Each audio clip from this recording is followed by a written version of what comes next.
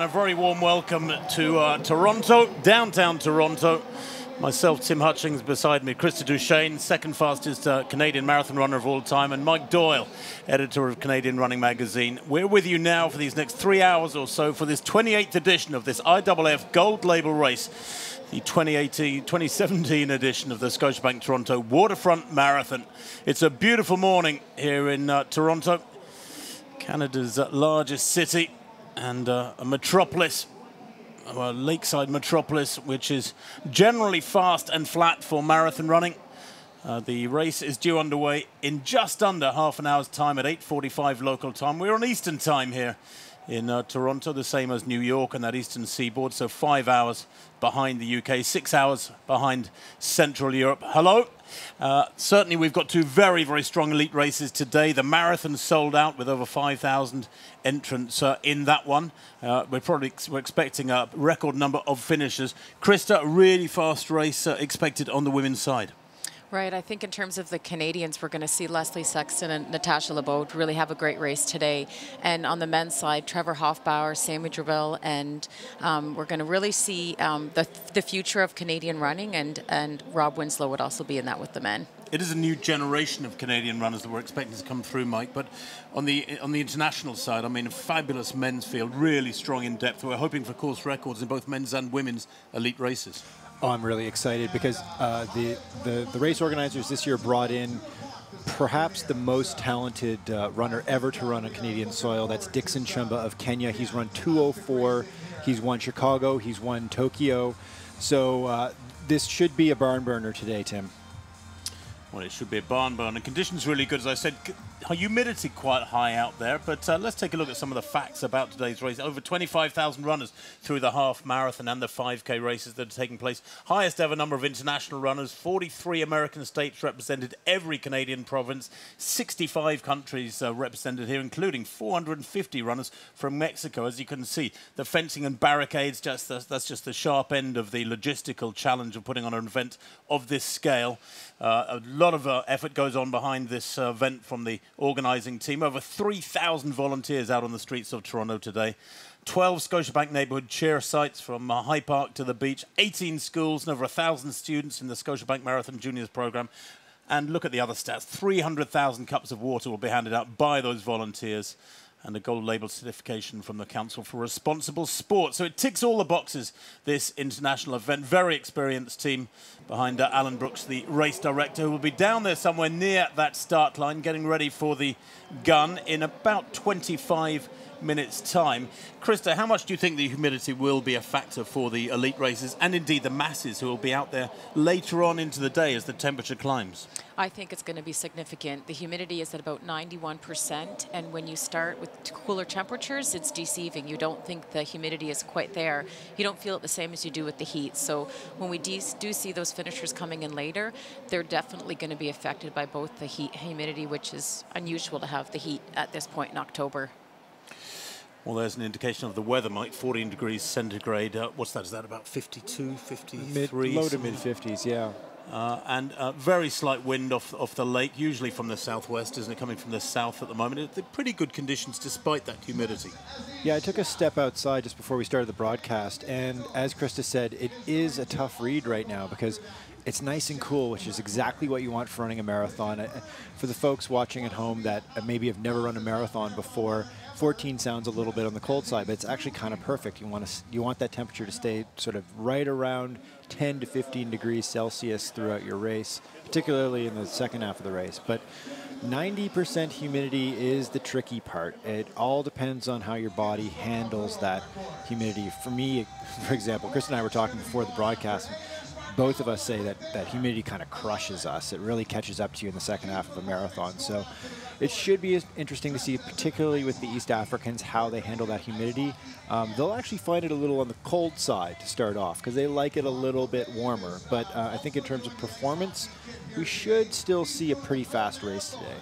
But you know what? If you go to Berlin every year, it's um, Uh, the race starts in is run in perfect conditions in Berlin every late September, and it's only around seven or eight degrees at morning starts. So it's uh, it's usually pretty cool there. Let's take a look at some of the other uh, information about this morning's race. In the background, the Scotiabank Charity Challenge has raised over 58 million dollars nationally since 2003, and across all six uh, Scotiabank sponsored marathons in Canada. Participating charities keep 100% of the proceeds raised. They're not charged anything because the bank pays for all transaction and credit card fees, and over $3 million will be raised today at the Scotiabank Toronto Waterfront Marathon Charity Challenge through that with those uh, nearly 200 charities, taking the total to over $31 million just from this race. Nearly 200 charities are participating in that challenge this year. So that number is going up all the time. Fabulous efforts by the uh, different uh, charities and their representatives to get those funds in. Of course, it's a, a monstrous uh, element of the London Marathon, for example, and in the UK, many, many events have jumped on that same bandwagon, and it is spreading. New York Marathon and many others now have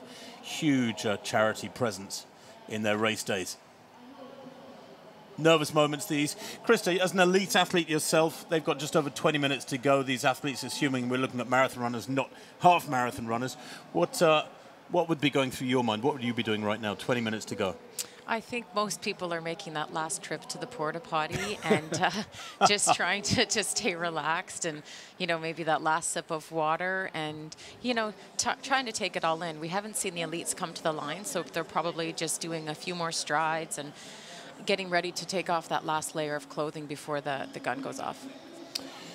Well, as we see these athletes enjoying a glorious dry weather, let's uh, just take a look at Toronto itself, which is a glorious city. I always think it's very similar to Chicago alongside the lake. Really lovely, lovely place to spend some time.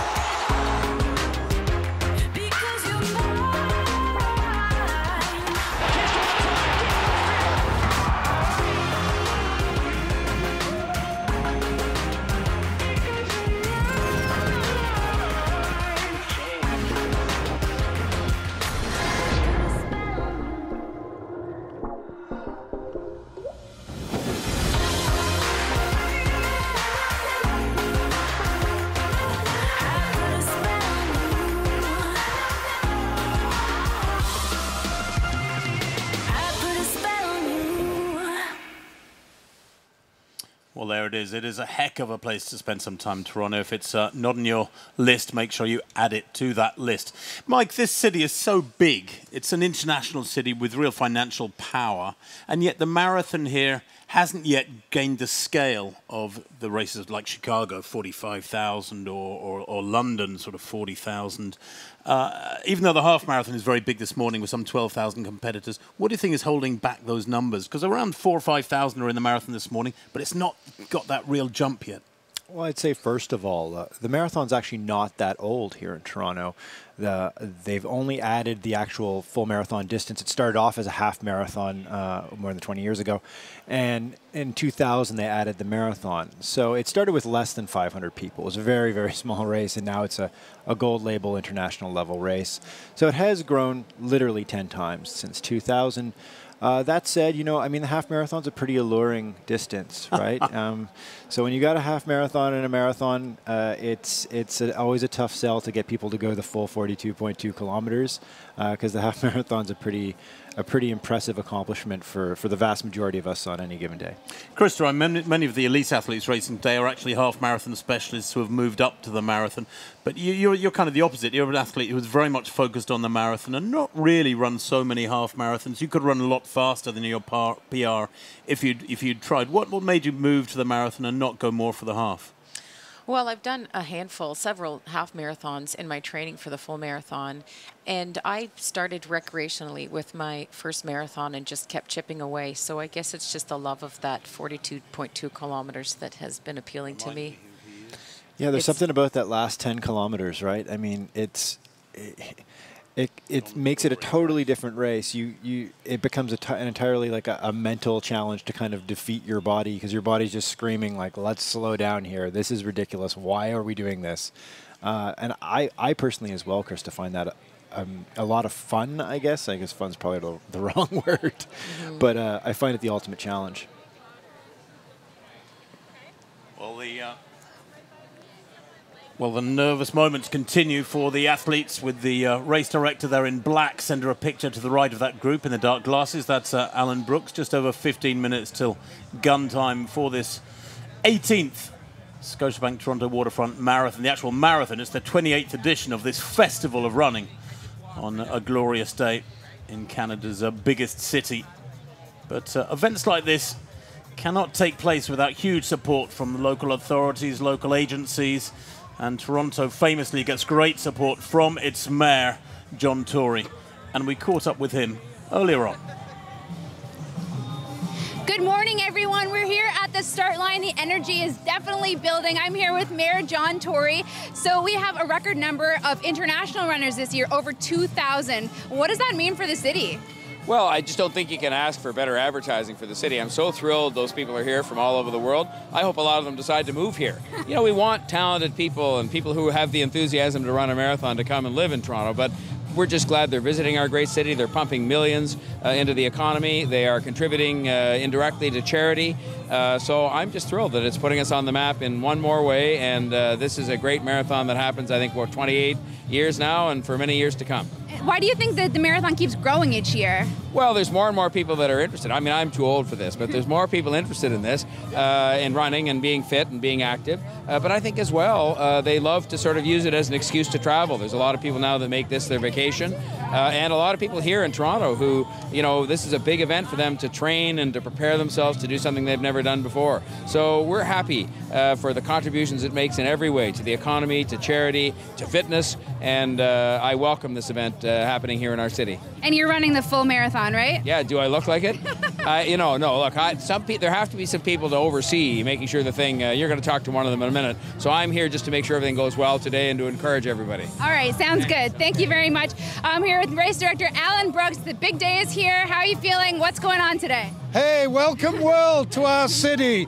Uh, I do want to thank the mayor for coming out, and of course all the city agencies, the Toronto Police, EMS, the Toronto Transit Commission. We couldn't do it uh, without the collaboration of everybody. And it's like we have this amazing party. Over 25,000 people from 74 countries. That's a record. And uh, they're at our house for a big party. The weather's great. Uh, we have some very special moments today. Uh, one person not with us himself, but here in spirit, Ed Whitlock, with his message to us always don't limit yourself. You'd be amazed what you can achieve if you just don't limit yourself. And I think that's the message to all of us today. So, bienvenidos, bienvenue, uh, welcome, world. Enjoy Toronto this morning. I think our city looks pretty cool. Yeah, it's kind of a perfect day, so we're shaping up for a great race. Back to you guys in the studio. Thank you, Laura. Yeah, the energy there is uh, quite tangible, obviously, from Mayor John Tory and uh, Alan Brooks there as well. The athletes continue to pour through the city centre to uh, get towards the start line. Some of them looking very relaxed, considering race start is about 15 minutes away. Nerves are a good thing. You just need to channel those nerves, channel that energy. And uh, the Scotiabank have been a great supporter of this race for many, many years. Indeed, Kyle McNamara, their main man on the scene, is a good marathon runner himself.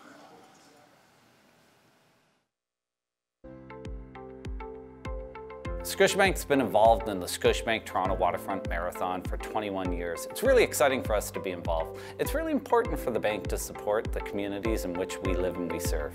The Scotiabank Charity Challenge is a really unique program. We're really excited to be part of it. We kicked it off here at the, the marathon in Toronto in 2003. We've raised over 31 million in total. This year, we'll be raising funds for over 200 local charities. All of it goes directly to the charities. So 100% of the funds they raise go directly towards the charities. Scotiabank covers all of the transaction fees. One particular focus for us at the Scotiabank Charity Challenge is on young people. We want to help inspire young people because they're the future leaders in Canada and across the world. The Scotiabank Toronto Waterfront Marathon is a fantastic event. The Canadian Running Series, who puts on the event, once again this year they picked a great course for us to go along. There's so many different participants from right across the world. This year, we're expecting participants from over 70 different countries, over 25,000 participants. It's going to be a beautiful day. There's going to be lots of spectators. It's going to be fantastic.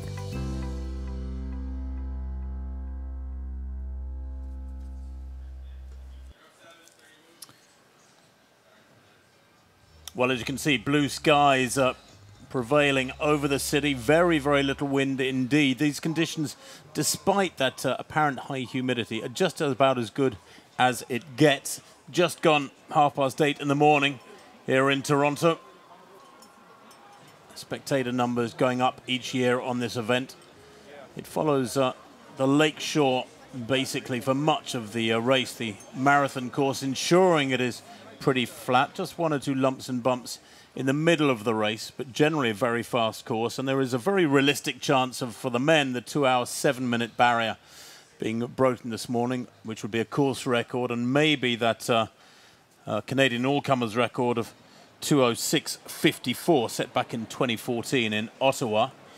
And on the women's side, well, of course, the 230 barrier almost certain to be broken. That women's course record is uh, to 22.43, set, funnily enough, by two separate athletes in 2011 and 2010. Sharon Cherop of Kenya in 2010 and Koren Jelela in 2011.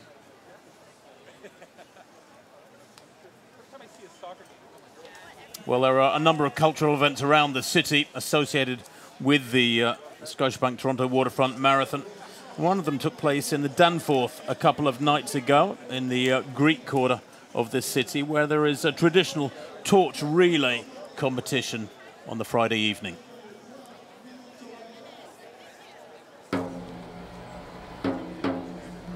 Well, I attended this ceremony a couple of years ago. Mike, have you ever been to it yourself? There's a nice little bit of sort of pseudo-Greek uh, imagery going on.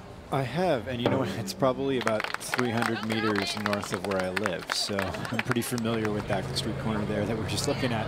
And uh, the the running club that I that I'm a part of in, here in Toronto uh, always comes out and participates as well. You ever attended it, Krista? No, I haven't, but I think it's something that I should uh, attend at some point. I think something you should take the kids along to, maybe. It's symbolic, of course, that the uh, Greek community in Toronto is a very, very active and powerful part of the city community.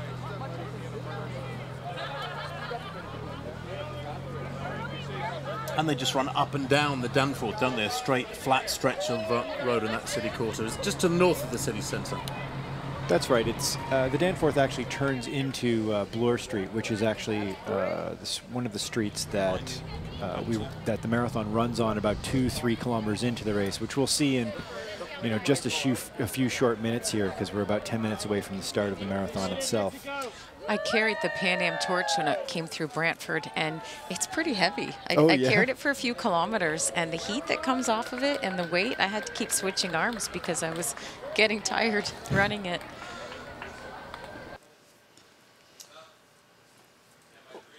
Well, there is the scene at the uh, start line as the athletes uh, limber up, continue trying to stay loose. Last year, the uh, eventual winner, Philemon Rono, was stretching at about this time on a, a, barrier. And he pulled the barrier over on himself, banged himself on the head, knocked himself out. Barriers just like those there behind that uh, Scotiabank uh, banner. And uh, it was decided that he would run the race, see how he felt after the first few kilometres. And clearly, he felt pretty good. Well, uh, Alan Brooks, the race director, mentioned Ed Whitlock, the uh, legendary uh, veteran runner who passed away very sadly earlier on this year. And we can uh, go to his son very shortly. But let's have a quick look at the map of the race uh, here in Toronto. It's uh, Mike is going to take us through it. Yeah, so as uh, Tim said earlier off the broadcast, it's a pretty fast and flat course. We start basically right downtown near the heart of the financial district and head north uh, past what's called Queen's Park, where the provincial legislature is held. And then you take a left in the first couple of kilometers on to Bloor Street through Yorkville, which is a pretty Tony neighborhood in, uh, in Toronto. Uh, and you head all the way over to Bathurst. And then Bathurst is a slight downhill. There are streetcar tracks you've got to watch out for, all the way down basically to the lakeshore. And that's when you hang a left at Fort York. Um, and you're going to go all the way out to the West End. And that takes you right out to High Park, which is a really nice park in the West End neighborhood. Hairpin turn, beautiful views, and you usually have the wind at your back for the much of the race here, particularly for the marathon, because it's going to carry you all the way over to the East End and past the Ontario Place uh, at the lakeshore. So you actually see quite a bit of the lake for quite a bit of this course as well. This is the tricky area. This is where it gets a little bit tough for the marathoners. You're going through the Corktown neighborhood. It's been recently redeveloped. Uh, you got to go north south a little bit there. It's sort of where they kind of tuck in, adding in a few kilometers. Pretty much every marathon in the world has got to kind of find a way to make up all these kilometers in, in a small space like a like a city like Toronto. So Finally, we're heading out to the beach. This is the most eastern part of this course. Uh, you're going to do a yet another hairpin turn. These are the only two really major turns at this point uh, in the east and the west. And you're going to go back the way you came uh, and head in downtown. And you finish basically where you start. So basically from about 12 kilometres out in the western sector to 32 kilometres, Mike. That's 20 kilometres running in a generally eastern direction with the wind behind you for most of that time, for a lot of that time. It should be. We haven't seen that wind is wind has been a factor in the past, uh, particularly in the last 10 kilometers of the race when you're running back towards the downtown, which can make can make it quite challenging. But it looks like today it's not too bad. Uh, I'm not sure if wind is going to be a huge factor in this race, uh, but certainly you do get a lot of help for a big chunk of this race. I mean, Christy, you've run this this race a few times now.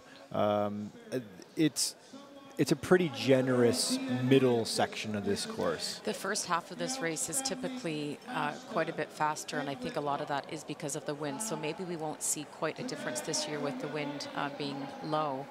But uh, the year that Lanni broke the record with me shortly behind her, I think we went through at exactly 73 minutes for the half and finished uh, 228 and, and 228 mid. Well, I think you're right. The wind is very, very minimal this morning. That humidity could be the most significant factor. Hopefully, not so much for the elites. But uh, Ed Whitlock, we've mentioned, his son Neil Whitlock is very much uh, present in the city centre, and we spend a little bit of time remembering Ed Whitlock.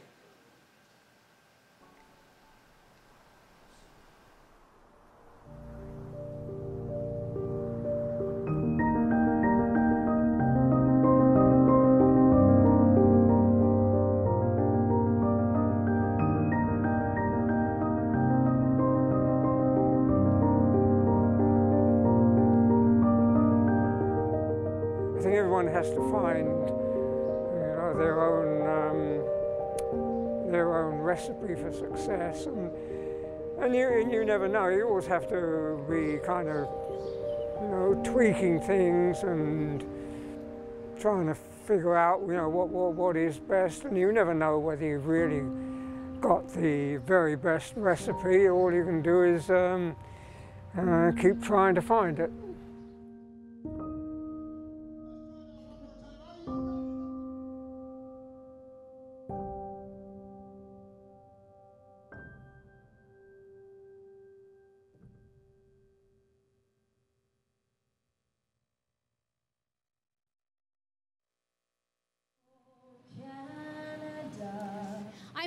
Neil Whitlock, Ed Whitlock's eldest son. This is an emotional day for you, I'm sure. The tributes keep rolling in for your dad. Why do you think he's left such an impact on so many people? Well, I think the times that he ran as he got older um, were very impressive, and I think uh, it just gave people a goal to shoot for and something to show that as you get older, you don't necessarily have to stop whatever it is you're doing, whether it's running or another physical activity. I think it just made people bring out the, the best in them. Is there any advice that he gave you personally that has stuck with you? Uh, he was he was never one to coach me, or and he would say, "What I'm doing for my, I don't know is any good for myself, let alone anyone else." So he was not a um, uh, an inspirational coach. So I would just I just followed his example. And what's it been like for you to see all these people writing such kind words about him and all this stuff around the city? It's uh, very emotional to see what an impact my father had on other people's running. Well, wish you the best today um, at this race. I'm sure it'll be a great one. Thank you. Thank you.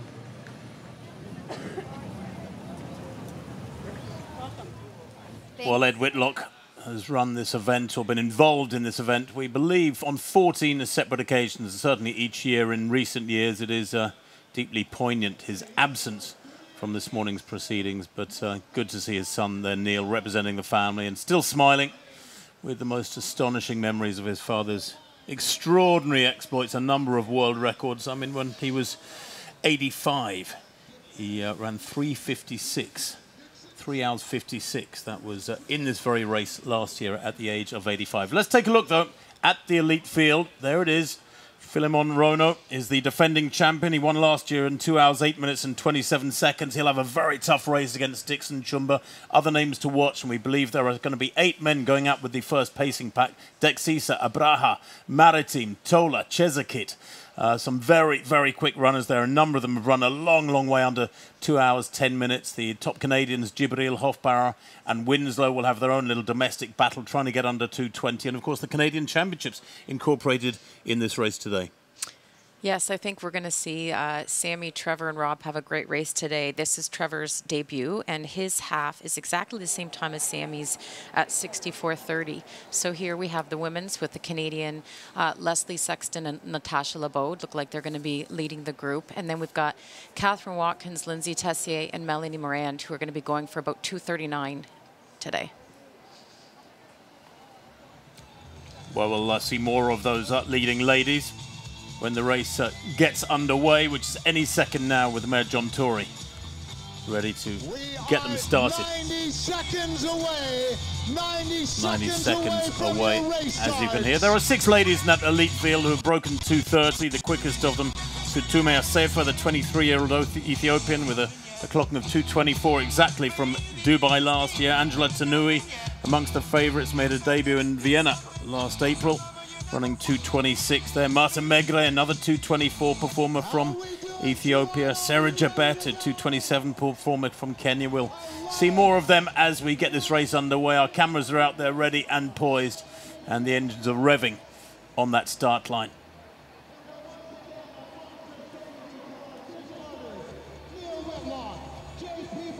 So the 28th Scotiabank Toronto Waterfront Marathon and Half Marathon about to get underway. It is, as I said, the uh, 18th edition of the marathon. Will it be the fastest? We'll find out pretty early on as the pattern of the race is laid down over the first 10 or 15 minutes.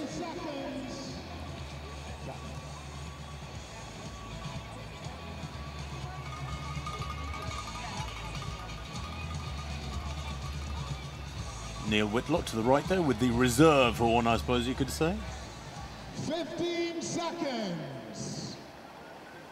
Months and months of preparation leading to this moment for the thousands of athletes, what, some 17,000 of them lined up behind in the half marathon and the marathon.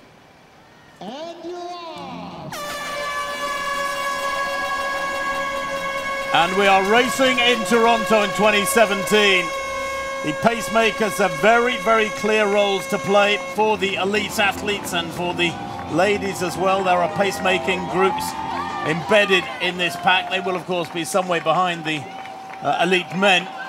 But we'll try to get our cameras to cover them and indeed the domestic battles for Canadian supremacy. Big prize money up for grabs today for the uh, elite athletes, course records, all comers records, just basic placings in the race, and of course for the Canadian title as well, Krista.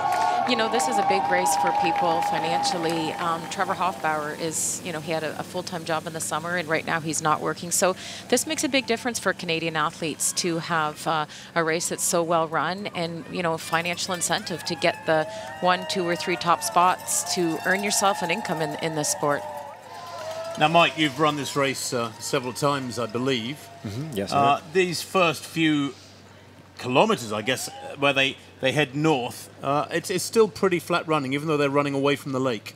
It's fairly flat. I mean, I think there's the slightest, slightest uphill, which I actually think works to the advantage of most runners because it kind of forces you to tamp things down a little bit. It's about a 2K shakeout. You know, this is a big race. It's really tough to get your strides in and get a proper warm up in. And with a marathon, you don't really need a huge one anyway. You've got 42.2 kilometers to get warmed up. So, uh, first couple of kilometers, I mean, the elites are going to take it out in about three minutes a kilometer pace to just to get on pace right away. Uh, you should see that. But, you know, if you're running really at any level, I don't think it, the first couple of kilometers of a marathon are anything to worry about.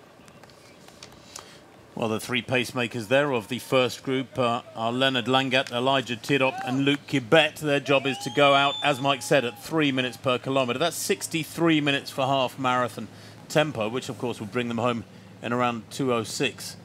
It's uh, nice and quick. Tristan Woodfine there with the red bib for the half marathon. I think that we might see him uh, be the male winner today.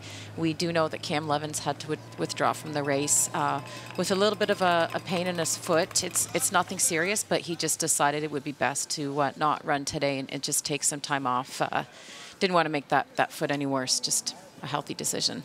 Yeah, it's a real shame because uh, I think you know running nerds know the name Cam Levins quite well. You know, who's an NCAA champion in the states and uh, held the Canadian record for a while on the track and the 10,000 meters. And, you know, I think everyone thinks he's going to be a great marathon runner one day. You know, not to put too much pressure on Cam, but he was coming up here, I think, to get a little taste of what distance road running is all about. He'd never done a half marathon before. I know he was pretty excited to give it a shot, and he was planning on running with this lead group of East African men at about 103 pace. So it's too bad he's missing that opportunity today, but apparently he's in the lead vehicle uh, for this race with the, the, men's lead vehicle, and he'll be watching the whole marathon from the truck, soak in that marathon experience, and maybe next year we'll see Cam Levins go after the Canadian record here in Toronto, which would be really exciting. I think he does plan to debut here in Toronto, provided everything goes well. But, you know, it's a humbling sport. He was hoping to race today, and it just doesn't always line itself up the way we make our plans. So definitely him in the truck, he'll get a good feel for this race, and no doubt he'll want to be here competing. But, you know, he still has to get that first marathon. Uh, accomplished, and then maybe we might see him going after some records. He does have his brother who's doing the half marathon today. I think he hopes to run it at around 120, and so he's been helping him, uh, giving him some advice in terms of coaching and pacing. So hopefully we can get a shot of him and see how he's doing in today's race with the half marathon. Yeah, it's kind of funny. His brother is uh, his brother Jordan's actually his older brother, and he came in from Calgary. Only been running a couple of months going after an 80 minute half marathon, which is pretty impressive for only running a couple of months. And his younger brother, Cam, the Olympian uh, and, and former Canadian record holder, is coaching him, which is, which is kind of awesome. Leading ladies for the first time now, that uh, group of five or six ladies with uh, Tanui, Angela Tanui there, second to right, the one behind uh, one of the pacemakers. Tanui is a half marathon specialist. She only made her debut in Vienna back in uh, back in April, where she finished in fifth place with 226. Anything under 230, of course, is world class running in the uh, women's marathon, and the closer you get down to 225 territory, or dare I say it, even 220 and faster, then uh, the more you are embedding yourself in the top 10 or 15 athletes in the world. But she's uh, got a very good record at half marathon. It's a case of whether or not she can transfer that to the full marathon distance. Very separate events. Let's not forget that that the half marathon is more associated with the 10k, 10,000 meters on the track and 10k races on the roads, whereas the marathon is a, a separate category of discipline. In effect, it's so much more demanding. Definitely, I, I chuckle anytime I, I see someone look at a half marathon time and, and think, oh well, if they did that and this time they can do the marathon, and yeah. and they're two entirely separate events. I, I think the Around the Bay 30K race in Hamilton is a good race to do because you're definitely preparing yourself for way more pain past that 21.1 uh, half marathon uh, race itself. Now we're just curving around Queen's Park, as I mentioned before when we walked through the, uh, the course map. Uh, this is an area where the University of Toronto varsity athletes do a lot of their uh, their uh, cross country workouts in the in the summertime, the fall. Uh, so if you're biking or running around there, you see a lot of pretty pretty impressive athletes, including uh, Gabriella Stafford, who's an Olympian for Canada, 1500 meters. Mike, this is them turning left at the ROM. Remind us what the ROM is. The Royal Ontario Museum. Uh, it's a world-class museum. They've got uh, dinosaur fossils, and they have a lot of uh, different uh, historical and um, cultural exhibits uh, that travel through. Well, now they're moving uh, much more quickly along this stretch. It's uh, flattened out a little bit. You could sense that slight, very slight upward gradient through that first mile and a half or so. What, six and a half minutes on the clock. These, of course, are, are guys who are running the half marathon as opposed to the marathon who are being taken out. Uh, the leading ladies, well, they do have their own pacemakers. Women's uh, first group are meant to be going out at 223 tempo. That's about 323 per kilometre and Keder Erji of Ethiopia is their pacemaker. But uh, conditions like this, when there's no wind to worry about, uh, when the temperature is kind as well, the, the effects of any high humidity won't kick in for the until the second half of the race, I guess, are as good as it gets. Yeah, I, I'm still thinking it's at this point last year, I was to run with Dana Petereski, and within the first kilometer, I knew that the humidity was already, already starting to take its, its toll, and that I had to make a good decision about slowing down because it's so deceiving. You just don't feel it like you feel wind or rain or anything else. So it's, it's definitely something that you have to keep in mind that it's there. Yeah, last year's race was tough, I think. Last year, the, the conditions were really not ideal. Uh, it was much warmer, and the humidity level was high. I just checked the, the weather a few seconds ago. Humidity is dropping. It's down to about 80% right now. So that should bode well. We want to see it drop significantly more than that if we want to see a fast race in the second half. But uh, so far, so good for these athletes out there right now. Well, last year, Philemon Rono won in 2 hours, 8 minutes, and 27 seconds, and Shoret Demisi of Ethiopia won the women's race in 225.18, which I guess underlines the quality of those performances. If the uh, humidity was that much of a factor, my mind, uh, I can't remember 12 days ago, never mind about 12 months ago. I think Rono Rono's the diminutive character that we just saw on the screen a few seconds ago in the white singlet with a little bit of red accents to it. Uh, he's in tough today. you know, he's he's only got a two only. He's got a 207 uh, personal best but I think he's going to have to run under that in order to uh, to to defend his title today because uh, the likes of Dickson Chumba, I mean, he's going to take it out pretty hard. He wants 206 pace. He kept saying to us over and over again in the uh, athlete uh, interviews that we did uh, earlier this week that he has to run the course record. You know, it wasn't he wants to run the course record. It was I have to run the course record. So we're gonna see we're gonna see a, a 206 race at least up until I'd say 30 kilometers.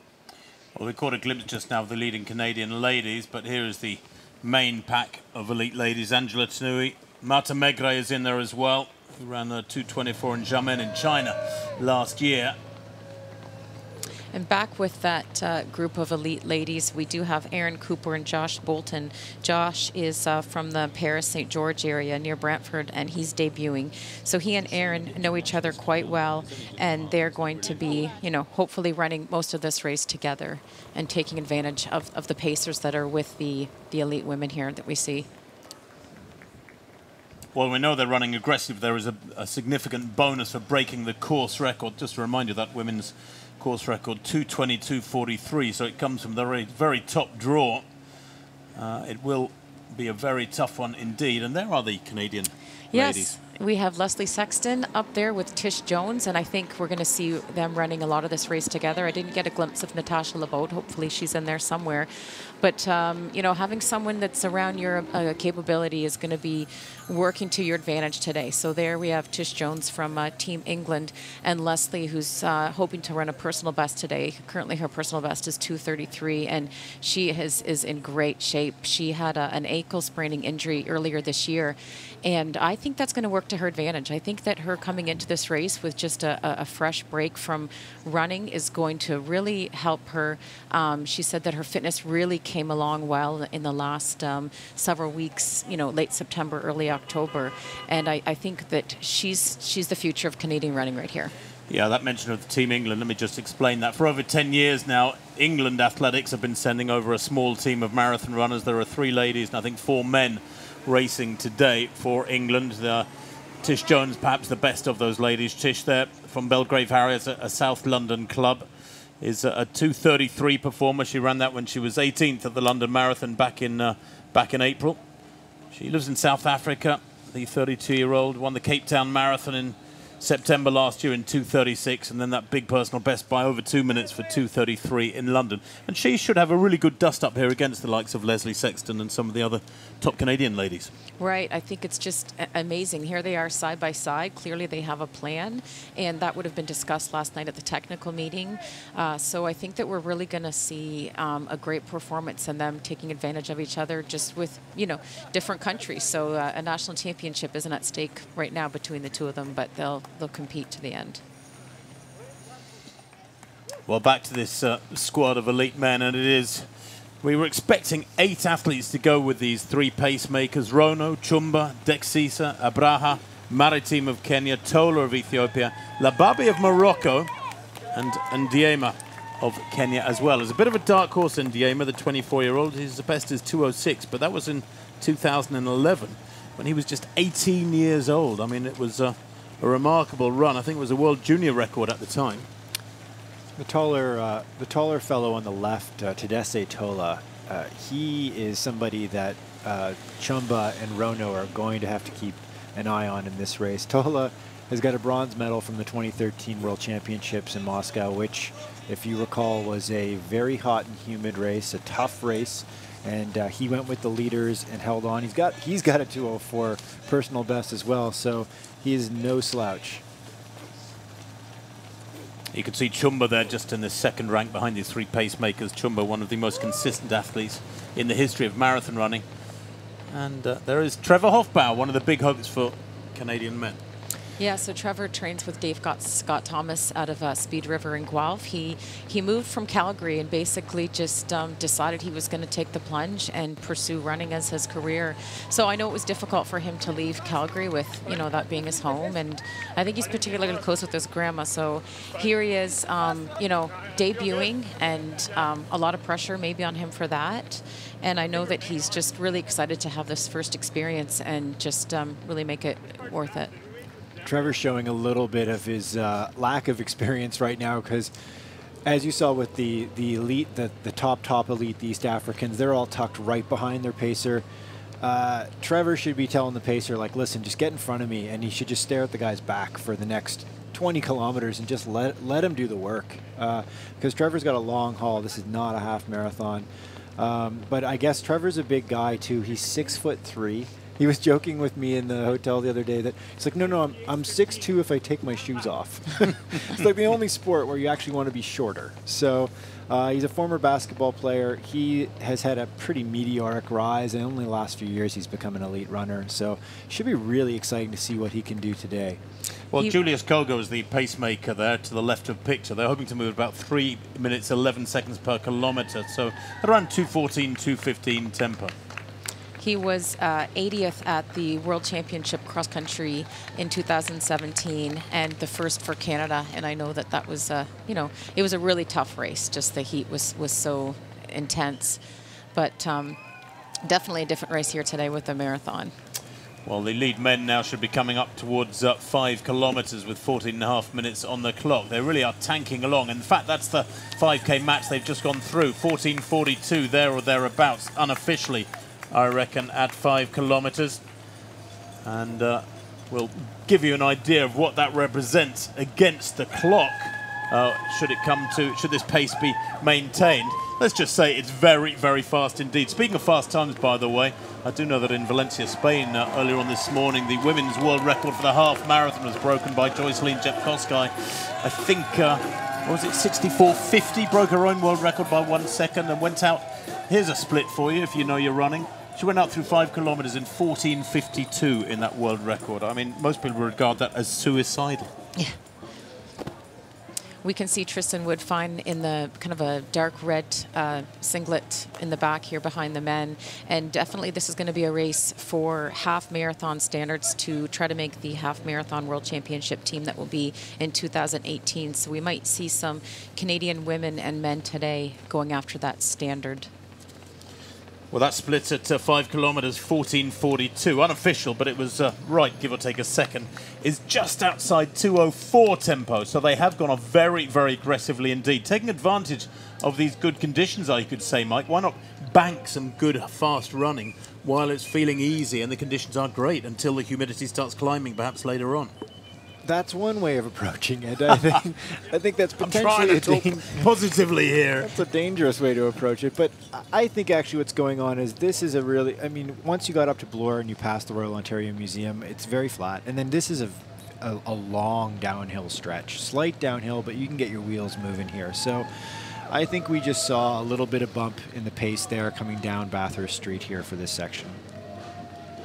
We see Trevor's taking in his uh, first bottle and was able to successfully grab it.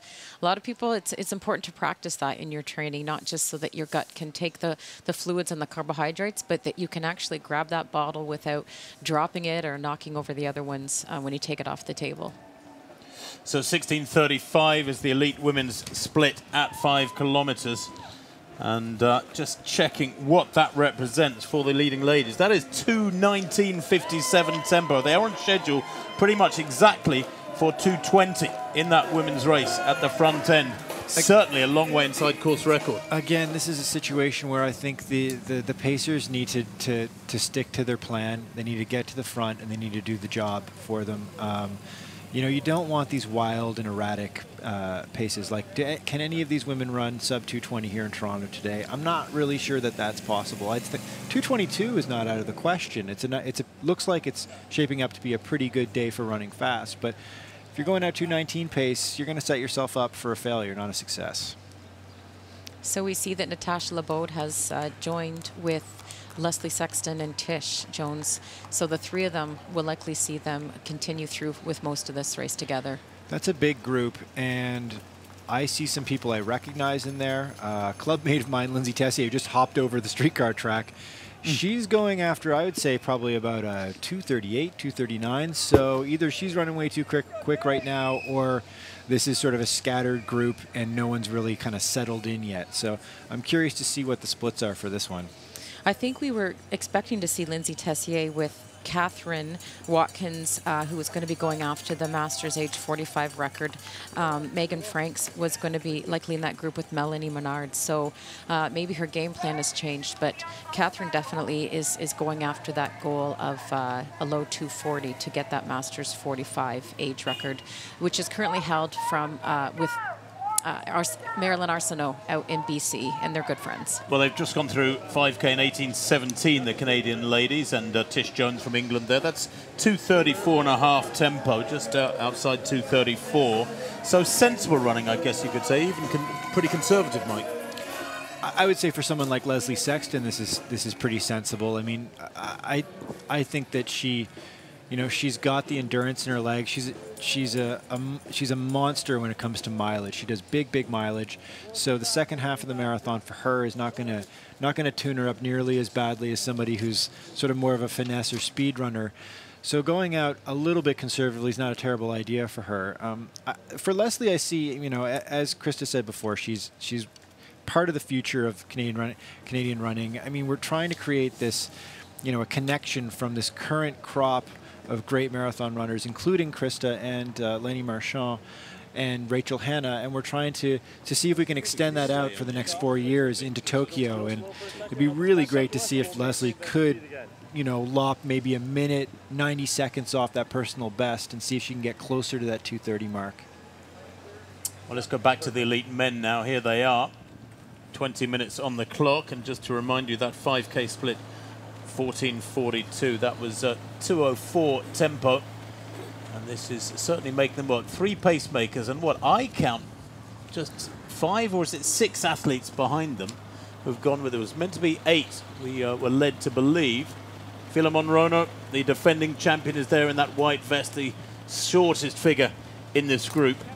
He's the man who was stretching last year in a barrier, managed to knock himself out. But he trains with Eliud Kipchoge, the Olympic champion, the great mentor who teaches focus and discipline to his squad, does uh, Philemon Rono. Abraha is there as well. We expected him to be up there. Gebretsadik Abraha, the 25-year-old Ethiopian, is a 206 performer. Very, very consistent. Eight times he's run under 210. So, Mike, there is a lot of quality in this group, and we'll talk about them more over this next hour or so, and hopefully while they're still together, it's likely to break up a bit through the second half. But this is a superbly uh, talented squad going into this race when we were doing the prep in the last couple of days, I circled four names and they're all there. So, uh, and I think that's key for producing a fast race. We want to see at least two of the 204 guys uh, in this pack in the last 10, 12 kilometers to make this a real deal quick race here in Toronto.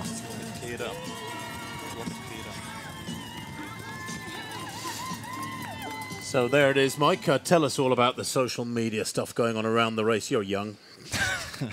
um, well, the, the, the race does a really good job at getting the word out and kind of creating a, a, a, a way for people to share their experience. You know, from the front all the way to the back of the pack. Uh, you've got the the the hash the the handles are Run CRS for both Instagram and Twitter. You can actually also live stream this, what you're watching right now, uh, on YouTube as well as they've they've got it live streaming on Twitter. So make sure to share that YouTube link, uh, youtube.com/slash Canadian Running Series, Canada Running Series. And of course, Canadian record holder on the women's side, Lanni Marchand, is helping us with all the social uh, media stuff going on around today's race. 22 minutes on the clock, and the elite men's squad pouring along here, looking very, very crisp. Slight downhill here, Mike, and they are really shifting. I mean, if they were on 2-4 tempo, if anything, I think it's been an acceleration. Yeah, they just passed the Fort York area, uh, which was a significant uh, part of the, the, the, War of 1812 history between Canada and the United States, or the, I guess the, the Brits and the United States at the time. Uh, so now they're going to be heading out west. They're on the lakeshore now. You've got the the lake itself is two uh, the left of the runners over there. And they're going to be running out uh, for the next few kilometers to the west. Uh, the wind apparently is blowing very, very slightly, about 9 kilometers an hour uh, to the north. So this shouldn't really affect the runners one way or another. There'll be a sort of a slight cross breeze for, the, for much of this race. Slight breeze coming to them from their left. Uh, Krista, I mean, presumably this is where they actually get down to the lake shore and it's, a, it's, it's flat and they can really get into a rhythm. We, have seen them run through the city, going slightly uphill, slightly downhill, but now they can really settle down. Right. I think the first couple of kilometers you can just get that uh, nervous energy out of you, but you really have to be conservative and, and disciplined, even if you want to push a bit faster. And these men are so familiar with that, knowing that they have to just take it easy and, and trust their training, though, that uh, you don't put it all out there in the first 10 kilometers.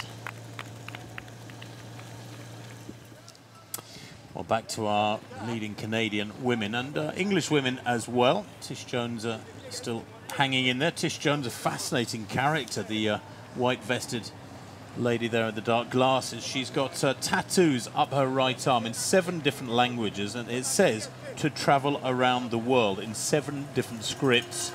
She uh, likes to get a tattoo done each country she races in. She was actually asking us if we knew a tattoo artist at the press conference the other day. Yeah, yeah she wants to get one done this weekend, probably this afternoon. She'll go and get to travel around the world in, what, French or something, I guess? She's got it, got yeah, it in English, I think. Yeah. I thought Réjean Chiasson would be someone to ask. He's, you know, got quite a few tattoos, and he might know someone who uh, is able to do that as That's an artist. right former Canadian uh, marathon champion. Well, there's that pack of elite men with uh, the three pacemakers doing a great job so far. And uh, they're just going, approaching eight kilometers. You can see the uh, press vehicle and uh, one or two elite athletes who are watching things with interest from that uh, lead vehicle learning about this course. That's uh, a good practice. They do it in New York as well. Athletes who think they might run, maybe make their debut in New York Marathon, actually get onto the lead vehicle and uh, watch it the year before. But I wonder who'll be the first to crack here from this group. Chumba looking very comfortable there. Just a right centre of picture. Chicago champion back in 2015. He's uh, Mr. Consistent. He's been in the top three of his last seven marathons. Those includes a, a win in Tokyo back in 2014, a third place in Chicago 2014, Chumba, a third in Tokyo again in 2015, uh, that win in Chicago, a third in Tokyo 2016. Indeed, he's been to uh, Tokyo four years running and finished in the top three, and that, of course, is one of the world marathon majors. But he is making his first trip to Canada here. He'll be uh, interested to feel see how he feels through the latter stages of this one. Bit of a baptism of fire, I suppose, on Canadian soil.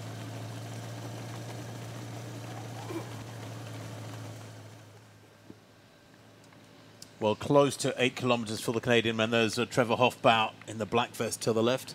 He went through in 25-23, so he's uh, got a lead on the rest of the men. Reid Coolsaet, who is a two-time Olympian, and we know him quite well for his phenomenal uh, experience in Canada. He's pacing Rob, Kevin, and John with Sammy. So that looks like that's going to be a good group of, of men that uh, may end up catching up to Trevor, depending on how it plays out for him. But uh, I know Reid has been injured, and he was helping with the elites, making trips to and from the airport, and helping Cliff with that organization. So it's great that he can also participate in the race today, as we see that his fitness is, is coming around. And he's getting over that injury. There's that uh, group of elite women with their pacemaker. Doing a good job at the moment is uh, Kedir Urji of Ethiopia, the tall character, perfect pacemaker for the ladies were it windy. Doing a pretty good job anyway. Asefa is there. You can see her uh, looking pretty good, Sutume Asefa. Only her third marathon. She was fourth in Dubai last year in her debut with uh, 224 exactly, and then second in Rotterdam last year in 228. Uh, hasn't raced since then. That was in April last year, so she's well rested. Comes here with, uh, what, some 18 months or so of uh, rest from the full marathon distance. She's a very, very accomplished half marathon runner, and she has a reputation for liking to front run. So as and when that pacemaker uh, Kedir Urji, that male pacemaker for these ladies, drops out. Maybe Asefa there, right in the centre of picture. Tall figure with the bun. Maybe she will uh, take on pacemaking duties, but they are shifting at the moment. Remember at 5K, just to remind you, the ladies were on about 220 tempo. In fact, even a click under 220 tempo, and they're moving well here too. Right, the men that we saw with them before, Erin Cooper and Josh Bolton, um, we don't see them. So clearly, these women have uh, gone ahead here and, and started to uh, to make their move.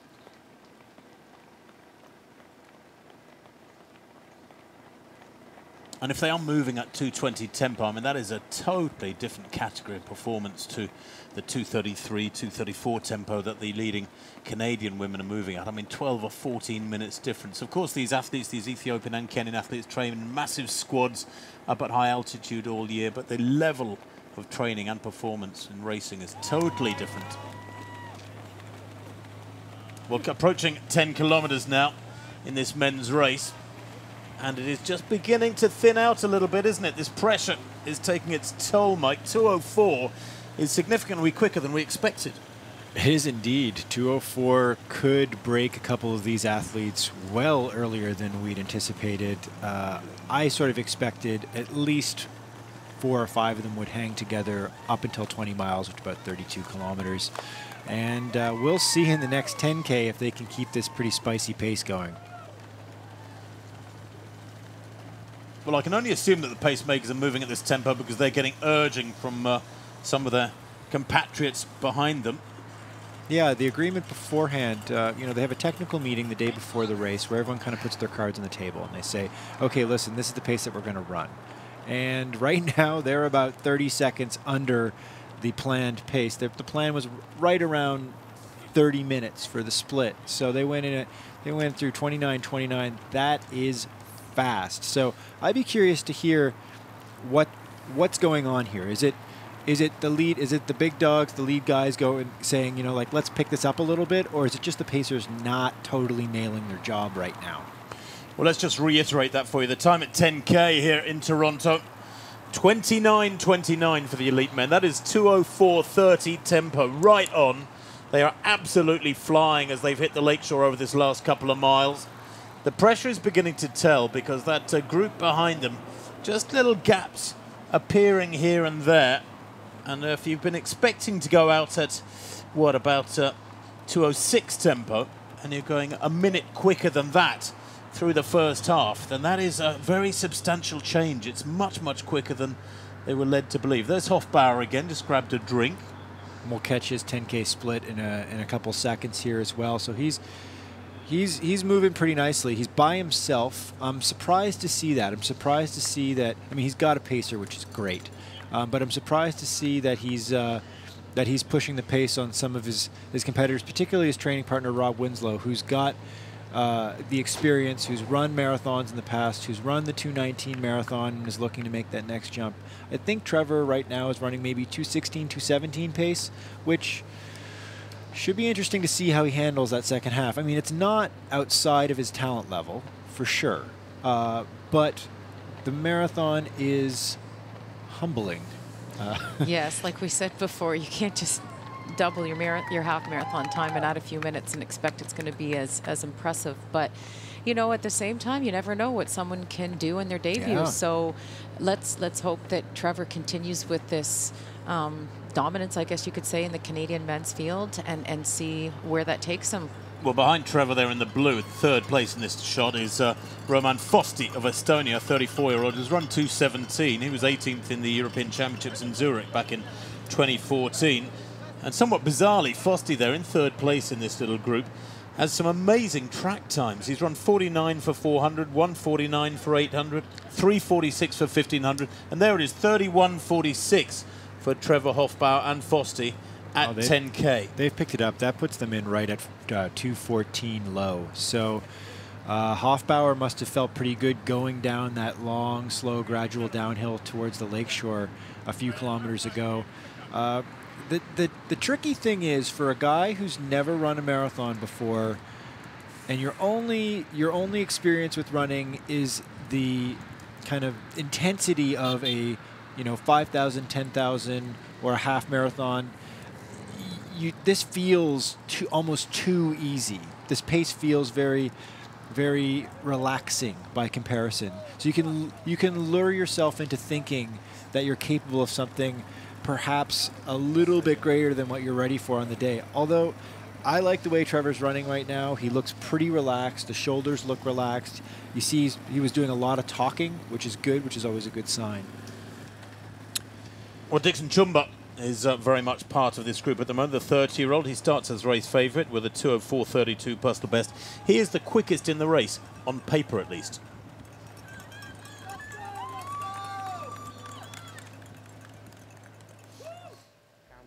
Kenya. For Sunday, I am I am good. I need to, to run faster. In Toronto, I need to run two seconds. My training is good. I from Kenya, I have trained good. My home is Kapsabet. I train in Kapsabet. I live in Kapsabet. Toronto is good. I see the weather, what it was good. Know, Tokyo, I ran in half 61, 30, but in, in Toronto, I need 62, 40 for pace of 25, 26. For, for Sunday, I need to win, and I need to run course record, maybe 26 or 25, 25, 50 something. If I get pacemakers for up to 30k, 30k kilometer, I run good. 12, ki- 12 kilometer I run only. But I know I run good in Toronto.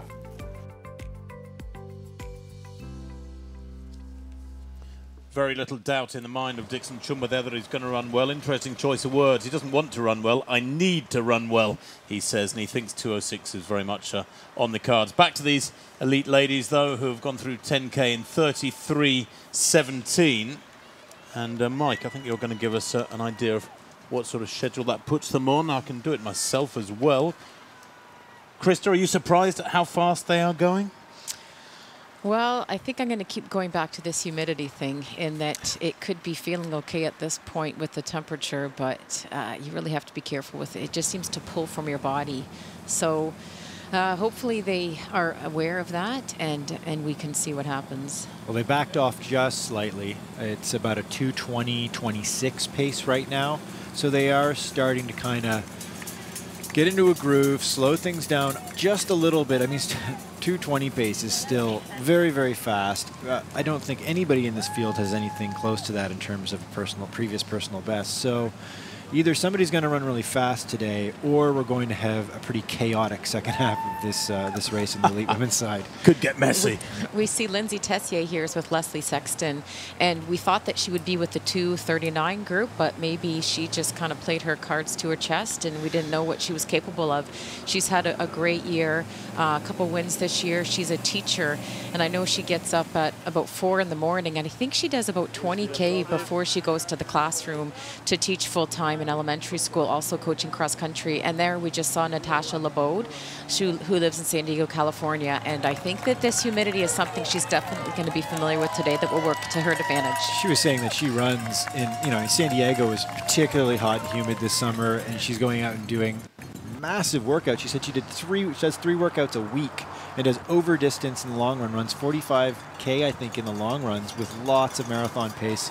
And she said the big thing for her from the marathon she did in 235 here a couple of years ago to her training now is that she's been a lot smarter with nutrition and, and hydration in these runs. And obviously running in you know 30 plus uh, celsius degree heat uh, has helped probably pre prepare for today particularly with uh, hydration and Natasha Labeaud has celiac disease, so that's another uh, challenge that she has to face. I know that she, um, we often don't see her at meals because she has to make her own food.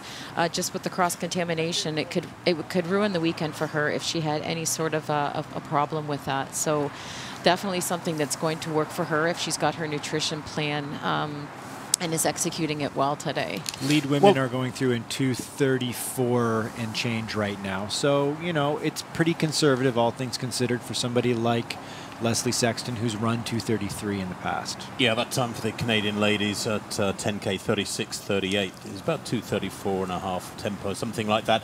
Well, Laura Silva is down by the lakeshore and uh, at a cheering station where there is so much uh, enthusiasm and support for these athletes. Uh, let's go down to Laura.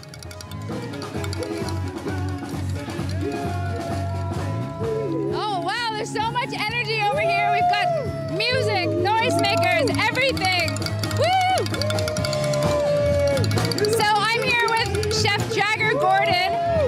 Can you tell us Feed It Forward and where the money uh, from this charity site's going?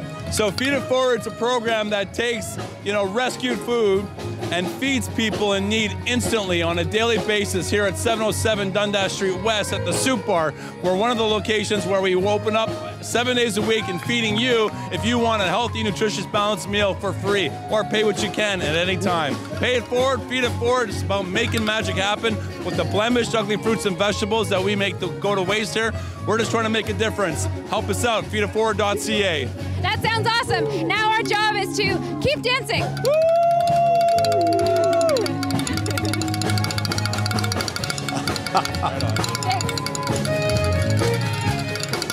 it's almost infectious, isn't it? Feed it forward. I like that. Back to these elite ladies, though, as they pass a, uh, a drink station here. Of course, there are drink stations out on the course which the elite athletes have got their personal bottles on every 5K. So the night before they hand in their eight bottles of specially made up concoctions. And uh, there's uh, plenty of water out on the course as well. Who's this? So Angela Tanui is uh, amongst that lead group, and she is very much one of the ladies' favourites, and we caught up with her earlier. My name is Angela Chemesunde Tanui. I'm coming from Kenya. I'm training in Iten, Home of Champions. When I was young, I was a, I was a runner. So I start when I was young till now. On Sunday, if everything goes well, I'm going I want to run my personal best under 225 because I ran in Vienna on April and I was position 5. That was my debut marathon, was my first marathon. So the, this time is my second marathon in Toronto. So I'm gonna going to run my PP. I learned that mara marathon needs a very smart mind and so I learned much in Vienna. So I'm going to run very smart. My plan now is to run not to fear 32 kilometers, to run with the first group till the end. Because my for the last for the last training was good.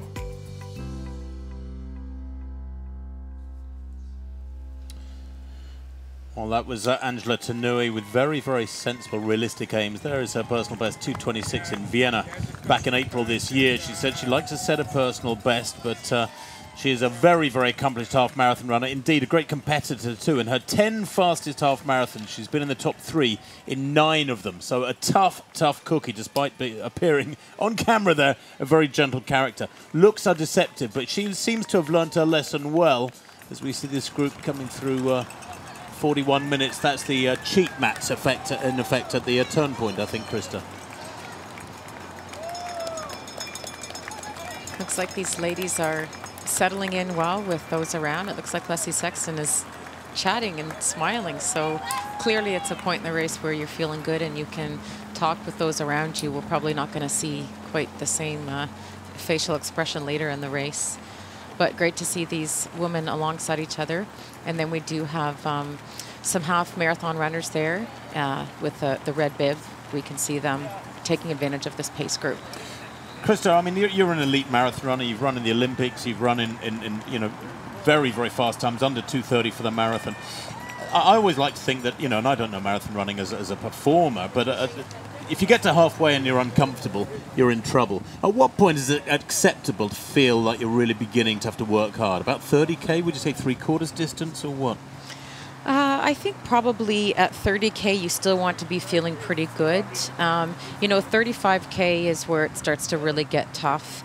And um, you know, Leslie Sexton here, who has been profiled as the the potential winner for the Canadian women, she she's really experienced. She's had a few uh, races where she wasn't able to finish the race or had to drop out early due to illness and not even start. But you know what we often reference her her high mileage, and you know she said I've been doing high mileage for a long time, so she's she's quite experienced in that sense, and uh, she's got some really uh, great workouts that we can look at back to the elite men. Then we haven't seen them for a little while. Philemon Rono looking very much up for it, and uh, you can see there to the right of picture the splits from the, the uh, record 29.38, where they were well inside that mic this year with 29.29 at 10k. We're waiting for that half marathon split, but 62.45. At the moment, it looks like they're going to be about 30 seconds inside that at halfway. And we have to keep in mind that that record that was set here in Toronto a few years ago by Deressa Chimsa uh, that was also a pretty hot first half, pretty quick first half, and they slowed down uh, a fair amount in the second half. So I mean, being ahead of even those splits is uh, saying something. I got I got to point one thing out, which is that in in uh, in February in Tokyo, uh, Chumba ran with uh, Wilson Kipsang well under world record pace until about 30 kilometers. So he ran the first half in Tokyo in 101 and a half. So he can, and then he finished in 206. So he, he blew up a little bit, but he did hang on to a 206, which would be a Canadian all-comers record. So I think this pace is probably not going to be nearly as challenging for someone like Dickson Chumba as perhaps the uh, defending champion in Philemon Rono, who's only run 207. Well, he is the fastest man in the field with that personal best from Chicago three years ago, 204.32. That was the last year in which Chicago had pacemakers. Of course, the Chicago Marathon, one of the world marathon majors, doesn't have pacemakers these days. The last three years, and it was one two weeks ago by Galen Rupp in 209. But they've just gone through 15 kilometers, I think. Did they pass over the mats just now? We're looking at about 44.28 for 15k for this uh, pack of lead men. That's a 204.57 projected finish if they keep even from here on in. Uh, so we're still under 205. Of course, the all-comers record here in Canada is a 206.54, so they're well under that, and that would be a $50,000 payday on top of the 25,000 bucks for the win. So, uh, so far so good here. I guess you know the humidity. I guess is not affecting them as much, at least in the early going. We'll see how it plays out in the second half. Yeah, that 44.28 for the elite men, as Mike said. High 204s or around 205 flat, the tempo they're moving at at the moment. Hofbauer still looking strong. But would you say, Krista, and Mike mentioned this a little while ago, just just running up alongside his pacemaker there, psychologically, is it better to be actually tucked in behind your pacemaker and be dragged along psychologically more than physically? I don't think slipstreaming is a huge factor. You know, Trevor's really tall, so obviously that uh, may be part of his decision for running beside his pacemaker. Maybe he likes just having that, that rhythm of someone um, beside him. You know, as women, we tend to maybe go behind men that are a bit taller that are pacing us, but he, he whatever his decision is for being beside him, I think he just wants to shut his brain off and just um, let the pacer do the thinking. I, I think it's funny when people often say, oh, the pacemaker does all the work. Well, you know, let's give them credit, but not all the credit for what they do. So, you know, maybe Trevor's just taking it like a, a training run in, in, Guelph with his training partners around him and just kind of getting into that rhythm and, and not having to do a lot of thinking at this point. Hofbauer is a high energy guy. He's a guy who's uh, he's animated, he's funny, he's he's really really positive, and I can't see him as the like tuck in behind and just kind of you know shut things down and and kind of go through the motions type of person. I imagine he's probably the guy in training who's like right up next to you or trying to hammer past you uh, because he's got a lot, a lot of energy. So, and also, you know what? If you've never run with the pacemaker before, it's tough to know what they're going to do and what their style is. You know, my my thing is always try to take the tangents, try to run the, the course the way it was measured. Otherwise, over the course of 42.2 kilometers, you're going to run well over 42 kilometers. So.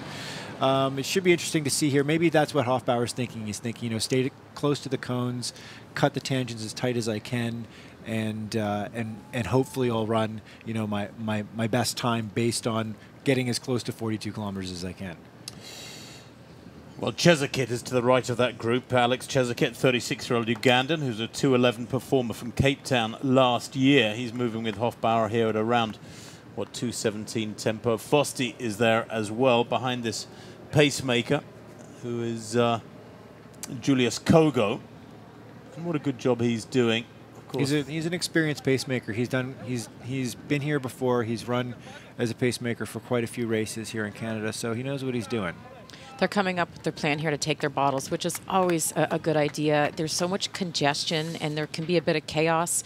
We've seen some some run-ins before where athletes get hurt because they just don't check their blind spot. So it's good that they have a, a communication plan there to avoid any any sort of, of contact. Well, it looked like Fosti didn't get his drink there. The man to the left of this group, and he's actually had to grab some water. Has a slurp of that pours it over his head, which suggests that the heat is beginning to build. Hofbauer has got his red bottle and looks very comfortable with that one. He's a massive fellow, isn't he? I think you're right, mate. We'll go with 6-3 rather than 6-2 for Trevor Hofbauer, but very sensibly. Just hanging on to that bottle, sipping away as he feels like it. They practice that in training, of course, out in their long runs. These uh, athletes, they will get used to drinking on the go. I've even known, been known, it's been known for athletes to practice going to the uh, going to the loo, a number one, shall I say, on the move. I remember talking to Steve Jones about it, and he said, "Yeah, I had to practice it when I started marathon running. I had to learn to open my bladder as I was running." Um, I'm not sure how often it's done these days, but a useful skill. Well, I think that's why when you wear black shorts, that works to your advantage if that uh, is a factor today for some of these. We've seen Trevor really uh, toss the bottle. Uh, yeah, he's a basketballer. You can yeah. see he was looking for a hoop. I guess so. Yeah. he he worked at a golf course in the summer, and I know it was really tough for him. Just long days and getting his his runs in before work. Again, one of the early morning risers. Um, like the other people that we've spoken about. So I think when he uh, finished his work there, he definitely felt better in his training when he wasn't working those long days. 47.55 through 15K put him at puts him at right around 214.47 for the marathon. A sub 215 would be extraordinary in a debut for, for a guy like Trevor Hofbauer. Uh, he's hovering around 312, 311 pace per kilometer right now, and um, you know he had a, he had a pretty fast opening 5K, uh, so he needs to sort of tamp it down, slow down a little bit, you know, get that rhythm going. And Back to the elite ladies as we can see this uh, pack still moving very, very aggressive. They're tightly bunched. It's almost like they're watching each other closely. And in fact, just trying to see uh, it's uh, who it is that's pushing ahead here. It's Sega. It's Muluhab Sega, the 28-year-old who is uh, pushing ahead of the pacemakers They're approaching the drinks table. She wanted to make sure she got her drinks Oh, okay. There's always chance for a problem there. One of the elite ladies, they're having a real issue getting hold of her bottle. She had to stop and go back, and she's lost probably 20 meters on this group. But that that's necessary. You know, I think it's Yeah. important that you stop to get it. You cannot afford, uh, with this heat that's going to be increasing, to miss your bottles. So, w- at 15k in the race, even though it you know messed up her, her rhythm, she'll get back with the group and, and she won't regret getting that bottle. We've just received word that Rob Winslow is out of the race. Uh, not really sure what has happened there, but unfortunately, uh, that's not good news for uh, Canadian running. We were hoping to see him uh, have a, a top three performance today, so our best wishes are with him for whatever reason that is. That's too bad. That's, extraordinarily early, though, Mike. 51 minutes on the clock, and we're hearing that somebody's out. Well, I guess if it's not going well, it's not going well, right? I But you never know if there's any sort of injury. I know some people with the tracks have have had little injuries before where they've got caught, and um, you just never know. It's our I think our bodies are so fragile as marathoners, and anything can go wrong. uh, Any anything in that case. Well, they went through 15k, these leading ladies, with 50.23. That's 221.40 pace there or thereabouts as we go back to the Canadian ladies and one or two of the English ladies in there as well. And one of that England team is Anna Boniface from Reading Athletics Club, just to the west of London, UK.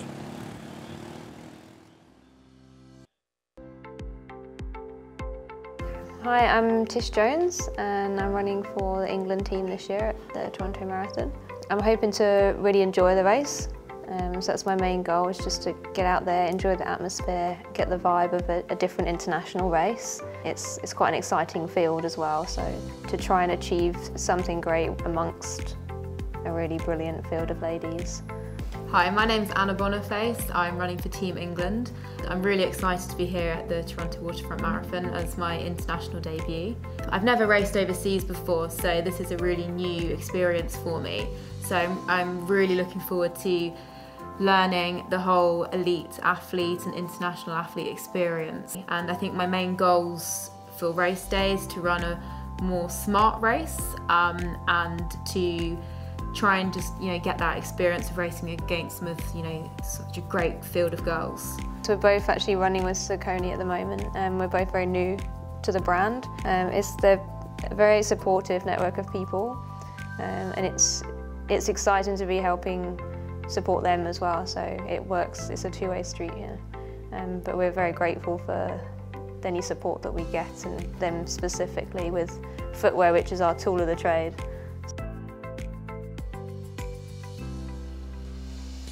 Well, very calm thinking there from the uh, two of the English ladies, uh, Tish Jones and Anna Boniface, as we could see as they approach uh, 15k now. Big pack. Is it useful, Krista, to have a pack as big as this around you when you're uh, in a race, or is, is it, can the numbers actually become a hindrance? Well, I think you really have to be careful for the traffic, particularly when picking up your bottles. And if you want to, you know, stick with your pacer, there can be some some crowding. So any sort of slight movement that's out of your alignment uh, could wreak havoc on some of these. So Leslie's right in there in the middle of this pack, and I'm sure she's just keeping her rhythm so that there's no uh, contact. We saw just now that uh, Tish Jones's personal best is 233, and they're actually moving at about 234 and a half tempo. Do you think it's a good thing to go out conservatively like this and maybe try and run a strong second half, maybe even negative splits where the second half of your marathon is quicker? Or is there a point at which you've gone out too conservatively and you just can't pull it back? I think uh, on a day like today with humidity, uh, that's definitely a wise thing to do st- to start conservatively. I'm a bit surprised that we're not seeing uh, sunglasses. Uh, we can see that it's sunny, and I think Tish Jones is the only one wearing them, and I think that just really helps with keeping your head and your neck relaxed, which will help with with your rest of the rest of your body. Um, but um, we'll we'll see what that does. Yeah, I, I think that this is actually, this is the thing about uh, everybody behind the lead, the the absolute best the, in, in the field, the the fastest, the the East African lead men, is that you're going to have these clusters of club runners and sub elite, um, mostly kind of sub and sub sub elite men uh, in these clusters, and then that creates like a situation like this where you know you got to move over and you got to get your bottles because the bottles come a little bit before the uh, the water stations for everybody else at the timing mats here. So it creates a lot of traffic slows your rhythm and your pace down. There's always potential for tripping or banging into somebody. So, you know, if you're not in this elite race, you've got to be really respectful of who of who is you know of of these lead, lead Canadian women and uh, kind of get out of their way. There it is at 15k for these uh, leading Canadian women and uh, Brit England ladies. 55-13 at 15k, and that puts them on. Let's see, a 230, about 235 tempo. If anything, they've slowed over the last mile or two. So the conservatism is becoming a little bit extreme. Maybe I wonder if there's an element, perhaps, of them being held back, Chris, or an interference from all the sort of club standard runners, male runners around them. Well, I think Leslie's going to be smart. She's very experienced, and um, being conservative is, is not a bad thing in the marathon. And she's going to be an even paced runner. So I think we might just see her first and second half to be similar in terms of what those times are. Here's the le leading ladies, and really still shifting. The uh, difference in tempo is quite marked. They look comfortable, these Kenyans and Ethiopians. They train uh, with uh, very, very strong squads. For example, Fatuma Sado, who is uh, amidst this group, trains with uh, Tirunesh Dibaba, perhaps the greatest distance runner of all time, who won the Chicago Marathon two weeks back very impressively. And Mare Dibaba, the 2013 world champion, is also in that training group. So they have so much knowledge, so many mentors, so much great advice available to them back in uh, the Rift Valley, whether it's in Ethiopia or Kenya. That has to be a huge advantage on your day-to-day training.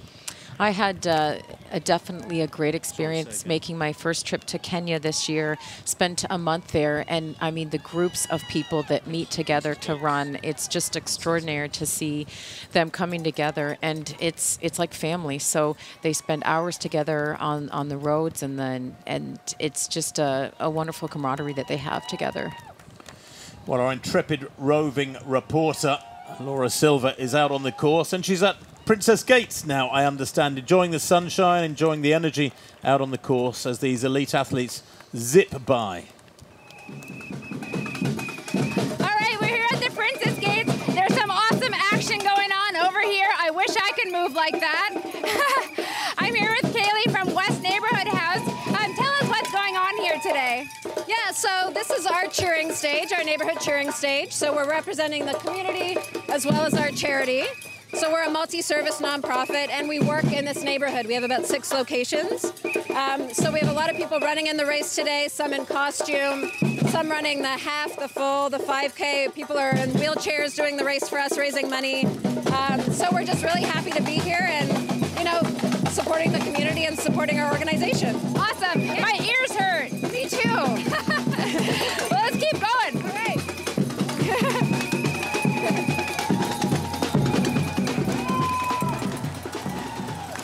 Makes you want to hang around there a little bit, doesn't it, and get in the rhythm of it. Well, these guys are into a nice rhythm at the front end of the men's elite race in this uh, 2017 Scotiabank Toronto Waterfront Marathon. If you've just joined us, they're uh, well in the into the race, but still not haven't reached halfway yet.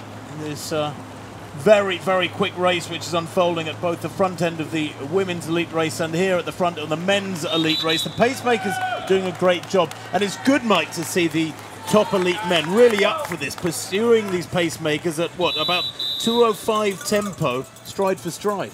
Yeah, we're we're closing in on the 20k mark now, which we should see right around the one hour, uh, which will be pretty exciting because that means that the Canadian all-comers record could go down, and that's a 206.54, and these guys are well ahead of that right now. Of course, this is the faster por portion of the race. First half of the race is quite a bit faster than the than the second. So we'll, should be interesting interesting to see how this race shakes out. But we've got all of the big hitters in here right now.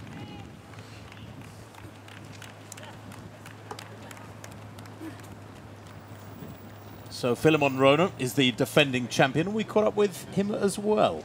He's uh, in the white vest there. When I start the race after five kilometers, I felt very strong. So I say I will make it to my best.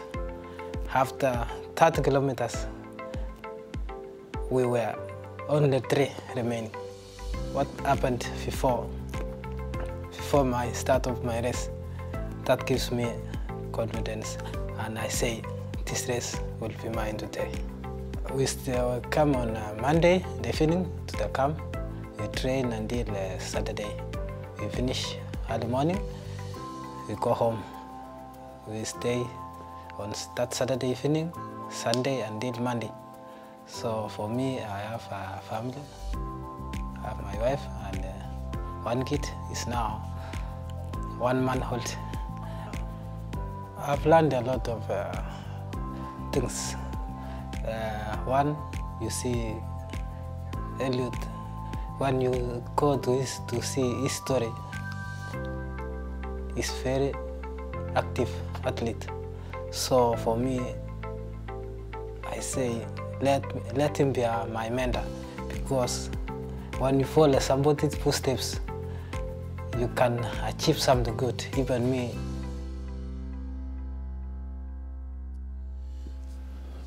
Well, Philemon Rono, very, very cool head and his shoulders, almost uh, reminiscent of Eliud Kipchoge there in the way he speaks, calm and controlled and confident and convinced he's going to win. Now, we've got them going through 20K in about 59.20 unofficially a couple of minutes ago. That puts them on about 205.10 tempo, Mike?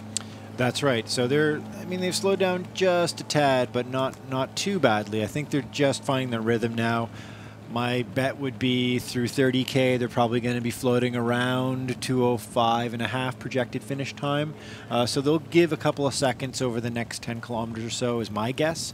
Uh, but um, you know, there's there's a lot of experience in this field. You've got a uh, uh, world champion bronze medalist in Tadesse Tola there. You've got Dickson Chumba, who's won in Tokyo and Chicago and run 204. And then you got the defending champion, who we just saw, Philemon Rono, who actually uh, I ran into in Monza, Italy. I was there covering the Nike Breaking 2 project, and he was one of the pacers. And I was, I was like, Philemon, I, what are you doing here? And, and they, because he trains with Eliud Kipchoge, they, they roped him into doing the pacing duty, which was uh, which is a super cool thing to watch. And he did a really good job. Actually, he was sort of, I think he was seen as one of uh, the most trusted pacers that they brought over there to work with Kipchoge because he trains with him on a daily basis. Is that the halfway, Matt? I think they've just Looks gone that way, through yes. 62.37, something like 62.35 officially.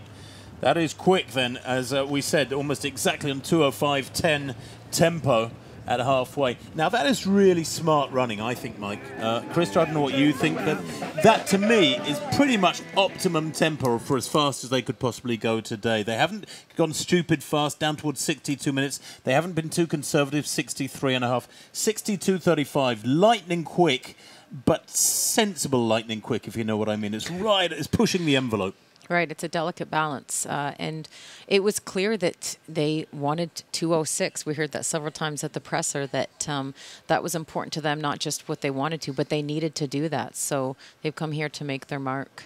So the massive, massive runners there to the right of picture running out away from Toronto. Toronto is actually behind this camera, and the elite athletes and the quicker runners are now moving back towards this camera, disappearing bottom right of picture. That's right. What's that community down at the top left there with the, That- all the high rises? That's Mississauga, which is, I mean, once upon a time was sort of its own city, uh, and it's actually one of the bigger cities in Canada on its, in its own right. But because of the urban sprawl of Toronto, the the two cities have sort of knocked up against each other. Now they, they sort of call it the Greater Toronto Area, the GTA. So But this shot gives you a really good idea of how beautiful the lakeshore areas are, doesn't it? You know, the greenery, the autumn colours, the lake on a day like this when there's hardly a breath of wind. I mean, that mortar's hardly moving there. and some and some days that the lake can be pretty choppy. It's a you know Lake Ontario is a massive lake. It's almost ocean like, uh, and it can sort of seem like you're you're right by the sea when it's a really windy day. So that is emblematic of what these conditions are like today. It's quite sunny, not many clouds. I don't think there really is any clouds in the sky, which is a good and a bad thing. It's nice for the experience of running this race. Beautiful day, uh, but as Krista was saying before about uh, not you know whether or not to wear sunglasses and and the effects that the sun has. I mean, I think the the sun does wear on you after a while when you're trying to run a fast marathon. And Krista, I mean, a very slight breeze off the lake would probably be a good thing, wouldn't it? Because that would keep the humidity down slightly, perhaps. Well, the humidity will drop as the heat goes up. So that's what we're going to see. And um, that's where I was surprised that we're not seeing the sunglasses and the hats to protect them from the heat and the, um, the effect it can have on that. So here we can see the splits to right of picture that so far in the race, 62.45. But left of picture, Lababi and Tola have dropped off that lead pack. They've gone through halfway and a little behind 62.45. As you can see, when the uh, record was set, 62.45, they've gone through in 62.35 today, the leaders. Lababi here, who has been busted for doping. We should really mention that as part of his CV, I'm afraid. He sat out a six-month ban back in 2011, 2012. Uh, although he's a very, very accomplished 5,000 meter runner, he's uh, making his debut here today, and this could be a tough one for him, Mike, dropping back around halfway, having gone out in what uh, about 205 speed. And I'm really surprised to see that Tola has fallen off this early. He was one of the favorites going into this. He has run 204. He has won a medal at the World Championships. I was sort of expecting him to hang on at least a little bit, little bit longer, at least until 30K, when the race really starts to shake out. It's too bad that we're losing him right now, but you know these guys could do some work to get back. Was another uh, great shot of the lakeshore area of the course, the masses in the marathon and the half marathon pouring. Uh, towards that left bottom corner and the uh, much better runners already moving back towards the city. There is Toronto proper, huge metropolis, Toronto, when you get into the city centre. What is it, the city of four or five million now if you take greater, greater Toronto? The city proper, yeah, it's four, four and a half million. I think it's the fourth biggest uh, urban area in North America. So it's a huge, it's a huge city, an important city. And what's that stadium to the left of picture, Mike? I mean, That's the BMO Field. That's where the uh, TFC, the Toronto uh, Football Club, plays, as well as the Toronto Argos, the CFL football team. Trevor Hofbauer still looking strong, still got that bounce in his legs. And, and I guess my, my criticism, Christo, just being a little bit pernickety here, would, would be that there's, there's too much bounce in Hofbauer's legs for a marathon runner.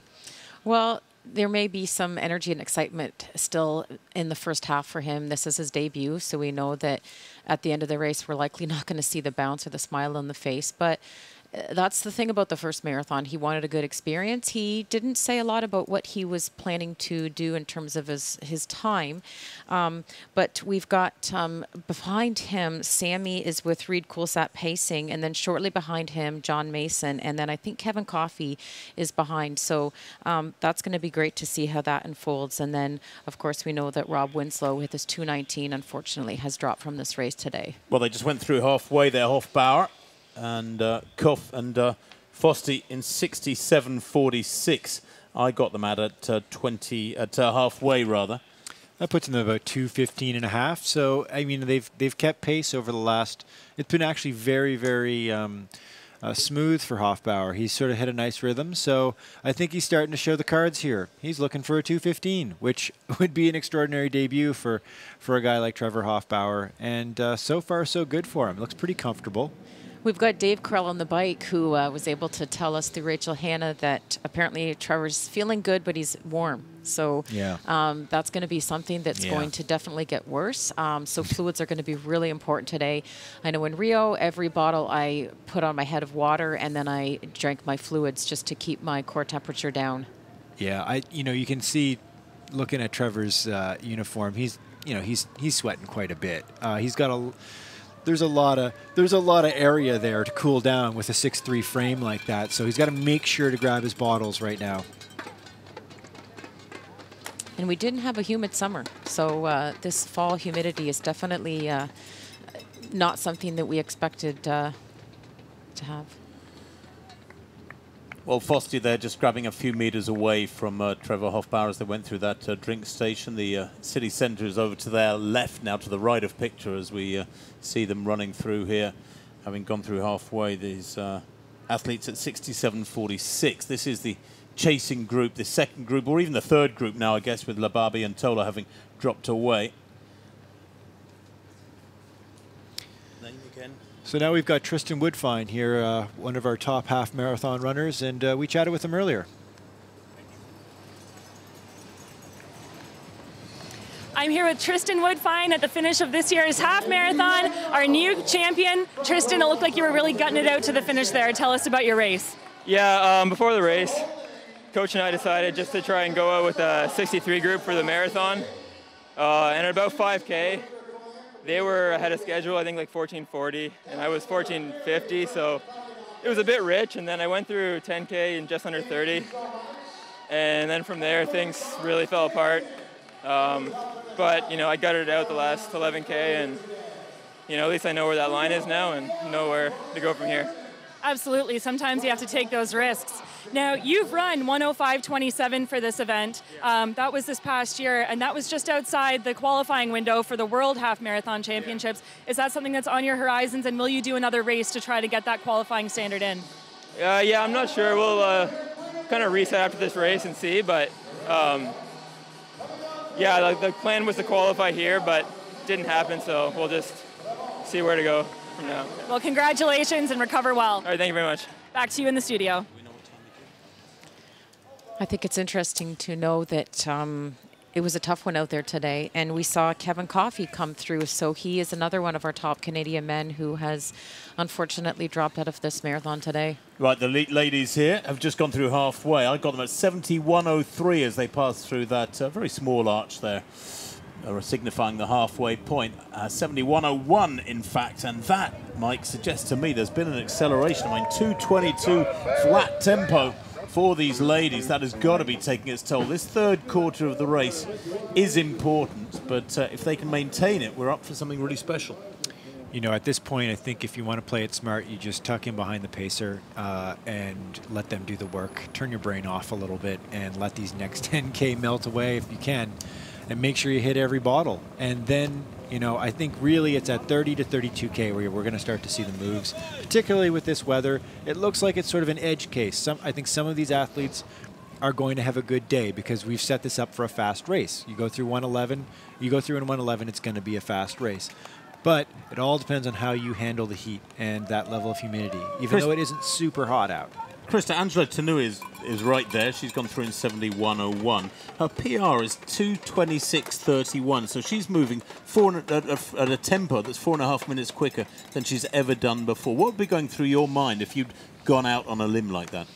I tend to go out pretty steady, so I'd probably be panicking if I was going that fast off of my uh, my training plan. I just think it's really important to execute the the plan that you did, there's going to be no surprises. Very few people run that much faster than what they've done on their training. So definitely it could be a risk, and we may see some people um, pay the price later on for that. Well, Tanui saying paying very close attention to that pacemaker, and I think four or five women in that elite group. And uh, here are the elite Canadian ladies. Leslie Sexton is in this group there in the black shorts and blue vest centre of that group, and. Uh, Leslie Sexton, very calm, cool character, and again, we caught up with her earlier on.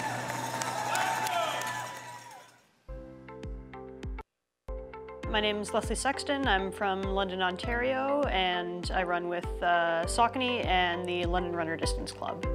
It's been good overall leading up to this. Uh, I I had a, an injury over the winter, so I was off for about the first four months and uh, just started back running in April, so it was a bit of a slow start to the year. But um, once I got uh, back into training a few months in, I was feeling good, and uh, the, the marathon training went really well. So I was uh, starting to hit some good workouts and um, excited about uh, what I could do for this weekend.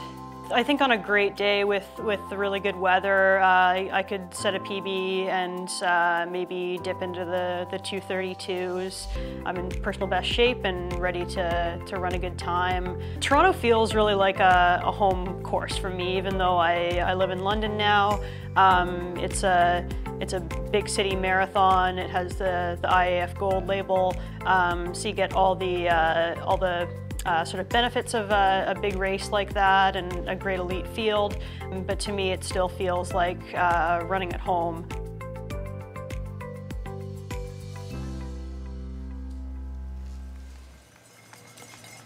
So we still see that Lyndsay Tessier is with this group of lead Canadian women with Leslie Sexton. I don't see Natasha Labeaud in that group.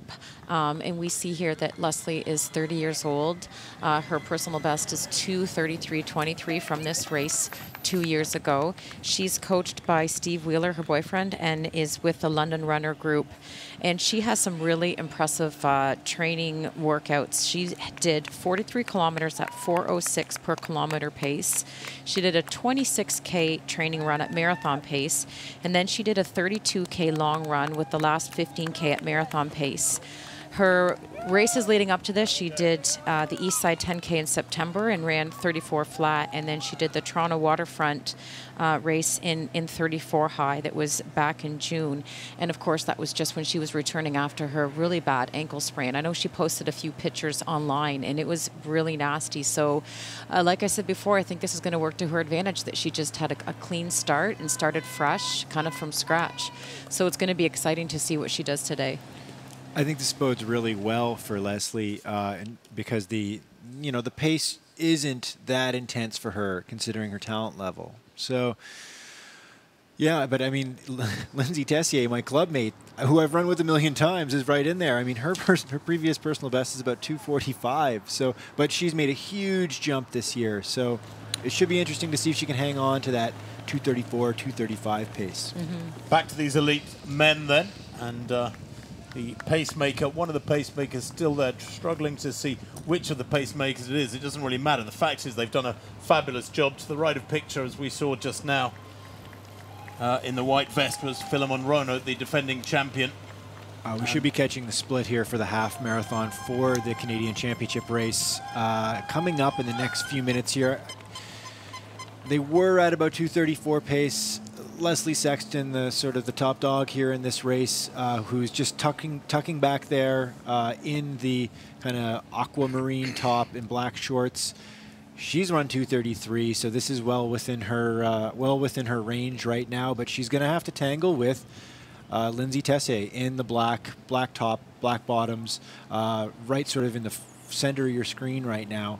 Um, and Lyndsay's sort of an unknown commodity in this regard. She's 39 years old. She's an elementary school teacher. As you said before, Krista, she's very consistent. She gets up every morning at like 4 in the morning and goes and runs 20K. Um, and she's a great runner. I, I, chat, chatted with her last weekend, and she said training's gone really well. She's run 100 mile weeks. She's gotten up to 180 kilometers uh, as her peak. Uh, great workouts. So everything is signaling a sub 240 for her. I'm just curious to see how 234, 235 is going to feel. Right. Krista, are you are you surprised Natasha Labeaud is not there, considering they've gone out at a fairly conservative tempo? We're at 234, 235 tempo somewhat. I mean, there or thereabouts. They're going to pass through halfway in a minute, so we'll have confirmation of that. But I expected Natasha to be there. Well, I think we're seeing that this is going to be a tough race. Uh, in the interview, Tristan Woodfine talked about that. Uh, Kevin Coffey, it looks like he uh, came through with the half marathoners, didn't finish the marathon. Rob Winslow is out. So it, it might just be one of those really tough and ugly days. Can, on, and we have a split for the the 21k of 117.52. So. Um, just under 236 pace. They are slowing down. I mean, they started this race off in 233, 234. They're backing off here. I'm wondering why that is. I'm my guess is probably it's got a little bit to do with uh, that sun and that humidity to start this race off. And I'm curious to see what I mean. Leslie Sexton's in a tough spot here because if she wants to run faster, she's going to kind of have to go on her own right now, or say to her pacer, to the pacer, "Let's get moving here. We're not hitting our time." Because uh, the pacer was given, you know, given a duty. He was probably told to run 230. I'm guessing three or four, and that's just not happening right now. Her A goal was uh, personal best, and her B goal was to be under 235. So it's it's likely that she's going to be aiming for that uh, 235. And I don't think she's afraid of the second half of, of the race in terms of the difficulty in that, and the, and the training that she's done will help her.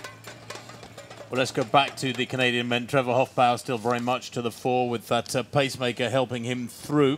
And uh, Julius Kogo is the pacemaker. Still Chezokit to the left of picture this is, is in there of Uganda. And Fosti as well is an ever-present, uh, the Estonian 34-year-old in the blue vest towards the back of this group.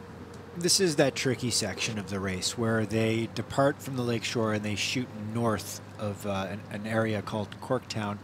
And as you can see by the profile here, there is a slight incline up for about about a mile or so, and then got to wing around and come back down. So they do get that slight downhill back, but it's a challenging part of this race.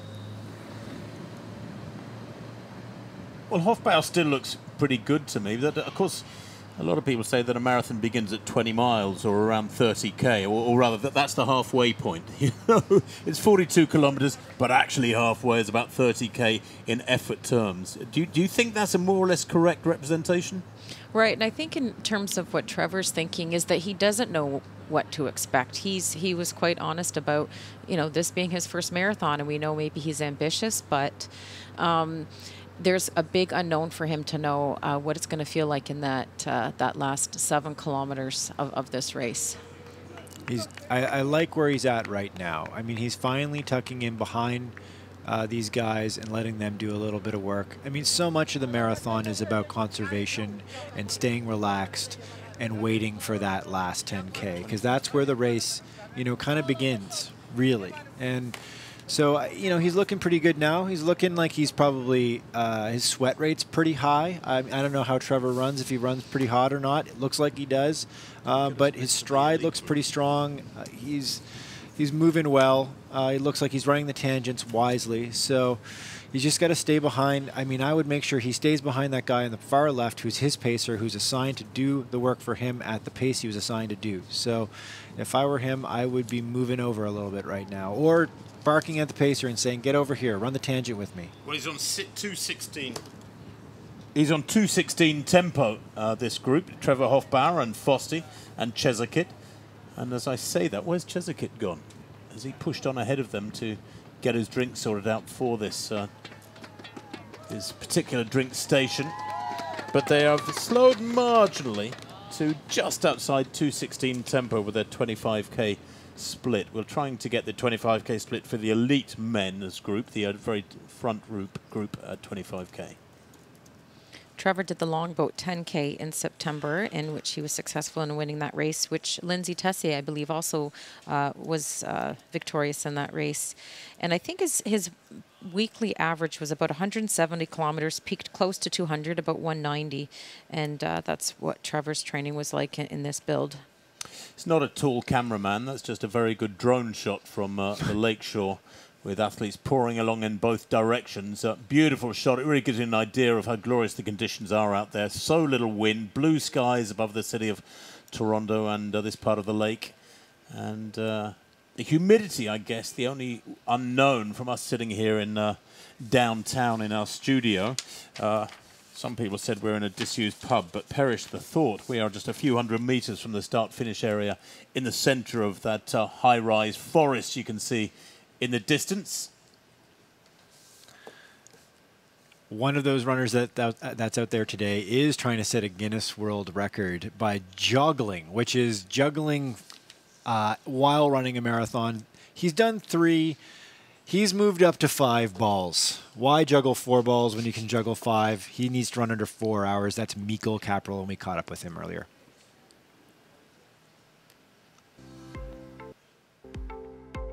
My name's Michal Kapral, and I'm a joggler, so I jog while juggling. Usually three balls, but today I'm going for the five ball Guinness World Record. No one holds the record right now, but they've Guinness has said uh, I need to set a time of four hours and 40 minutes or faster to establish it. Five ball juggling is astronomically harder than three. The Chicago Marathon I ran with three, I didn't drop once.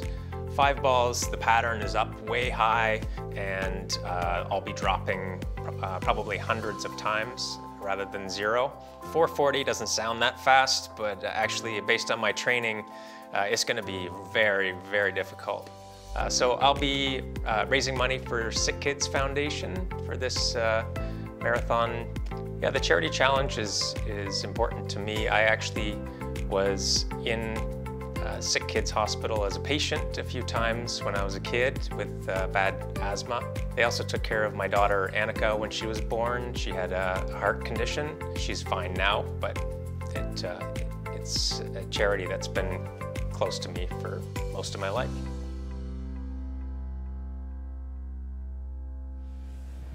You might think that Michal Kapral is a bit crazy for trying to juggle five balls, and you roll your eyes, okay, the Guinness World Record, come on. But you know what? He's actually run about a 230 marathon in the past, and uh, a few years ago um, in Chicago, he actually went out with the lead women and was running with Shobukhova.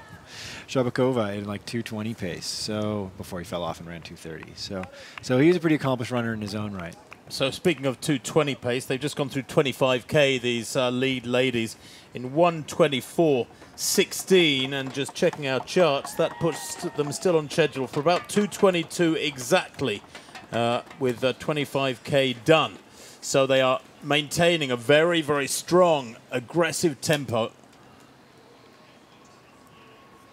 Let's go back to the uh, front end of the race. And we can see Rono has uh, kicked away with uh, Chumba. This is the leading pair in this elite men's race. This has happened very quickly indeed over the last couple of kilometres. But uh, this is the big pair we expected to match up. Philemon Rono in the white, the defending champion, a best of 207 from Hamburg in 2014. He said his dream is to run under 204 one day. Well, he was almost on that schedule earlier on in this race. He's a huge Chelsea FC fan, so he'll have been boosted by their result yesterday back in the UK. But uh, Dickson Chumba is the class act, Mr. Consistent. Uh, he said he has several targets, aiming for a Canadian all-comers record, the 206.54. If he can't do that, then the course record, only 12 seconds, uh, 13 seconds slower, course record 207.05. But this pair, Mike, this is a wonderful clash now, man against man, and I wonder who'll be the first to uh, to give ground. Well, the pacemakers are gone, and I'm looking forward to seeing what the next split uh, tells us about the what what the paces that they're running right now this is kind of exactly how we thought it was going to play out. These two guys, Rono said beforehand that he was going to do everything in his power to defend his championship and run under 207, which is his previous personal best. But then you've got Dickson Chumba, the 204 man, champion from Chicago and Tokyo. He knows how to close a marathon. He wants to run a Canadian All Comers record here today. Clearly, uh, he's going after it. And I think this is going to play out for an exciting race. When you only have one guy who makes a big move this early on, when you still got half an hour, 35 minutes left to go, you can you can often see a fade. But in this case, they're going to running side by side and they're going to push each other for the next, hopefully all the way to the finish. Well, I wonder if they're talking to each other or if they're uh, keeping it quiet, keeping their thoughts to themselves here.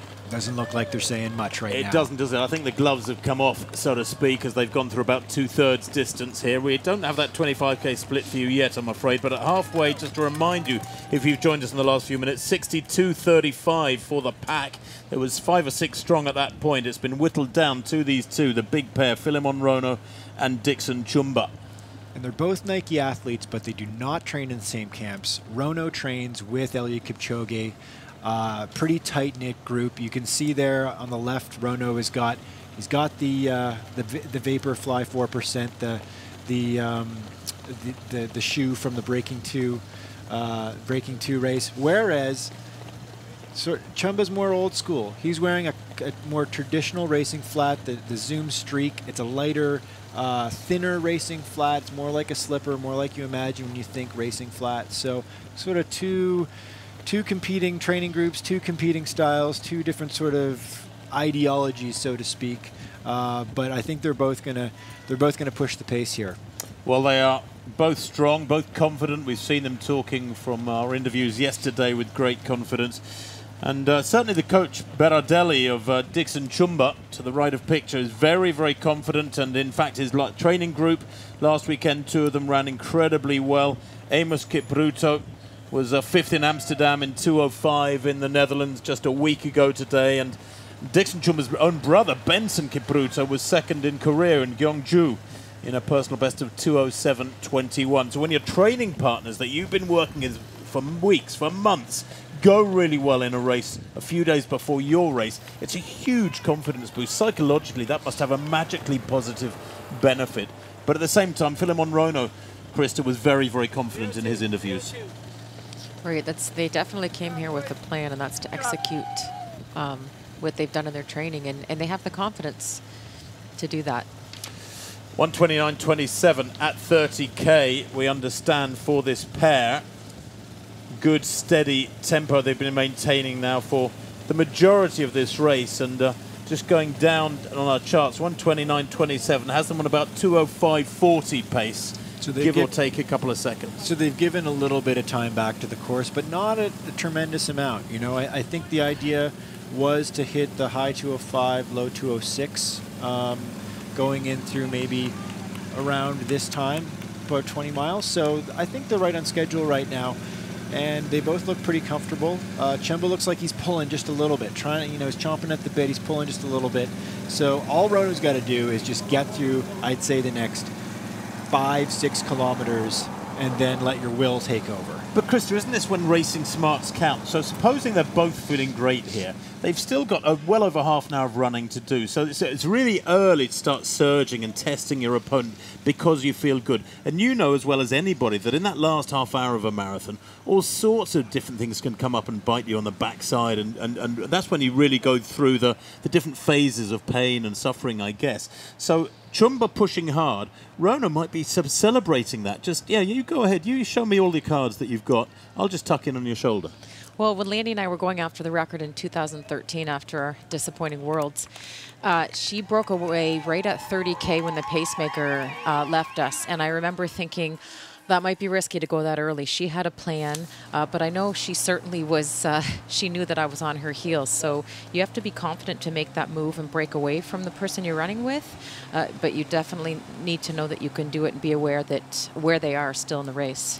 So that's Leslie Sexton, the top Canadian. She's made her move here, coming back uh, sort of north to south uh, along that strip by Corktown. Uh, looks like it, the, the camera can be deceiving here. It doesn't look, it's foreshortened, so it's hard to tell how far back uh, the rest of that group is with another Canadian, Lyndsay Tessier. I can see Lyndsay back there on your left. Uh, but it looks like probably maybe about 50, 80 meters at least uh, that she's made a gap. This makes a lot of sense because I mean I think Leslie was running well under her ability level for the first half of this race. She was running around that sort of 235 pace. She's a 233 woman and we'll get this split in a second here to see where she's going at here, but it would be interesting to see if she can can even or negative split the second half or if she's just going to kind of hang on for the win. I think that she'll definitely want to go under that 235, and and that uh, prize money is not a line for that. Uh, it does decrease how much you will get for your prize winning if you do run slower than 235, and you know that's an incentive uh, when you're partly running this race for uh, an income. Money is important. I mean, these athletes, let's be frank here, they don't get paid a lot of money. Elite athletes in Canada in the, in the marathon, in distance running, uh, have to scratch it all together. I mean, we, many of these athletes work full-time jobs, uh, and that's tough when you're running 200 kilometers a week like Sexton is or more. Um, so it's, you know, I think every dollar counts for her. Leslie Sexton then going through 25k in 132.11. That's just outside 235 tempo, but it's going to be a hard last uh, uh, 15k for her as she's uh, on her own pretty much now. Talking of money, and we have been talking about money a little bit, Scotiabank have been the sponsor of this race for many, many years, and what a great companion they have been. And uh, we can learn a little bit more about their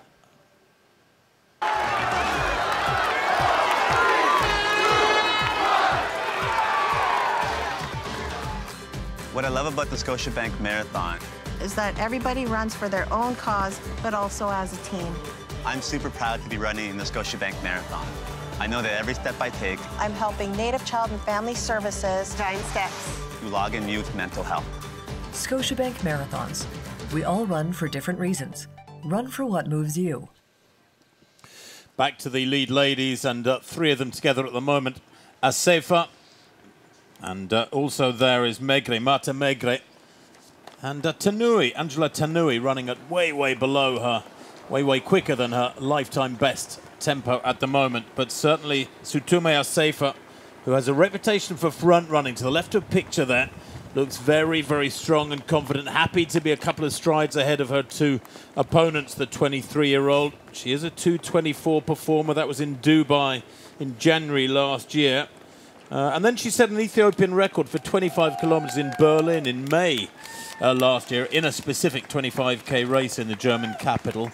So uh, she's not afraid of going out hard. The two, two Ethiopians actually look pretty comfortable. Where I'd, as I'd say, that the, the Kenyan Tanui starting to show a little pain on her face. You can tell that she's got a really good stride, and it's starting to just ever so slightly break up a little bit. Um, she just went for some fluids there from the sort of generic uh, water station. So maybe this sun is kind of getting to her a little bit. There, there is quite a bit of humidity in the air still. Well, I was talking about Dickson Chumba showing his cards and running aggressively, and now would seem that uh, Philemon Rono, the defending champion here in Toronto, has uh, decided to test his opponent. There we're down to two. Surely the winner will come from this pairing, but which will it be? Chumba tucked in right behind Rono. Now that, in some respects, is a smart move because he's not giving anything away. His body language isn't discernible for Rono. Rono has no idea here what damage, what pain he might be imposing upon Chumba. What he's got to do, though, I suppose, if you go to the front like this and push it along, Mike, is tell yourself, well, he's not up alongside me. He's tucked in behind. He can't be that comfortable, maybe. I'm just going to keep this on. I'm going to keep my foot on the pedal and test this guy kilometer after kilometer and see if he breaks. If you're going to make your move, you got to own it. So if you're Rono, you got to just keep pushing the pace here. You got to keep it right at that red line, right before you cross over into that danger zone where your pace becomes too much to handle for the next, you know, 28, 29, 30 minutes. So, you know, but if you're Chumba on the other side, you got to think of this as just you know, this is this is just a tunnel you've got to get through. Just stay behind him, stay with his pace, stay focused, and get through that tunnel, and then hopefully you'll get a second win. You'll be able to take it back to him. So here is Hofbauer, and with a pacemaker and on his own, it does look like if he can just last this next half hour, 40 minutes, uh, Krista, that he's got the Canadian title wrapped up. It's still still early in the race, I think, to make that prediction. Not that I don't want that for Trevor, but I think that Sammy um, and John Mason are likely uh, behind him. So those might be the top three spots that we see today. We do know that Kevin Coffey and Rob Winslow have um, had to withdraw, and. Uh, we're not sure about Natasha Labeaud. Uh, we haven't seen her with Leslie Sexton and Lyndsay Tessier, so um, maybe that it's also been the same case for her that she's had to drop out. Uh, we're hoping not, though. Well, Trevor just went through in the 30K split, and we'll get a calculation for his projected finish right now. Of course, that last 12K is, you know, anybody, it's a, it's a question mark, right? It's who knows what's going to happen in the last 12K, especially for a, a guy running his very first marathon like Trevor Hofbauer here. He was on for a 215, 216-ish marathon. Let's see if he can hang on to that. He's looking pretty good. Stride's pretty strong. He's still got his pacer with him, which is great, which is going to help him out because once that pacer peels off, he's all on his own. He's got to go to work himself. Well, that uh, time, 137.06 for Hofbauer at 30k, equates to about 216.30 there or thereabouts. But sometimes uh, Krista, I, I feel as though in, in road races and to a degree in track races as well, a pacemaker is a great help, but, but there comes a point when they're almost a hindrance because you're shadowing them, you're being, your pace and your, the way you're running your race is being dictated by them. When they step aside, sometimes it's almost like a release, a degree of freedom, and you can stride out and set your own tempo. Now, yeah, it may be harder in the last stages of a marathon, but do you think that can apply? Well, I think that's definitely ideal, and you have to be mentally prepared for them to step away. And there's there's a lot of, of risk and, and gamble in that you don't know how long your pacer is going to be able to stick with you. Obviously, they would have contracts and, and get paid the longer they are able to pace them, and that's a great thing. But uh, at the same time, a pacer, just like uh, an athlete in the race, can get injured and they can be out of the race within the first 5, 10K. I know that happened to me last year, so you just have to be prepared to do this race. I think marathoners have to um, know that it's going to get tough out there, and you have to be able to run the hardest parts mentally and physically on your own, not expecting anyone around you to provide any support. That's just the nature of the beast of this race. Oh, this is important. That, okay, he got the bottle. That's great. That was important that Trevor grabbed that bottle. Back together then at the front of the race. Rono and Chumba. Kenya versus Kenya. Rono, the defending champion, 26-year-old. Dickson Chumba to the right. A little bit more experienced at the age of 30. A little bit quicker too. 204, his personal best. He's on paper two and a half minutes quicker than Philemon Rono. But uh, Rono knows the course. This is uh, the first time in Canada for Dickson Chumba. He's making a pretty good fist of it. Remember, he was third in Tokyo back in February, early Feb in late February rather, with 206.25, having gone out at almost suicidal pace, world record tempo. Dickson Chumba. This has been a more steady, more sensible run today. They went through halfway, this pair, in 62.35. That was with three or four competitors, colleagues, but uh, it has been whittled down to these two. And still, Mike, with what, an hour and 40 on the clock, that Canadian all-comers record is on the cards. Yeah, I mean, this is great that they, they both look really strong. Chumba has sort of come back from that rough patch where he fell back a foot or a, a step or two. Uh, so this bodes well for both of them. They're going to push each other now. Well, each has tested the other. Chumba, first of all, about 10 minutes ago, just eased to the front, got a metre or so ahead of Rono. And then five minutes later, Rono got out in front and just clicked it up a notch and uh, tried to get away from Chumba, but he responded. So again, they've taken a breather and they're beside each other. They're approaching the beaches to the extreme eastern end of this uh, Toronto Marathon course, where Laura Silva has uh, made her way. Goodness knows how she's getting around. Maybe hanging on to one of those drones. She's only a little thing. And Laura, is that a Turing session? Hey guys, I'm here in the beaches where anybody what's going on here today. Oh, the beaches is such a great community of runners and people, and we're trying to raise money to, by being the best cheering section of the whole marathon. So we're making lots of noise. We've got lots of people out here cheering already. The elites are starting to come through. The Beaches Runners Club has supported this, um, the running room, and we're just going to have some fun. So everybody in the beaches should come out now. Yeah! Awesome. Let's make some more noise.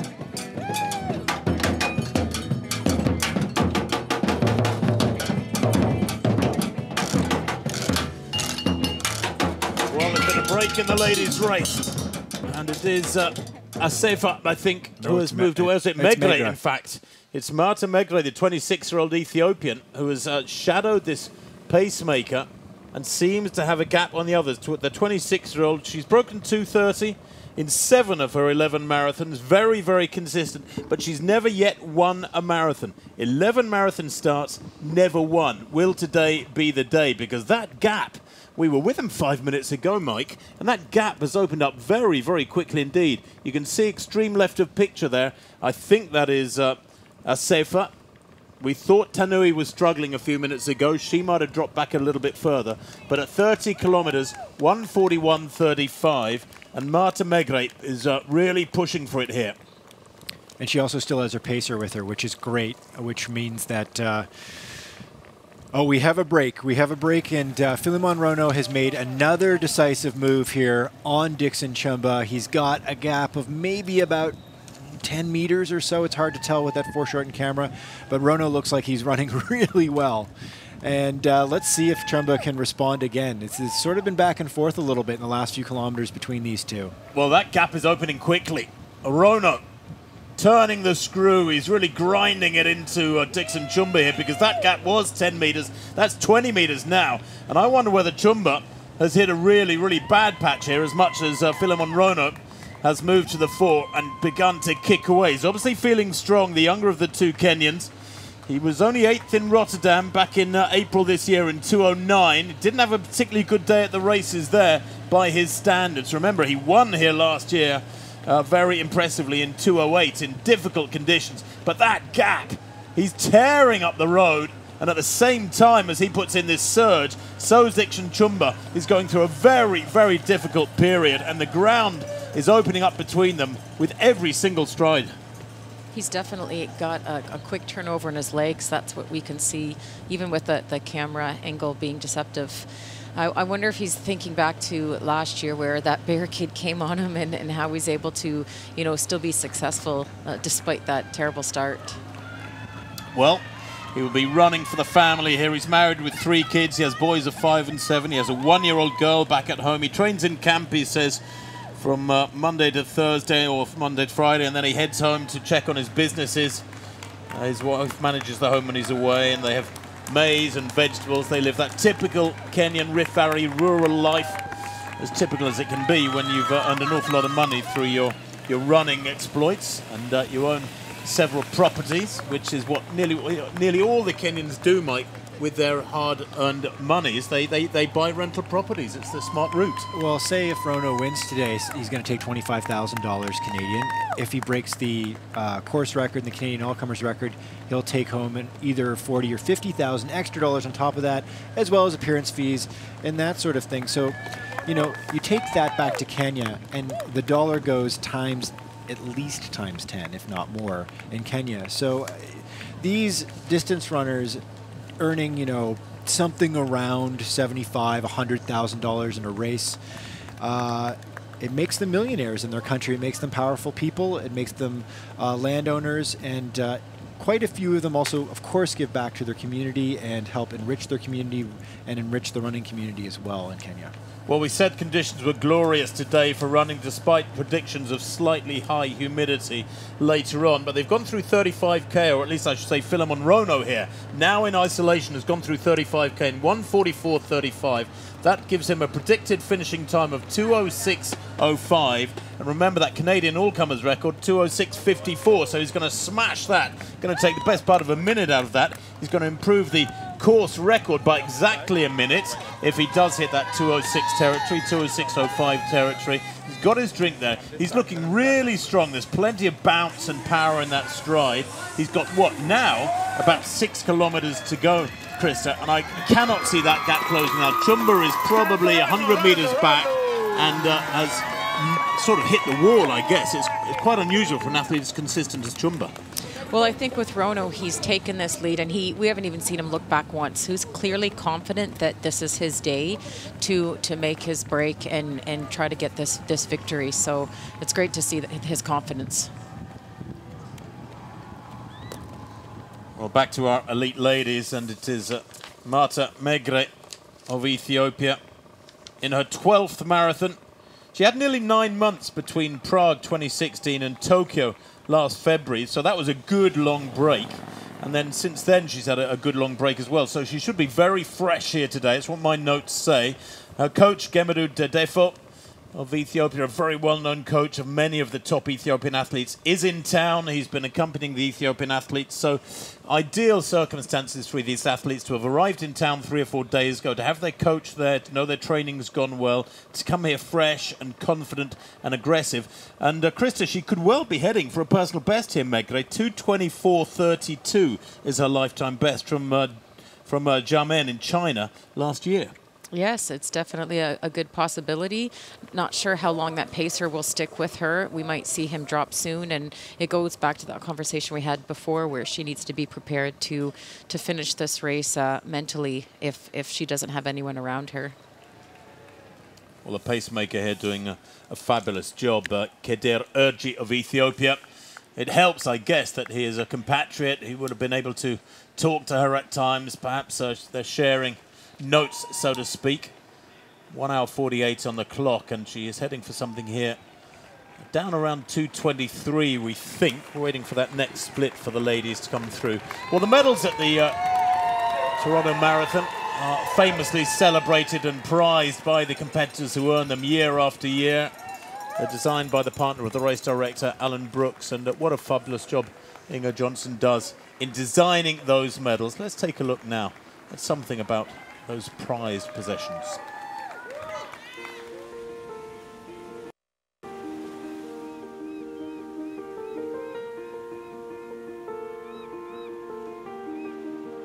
I've been shooting the lifeguard station for the last, oh, 20, 30 years.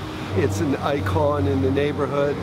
The neighborhood is like a small town. People know everybody. It's a great place to run the lifeguard station just seems to be in the middle of it. It, it, it just seems to be a good uh, focal point of, of the neighborhood. I've been designing uh, medals for Canada Running Series since 2008. Every year we have a different landmark uh, on the medals. This year I took it up a notch with the Leuty Lifeguard Station. I'm really, really proud of this year. I hope you all lo love it. Take it home with you, show it around the fact that this medal will be going home with uh, thousands of people all across the world, it's very special.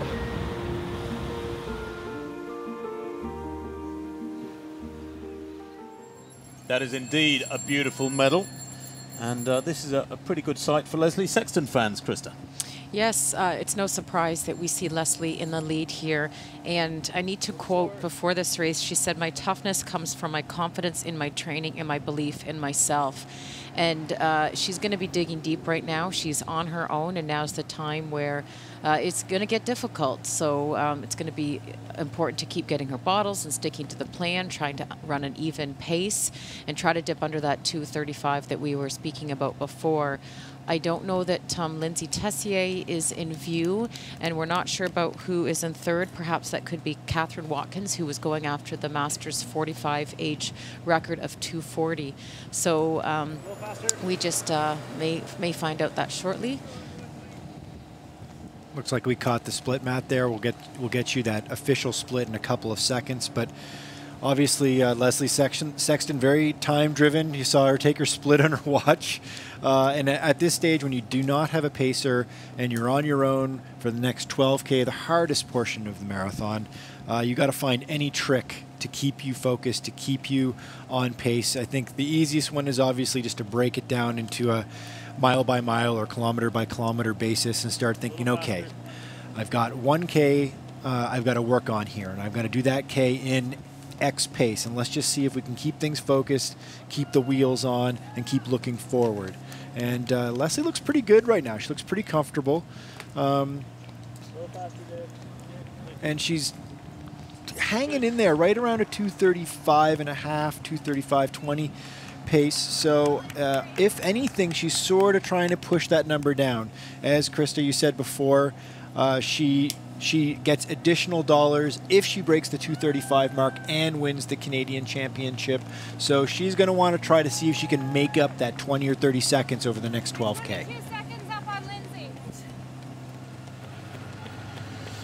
Well, back to Philemon Rono. Those are the powerful little legs of uh, Philemon Rono. He's only a little fella, one of the shortest of this elite field, but boy, does he pack a punch.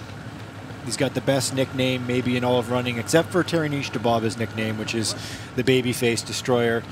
His nickname is Baby Police because his training partner said he looks so young, he looks like a baby, and before he became an elite runner, he was a member of the police department. So, Baby Police is what they call him in training. But you know, he almost has an unfair advantage on the other athletes. His coach is Patrick Sang, who was a great, great steeplechaser back in the 90s. He was an Olympic silver medalist back in 92 in Barcelona, a world championship silver medalist twice in 91 and 93. Uh, so Patrick Sang, a very, very wise, smart leader of that training group. And of course, the main athlete in that training group is, as I said earlier, Eliud Kipchoge, the fabulous natural leader, Kipchoge. And when he speaks Kipchoge, it's like listening to some great philosopher. I don't know if you've chatted to him, Krista, but he's really wise and calm. And I've had the privilege of chatting to him, interviewing him at the London Marathon and on various other occasions. And he's a delightful fellow, very, very calm, great sense of humour, but he's a natural leader to this group. And he's passed on that confidence clearly to athletes like Philemon Rono. Yes, when we were researching the athletes and looking uh, for some information on some of them, they social media is is not the same thing to them as it is for us. So um, here we tend to kind of have have a profile and, and want to reach out to our followers and keep them posted. But over in Africa, they're they're plugging away, they're drinking their chai tea and, and running in groups of 50 amongst many other athletes that have the same um, capabilities and, and skills and, and talents as as the others. Well, he's moving really smoothly. Those muscled legs of little Philemon Rono are driving him further and further clear of Dixon Chumba in second place. Here is uh, Lebow, and uh, he's Trevor still working strongly. Looks, looks, looks a little like he's feeling the pressure now, though, Mike. He does, although he just sort of gave a little salute to somebody in the crowd there, which uh, it always is a good sign when you see uh, this late in a marathon somebody can can kind of ham it up a little bit and has a sense of humor, and it seems that shows a little bit of relaxation. That means the shoulders are relaxed. That means the form is still there, and Trevor looks really good right now. He does. He's a big fella, isn't he? But he's still up on his toes. I mean, all credit to him. I said earlier, I thought that his stride His running gait was not ideal for marathon running. It's a bit too bouncy, but he's still up on his on his toes. 135.53.38 at 35k, and that's uh, got him on pretty much bang on 217 his projected finish time. He was on 215 for a long time. I wonder if he'd be disappointed with that, Krista, that is beginning to slow a bit, or if he'll just be happy to have put out a good showing in his first marathon and secure that Canadian title. Well, I know Reid was going out at about 217 mid pace, so perhaps if he had started with him, the second half maybe wouldn't be as difficult. But, you know, at this point, I think he's probably just thinking about, oh, this is what the, the last 7K feel like. This is the pain. yeah, I don't like this, but I'm going to finish it. And here again, he's grabbed his bottle, so it's great to see that he's taking in his fluids. Um, on a day where the heat, um, I think it's about 15 degrees and the humidity is about 85. So that's uh, pretty significant for October. Uh, you just don't know what kind of weather you're going to get at this time of year. Well, Trevor so, Hofbauer now understands what it's like to be a marathoner. I mean, like, you know, almost two hours into a marathon, into your debut. Uh, that is the experience unlike any running experience uh, he's had before. It's a good thing he grabbed that bottle because he's going to need it. Well, a very similar situation has developed in both men's races. In effect, the Canadian Championship being led by Trevor Hofbauer. He's in isolation. And the loneliness of the long-distance runner for Philemon Rono, the defending champion, looks like he's uh, heading for, with what, maybe 15, maybe 10 minutes of running to come, a def successful defence of that 2016 title here at the Scotiabank Toronto Waterfront Marathon and it, a personal best unless something goes drastically wrong over this next uh, 10 minutes of running. He's running so strongly, Mike. I wonder if there hasn't been an acceleration as he's eased away from Chumba over this last 10 or 15 minutes. Well, you get fired up emotionally when you finally drop that competitor, right? And that's when you put in, tend to put in a big surge. You tend to see uh, uh, the big gap, which we saw form, and that comes from, you know, dropping that down about, you know, five seconds a kilometer or something like that. So the next split, the 40K split, is going to be huge for us because that's going to tell us whether or not we're going to be able to see a Canadian soil record go down today. So 206.54 is the all-comers record here in Canada. Philemon Rono has never run under 207 before, but he said he was ready today. He's fittest he's ever been in his life. He's clearly running well. He looks really, really strong right now. Well, the support on the course has been fabulous for these athletes. Laura Silva has made her way to cheering station 10. They each have their own little number, these cheering stations, and they are so, so proud and competitive. Laura. Hey guys, we're over here with some professional cheerleaders from Burlington. Uh, they've definitely got the energy. They're going to do a cheer for us. Take it away. Second race supreme. Okay, here we come, ladies and gentlemen. Sammy. Yeah! Yes, yes, yes, yes. Hey, hey, it so easy. Effortless.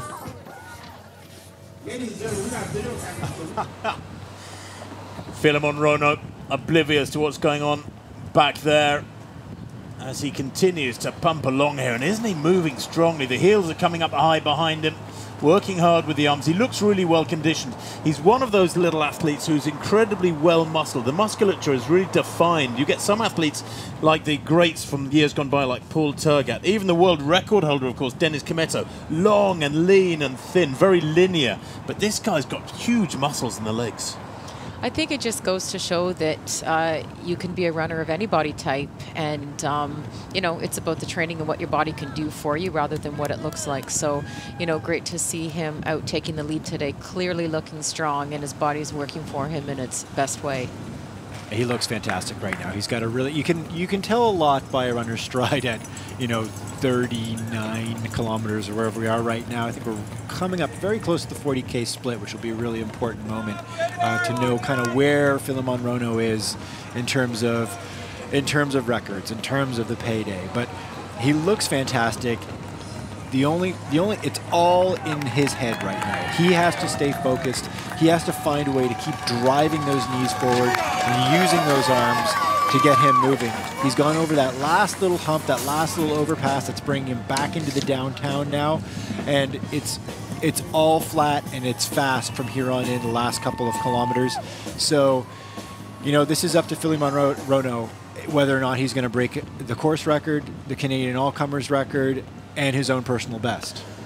We're looking at an athlete in supreme form. He's enjoying his running. He said to me yesterday he believes he's got another 10 years of good running ahead of him. He wants to be a coach when he retires, but he believes that's a long, long way away yet. He's an athlete who has extreme abilities. He was Kenyan cross country champion back in 2013, but he then went to a, a, cold, snowy Poland for the World Championships, only finished in 36th place. That probably made him commit even further to the roads, where generally conditions are, are much kinder than the uh, freezing cold and mud that you associate with cross country. And boy, has he made a, a, decent fist of it. He's looking so strong at the moment, enjoying this. A little smile almost breaking across the features there of Philemon Rono. I'm sure it's a smile, not a grimace, as he has what? Probably about five minutes or six minutes to come. And he's right on 206 pace right now. So he is very close to the Canadian All-Comers record. He is below it right now. He just needs to hang on for two more kilometers uh, to crack that 206.54 All-Comers record that that is currently held by the Ottawa Marathon, and I know that uh, the organizers of the Scotiabank Toronto Waterfront Marathon desperately want that all-comers runner back uh, uh, record back. So Philemon Rono, this is a big moment in his career. If he can crack 207, become a 206 man, uh, take home a nice big payday of around $75,000 Canadian, uh, this is going to be a big feather in his cap and a big step in the right direction for his career. Well, 159.58 at 40k. I have that as about 206.20 tempo, a little way outside 206, but it will certainly be, if he can hold on to this, Canadian all-comers record. Of course, uh, a course record for the Scotiabank Toronto Waterfront Marathon route and uh, a huge step forward in his career. His lifetime best is 207.07. It looks like he's heading for an improvement of that by about a minute, a clear minute. That would be a wonderful reward for a truly comprehensive display of perfect marathon running held the tempo really well at the front end of the group for uh, what about three quarters distance. Had a little dust up from no more than about 15 or 20 minutes with his main rival Dickson Chumba. Then broke loose Krista and has looked absolutely fantastic. And the adrenaline must be pumping at this stage. When you're having a good run in a marathon, do you get that adrenaline effect in the last 10 or 15 minutes and actually puts a little bit more bounce in your legs, or is the pain too intense? I think the pain's probably a bit too intense.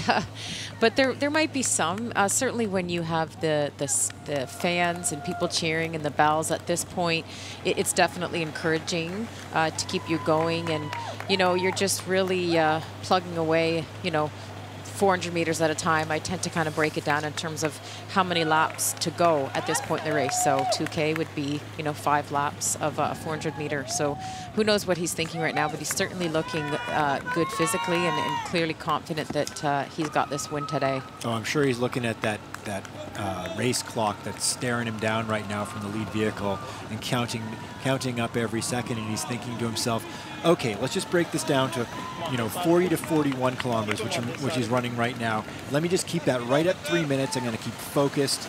You know, you can see he's wincing a little bit. He's, you know, he's fighting himself a little bit, trying to make sure he keeps that tempo up, keep those arms moving. At this stage in a, in a race, really, you're running with your arms. You just keep those arms pumping, and the legs will follow suit. So he looks like he's still right on it. We'll, we, I'd be curious to see if we can catch an eye, get a little glimpse of whether or not we see a kilometer marker here for the 41 kilometer mark. Because, I mean, we're, we're coming right down to it right now. This is the last kilometer of the race, and it should be interesting to see if Philemon Rono can get under that Canadian All-Comers record of 206.54. Well, Gianni Demadonna, the Italian agent who uh, puts together the elite field of this race for race director Alan Brookes, they will be celebrating already with this astonishing run from Philemon Rono, who is surely going to retain his title in Toronto today. If anything, he's picking it up still further. He knows he's in the last half mile or so. He's heading here for something down towards two hours and six minutes. It will be a massive new uh, race record, course record, a Canadian all-comers record. The celebrations surely have started. In his own mind, he knows it's been a wonderful day at the office. He comes from a background where their training squad trains incredibly hard up in the Rift Valley of Kenya, but they have a very, very humble system. They share in the training camp the cleaning duties, the other duties that are assigned to different athletes in the camp, but in particular, they have to roll their sleeves up and get on with cleaning the toilets, the bedrooms, the living quarters. They have a, a live-in chef, of course, but it's a wonderful system of camaraderie in that little group. And they will be watching this back in Kenya and punching the air in celebration of this fabulous run from little Philemon at Rono. One of the smallest athletes in the group, surely, but with one of the biggest hearts. This is supreme. It is a really exciting finish for him, and I'm sure people at home will be watching and, and cheering. I bet you Eliud Kipchoge, the uh, the uh, Olympic champion, is probably watching us right now because I know he is a big fan of his training partner, Philemon Rono. And this has been such a great year for Rono. He's had a huge breakthrough in the last year so, winning here last year, coming through to defend here this year. We're maybe going to see a Canadian soil record. Uh, this has been a fantastic run. Well, last year he knocked himself out when he was warming up, doing a little bit of stretching. He pulled one of those barriers over onto his head, banged himself on the head, was actually unconscious for a little while. Wasn't sure if he would start the race. He did indeed start. He went on to win 12 months ago in 2 hours, 8 minutes, and 27 seconds. This is a different quality Philemon Rono here today. This has been a quite comprehensive, superb performance from the little 26 year old. He will be champion once again. The clock ticks away towards 206. I'm not sure he's going to break the 206 barrier, but he's sprinting as if there's a, a lion behind him at the moment and heading for a very, very quick time. A huge new personal best, surely. That time, his lifetime best, 2 hours, 7 minutes, and 7 seconds, goes back to Hamburg 2014, well over three years ago. He will have made a big, big jump forwards here in his status on the world rankings as well, of course, which are dominated by the men from East Africa, primarily the Kenyans, so often the Ethiopians as well. But let's just enjoy this last few hundred metres from little Philemon Rono. Patrick Sang, too, will be celebrating, of course, back in Kenya. His dream is to run under 204 one day, and surely he can with this sort of character, this sort of performance behind him. This is all building towards the peak of his career. This is not yet the finished article of Philemon Rono. This is a man still improving, still developing. He's going to run a personal best here with 2 hours 6 clicked by on the clock, surely. And that's an all-comers record, remember, for Canada. 206.54 is very, very close now. He's got, what, 17 seconds in which to hit that mark from Oh, 2014 in Ottawa. Going to be mighty tight. And he sprints for the line now. There is the tape. The champion of the Scotiabank Toronto Waterfront Marathon is indeed once again Philemon Rono. Two hours, six minutes, and 50 seconds unofficially. It is a Canadian all-comers record. One of the greatest runs on the roads or on the track of any kind on Canadian soil in the history of track and field athletics and road racing. A brilliant run from the little man. Baby Police is champion once again. You could definitely tell that he knew that record was on the line, pushing it at the end with just four seconds to spare. Oh, what a crazy finish.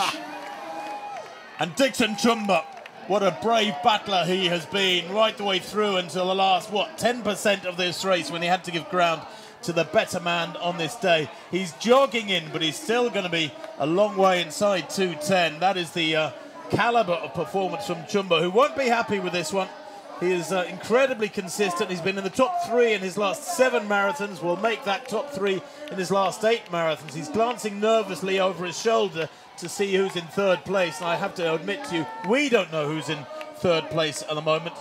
But uh, Coach Berardelli will have mixed feelings about this performance from Chumba, the 2015 Chicago champion. He also won in Tokyo in 2014. He won Rome in 2011. He won Eindhoven in 2012. He's a man who is familiar with crossing the line in first place. He will be somewhat disappointed with his performance, despite it still being strong.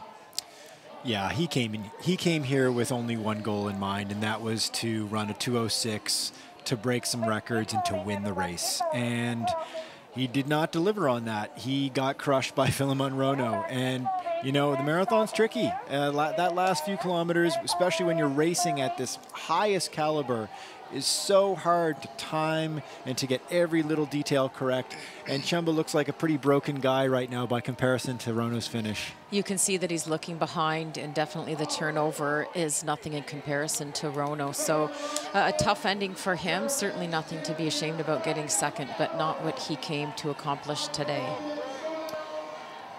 Well, the uh, annals of uh, this race are pretty storied. There have been many, many great performances over the years, but for uh, Philemon Rono to produce the fastest ever time as we see Dickson Chumba cross the line there in second place in what, 209.10 there or thereabouts in second place. He's a long way under 210.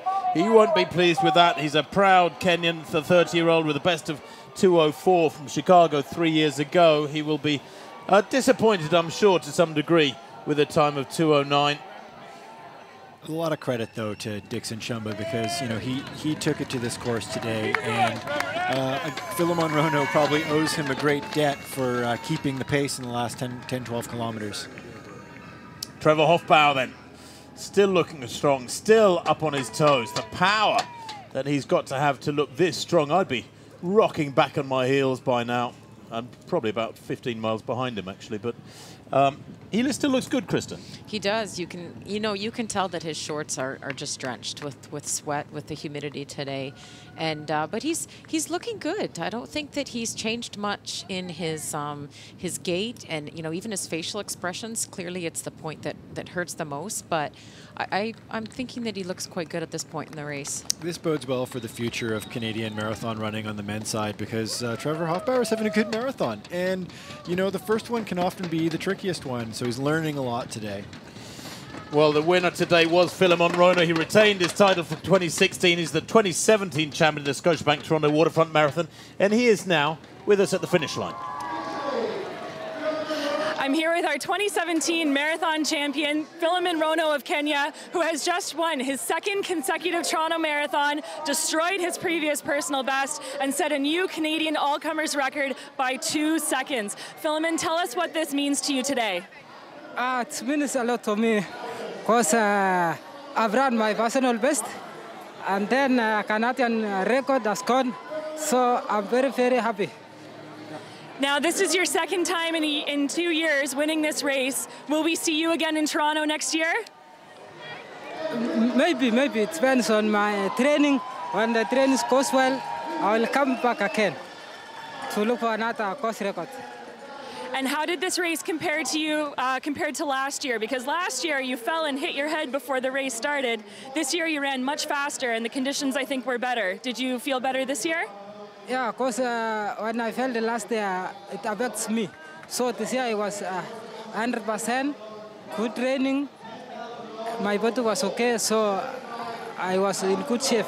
So I say thank you.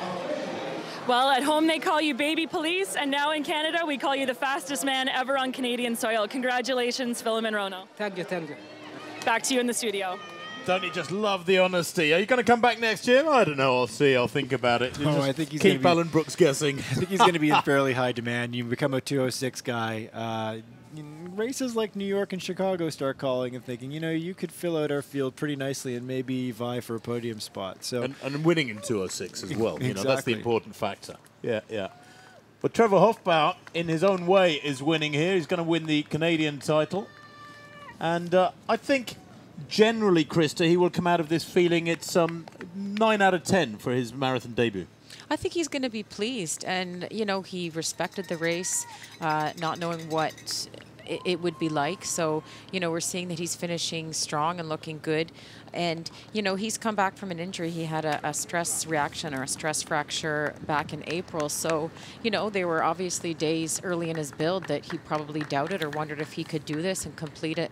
And here we are six months later seeing that, uh, you know, it's worked out well for him. And he's probably confident with the move that he's made uh, with Dave Scott Thomas uh, in, in Speed River and just uh, you know really feeling good that he will be uh, the first Canadian man to cross that line today at the the marathon. He is slowing a little bit, Mike. I mean, 210.39 at 40k for Trevor Hofbauer. Puts him on about 217.50 pace. So he's lost another minute or so over the last 10k. I think what he's got to do right now, he's only got a couple of K left to go. He's just got to break it down into into two one kilometer segments where he thinks to himself, I got to hold this pace for this kilometer, then I'll work on the next kilometer. Let's see if I can get under 218. Let's see if I can start my marathoning career as a 217 man.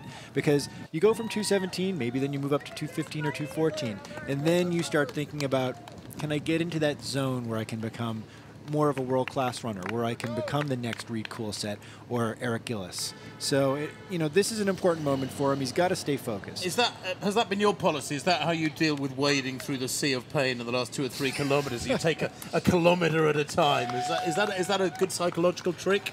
I would say so. Yeah, I mean, I don't know, Krista. What do you think? You've gone through some uh, tougher races than I have. That's for sure. You finished a race with a broken leg a couple of years back. You're nuts. Well, every race is different, I guess. I mean, I'm sure with with Trevor, he's just wanting it to be over. But you know, he's I think he's going to be happy and, and, and proud of, of getting it done, and, and you know he'll obviously be able to look back at his splits and to see how he executed the plan. Uh, but I think we'll see him smiling and happy with this. I imagine that uh, his Eric, Eric Gillis, uh, Trevor Hofbauer's uh, former training partner, who's now at St. FX University uh, back in Antigonish, Nova Scotia, is pretty excited to watch Trevor finish and uh, win a Canadian championship as uh, filling in um, Eric's footsteps because Eric's been a Canadian champion a couple times in the past. Well, this is Eric Ndiema we were seeing there, 24-year-old Kenyan, who's a 206 performer from Amsterdam back in 2011. That's just an indication of what a beautiful day it is across the city of Toronto. Ndiema has only run a 216 uh, this year. That was in Ottawa back in May. Trevor was working 45 hours a week in the summer at a golf course uh, from about 6 a.m. to 2 p.m. So he was going for uh, many of his runs at 4 a.m. So definitely tough. That was Eric Ndiema there just finishing the race. We'll confirm that position for you as soon as we can. And uh, this is Trevor Hofbauer now in the closing stages. Still lonely sections through the city centre here from Trevor Hofbauer, but he's uh, been getting kind of used to that and clearly on top of his game, high-fiving with uh, some of the spectators there and celebrating as he approaches the finish line. That, that's a good sign, it I is. guess. You know, he's having fun in this this last bit, and you know, if he's not hurting, then he didn't push himself hard enough. So I'm sure he is hurting. Uh, but you know, giving the high fives and celebrating that's that's what it's all about is having fun in this last bit, and you know, knowing that he that he did it. He can now call himself a marathoner. And they do say, Mike, you know, your first marathon, it really helps if it's a positive experience. A, finish it, and B, have a positive experience. And he's done that today. Now, yeah, I think Chris has made a valid point here. You know, you ought to be gutting it out and really storming through this last few kilometres and hurting. But actually, Trevor here probably going to finish in control and not in as much pain as he could have done. And you know what? I don't think that's a bad idea at all. I mean, obviously his legs pro probably feel like two pieces of wood right now, but it seems like he's got his head screwed on straight, which means that in terms of fluids, in terms of nutrition, uh, he he's he probably got it more or less right because I find that's the first thing that tends to go in the marathon in the last 10k is your your your head just starts to unravel. You start getting overwhelmed by the experience and it becomes unfathomably hard and you lose focus and nothing feels good. You can't put you can't smile. There's no high fives. You're scaring people who might be thinking about it, who are watching. Make it no, sound I'm enticing positive. people. This is like this is the ultimate challenge of your life for sure. This is a huge It's phys- physical ac- accomplishment. It's the Everest for the everyman. Yes. And, and nausea can be something that a lot of people experience. And I know I've done that where I need to keep taking in my gels and my fluid because that's the fuel that's going to get me to the end. So there probably came the point for Trevor where he knew he did not want one more drink or gulp of a gel, but forced himself to do it as he would have done in his training. Here he comes then, Hofbauer, taking the last couple of turns, the final corner as he approaches the line. He will be the Canadian champion in 2017. He's able to celebrate, still high-fiving, still celebrating, sharing the glory and the joy with the crowds over the last mile. Hofbauer punches the air as he takes the title, a winning debut just outside 218. He won't care about that one bit. That is a beautiful smile from Trevor Hofbauer there to take this win. The 25-year-old was 71st in the world cross country earlier on this year. He is first today in Toronto. He just sacrificed a sub 218 to, know, to ham it up with the crowd. I kind of love that actually, though, because you know what? He believes in himself. He believes in a future in this distance. Obviously, you know, we chatted with him in the days leading up to the marathon. He wasn't 100% certain. You know, I think he he believed he could become a great marathoner, but he, you know, he, you hear so much about this. I mean, you know, what I was just saying before about how difficult this distance is, and he just just proved to himself that he's got a lot left. What he's clearly happy and, and taking in the celebration here. Uh, he's got some sort of charm on his necklace that he just grabbed. And I, I gotta say, though, I don't know. I, I think I would have tried to go under that 218. there is something about being able to say I'm a 217 marathoner instead of a 218, but clearly that wasn't important to him, and he took it all in in the end with a lot of high fives and fist pumps. It's all about the championship today for Hofbauer. Well, and for the ladies, for Marta Megra, that race, of course, is still coming to its climax. The uh, 26-year-old still leading. That stride length has gone, though, pretty significantly. She looks far more relaxed now. Now, has she put a hit a bad patch? Is there somebody closing from behind? Almost 220 on the clock. She's only got a, a few hundred meters to go now herself as well. So we will keep on top of that women's elite race situation, but certainly the really quick time we're expecting looks like it might have slipped away. Trevor Hofbauer, of course, we just saw crossing the line just outside 218 to take that Canadian title in his debut. And here he is with Kate Van Buskirk. I'm here with a very emotional and excited Trevor Hofbauer, who has just won the Canadian Marathon title in his debut at this event. Trevor, it was a lot of fun watching you cross that line. Can you walk us through what this experience was like for you today? So the first 5K was really, really fun. Like whenever I got the bottle, I would just like kind of lob it over like a hook shot. Um, and then it was around kilometer 35. That's where it got tough. And I saw that Sammy was a little bit behind, so I, I kind of relaxed a bit, but still at the same time I had to finish the race. So I just like focused on my stride, just getting my arms forward, my legs forward, and then just wanted to. I was just focusing on the CN Tower. I don't even know where it is. I think it's over there. But I was just looking at that. I'm like, oh, there's the finish line. Just got to get there. It's okay. So there's obviously only so much preparation you can do for your debut at this event. And as I understand, this was actually the first time that you've ever run the complete marathon distance. Your longest run before this was 41K.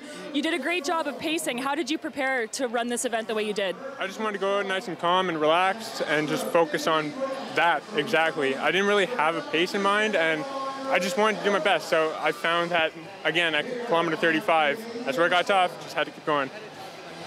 A, about a year ago, you moved. You left your family and your job behind and moved from the, across the country uh, to train in Speed River in Guelph with Dave Scott Thomas. And of course, that's such a mecca for distance running in this country. What has that been like for you, and how has that helped prepare you for this event today? It's been a really positive experience. Dave has prepared me beyond words uh, to be ready for today, and I'm just so thankful for his support and the support of everybody in Guelph. Like we had uh, a couple of my, a couple of my roommates out here, Andrew Nixon, Chris Alonti, and Rich Aubrey. They're kicking around. My dad's out there too. So even though I moved across the country, I know I have so much support back at home, and I'm just so thankful for that. Well, it's obviously worked for you today. We, don't, we want to let you enjoy this, but can you give us a sense of what might be next for you? I'm going to go home and sleep. Fair enough. Congratulations, our new Canadian champion, Trevor Hofbauer. Back to you in the studio.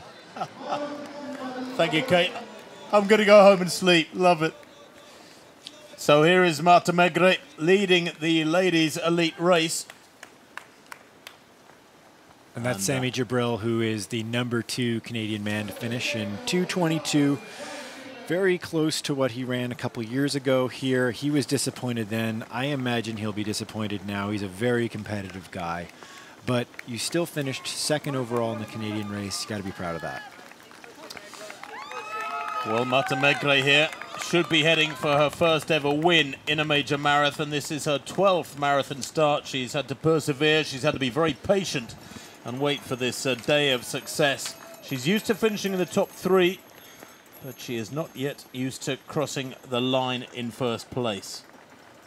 Her personal best set in uh, China last year, and then she was fourth in Prague in May last year with 228. Well, she's going a lot quicker today. Second in that Canadian Championship race, though, was Sami Jibril, and Mike thinks he'll be disappointed. Let's find out because he's with Kate now. I'm here with Sami Jibril, our second Canadian male in today's marathon. Sammy, this looked like a, a tough day. Still managed a personal best. Walk us through the race. Uh, the day started off perfect. Temperature was great. There was just so much cheering all across the course. Um, about 30K, things started getting tough. And, uh, you know, I started to fade a little bit at the end. But uh, this time around, running the full marathon, I just enjoyed myself. And uh, I was happy with the effort. Good for you. In the press conference before this race, you held your cards pretty close to the vest. You didn't give us a whole lot of uh, sense of what kind of pace you were looking for here, but you did say that you wanted to start and finish the race remembering that you love running and that that's the most important thing for you. Do you feel like that's what you were able to do today? Oh, yeah, definitely. Uh, when things got tough, all you could do is just uh, dig deep, and uh, you know what? I uh, you never know with the marathon. It's not like any uh, other distance or middle uh, event. You can't do a workout and you just figure out what you're going to do. So, thank you. So the World Half Marathon Championships are coming up in March. Do you have any aspiration of that being on your calendar? Or are we looking forward to a spring marathon? I have no idea, no idea at this point. Yeah. All right. Well, congratulations today. Recover well. Sami Jibril, back to you in the studio. Thank you, Kate. Here is our leading lady, Marta Megra, heading for victory, surely. Came here fresh, came here with coach Gemeru de Defo. Although, when you look at the tempo, Mike, they were laying down for the first three quarters of this race. There has been a very, very marked reduction in pace, hasn't there? She has hit her wall. And don't let's forget that for a while it looked like they were going to run around 222, 223. Yeah, first 5K was even faster than that. It was uh, sub 220 pace, uh, and there was a good group of them going. So, you know, obviously this this race is fractured apart, and Megra is come, is going to come out the victor. But as you can tell by the stride there, you know, she's just kind of hanging on to the finish. I think they really are feeling that fast first half, and we're going to get something around a 220, probably 227 for the win here today, which is a little on the slow side because Toronto, Toronto is a fairly fast course. You know, it's not Berlin, but it's fairly close. And uh, the course record here being, of course, much quicker, 222, and we're nowhere close to that today. I guess, Krista, though, what they've she's learned here today is what it's like to go out at 220 pace for the first 15, 20 kilometres. You know, she's gone. They went out very aggressively. What were they at halfway? 71.01 not much outside 220 pace. Uh, and she knows now what the second half feels like or the latter stages feel like. But it's a learning process, maybe. I think you've got, you know, you've got to take something positive out of it. Uh, you know, a lot of the Africans start hard, and that's their mentality. And you know, you see them drop off. I know I've been in races where you, you're counting the people ahead of you, and you can bet that you're going to be passing some of those Africans uh, in the later stages of the race, and that can you know make a big difference in prize money. And so that's probably what we've we've seen today, where you know they've started strong, and we've certainly seen many of them drop off to a, a pace more like the 227 we're going to see here today. It should be really interesting to see how many of the lead East African women come back to Leslie Sexton, for example, who is projected to finish maybe somewhere in the 235, 236 range. Uh, that's always pretty telling with how of how hard that pace was in the first half. I believe uh, Lanni and I in 2013 were third and fourth in the race. So that was, um, you know, we definitely didn't start in, in, the the lead women's group with, with the others, but that's how the race ended up. But you did run an awful lot faster than 235. Right, yes. you, were, you were running world-class times, minor point.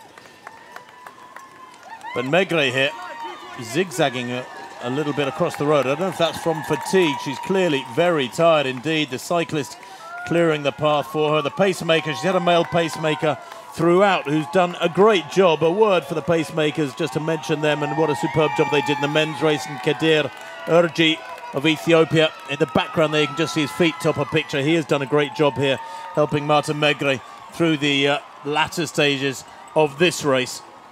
But for the Ethiopian 26-year-old, this has got to be hurting because there's no sprint from her. This is not uh, Philemon Rono bounce and bubble and energy. This is a survival, I think, for Megra. I don't think we're going to see her finish the same way that Trevor Hofbauer finished. No. Uh, but you know what? We're seeing the two sides of the marathon coin here, at the even at the highest level. I mean, it's very, very difficult to run a powerful second half of a marathon, and this is more what you see uh, quite often, even at the elite level, which is that last 10k really takes it out of you, and you limp in, even if it's a win. It is a win indeed for Megra. in the Scotiabank Toronto Waterfront Marathon in 2017. She takes it in what? Just outside 228, about 228.20 there unofficially for the Ethiopian. And not far behind her, Asefa, her compatriots, Sutume Asefa, the 23 year old, in only her third marathon, is having a very, very solid run indeed and moving far more sprightly. She's moving much better. The real bounce in her stride, and she's uh, going to take second place here. She has a reputation for front running.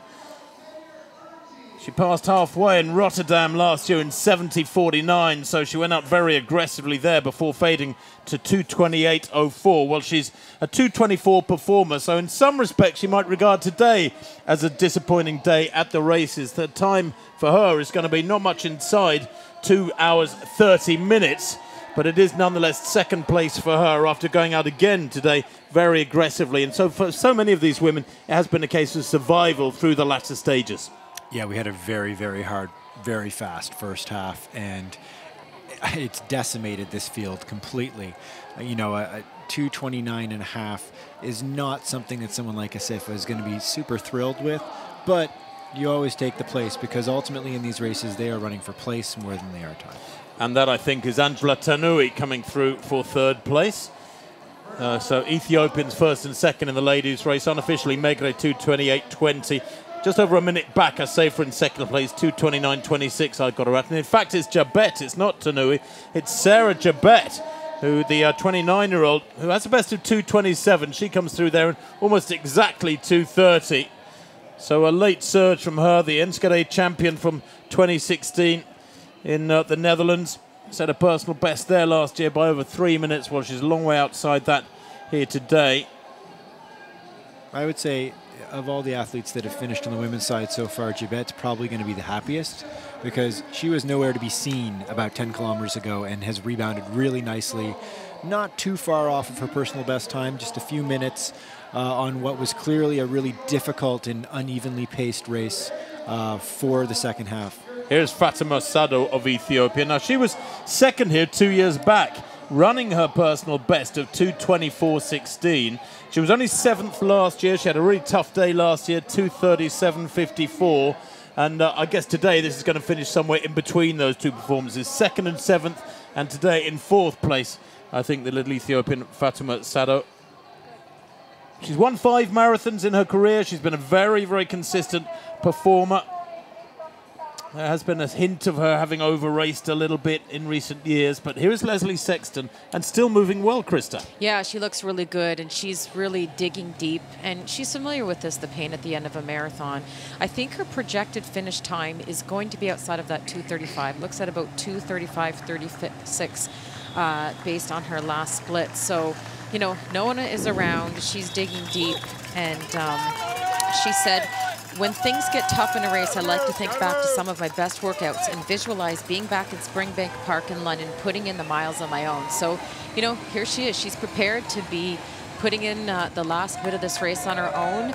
Um, going to be Canadian champion, and uh, she'll be proud of that. Just a past St. Lawrence Market, I think, is where she is right now. So we're, we're seeing that um, she's going to be taking on the energy of the people around here, seeing those Canadian flags and and watching that lead person on the bike just taking her right down to that finish line. She's run a good race here today. I mean, I, I don't know if she'll be happy that she's probably going to fall outside of the 235 range, although I imagine right now she's thinking to herself, just keep digging. Let's see if I can just scrape off a few more seconds here in this last kilometer. But uh, Leslie Sexton will be a Canadian champion, uh, which is, you know, really important for her resume, really important for that step forward. I always I've been looking at Leslie's career and thinking, okay, she's 30, she's going to be 34 uh, during the, the Tokyo Olympics. If she wants to make it to Tokyo, she's got a few marathons to play with now. This is a good step for her in terms of a championship, but she's now got to take that step closer to 230 and beyond. So look for her in the springtime to, you know, eyeball something like Rotterdam or London. Do you think, uh, Krista, maybe she'll look back on this and feel that she went out too conservatively because they were slow at halfway, 77.52. I mean, not much inside 236 pace. No, halfway. I don't think so. I think she's going to be happy.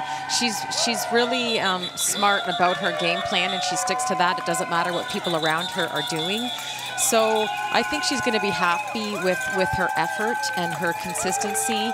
And um, you know, if you have it in the second half, you give it. Um, and sometimes you're just holding on. So. Um, we'll, we'll find out more from her later, but I think that she's going to be really pleased with how she executed today um, in terms of, of winning this national championship and finishing strong. And is it easier to be on your own like this in the latter stages so you can sort of work through the pain in the last few hundred meters in your own head, or is, is and is it tougher to have, or is it tough to have somebody alongside you that you're actually having to race against, and there's some sort of outside interference inside your head? Well, I think in a marathon, if you're still with someone competing for that title at the end, I can't relate to that. I'm usually broken away, um, and there's if there's a distance. But um, you know, I think that could help definitely if there's a, a time or a financial bonus on the line.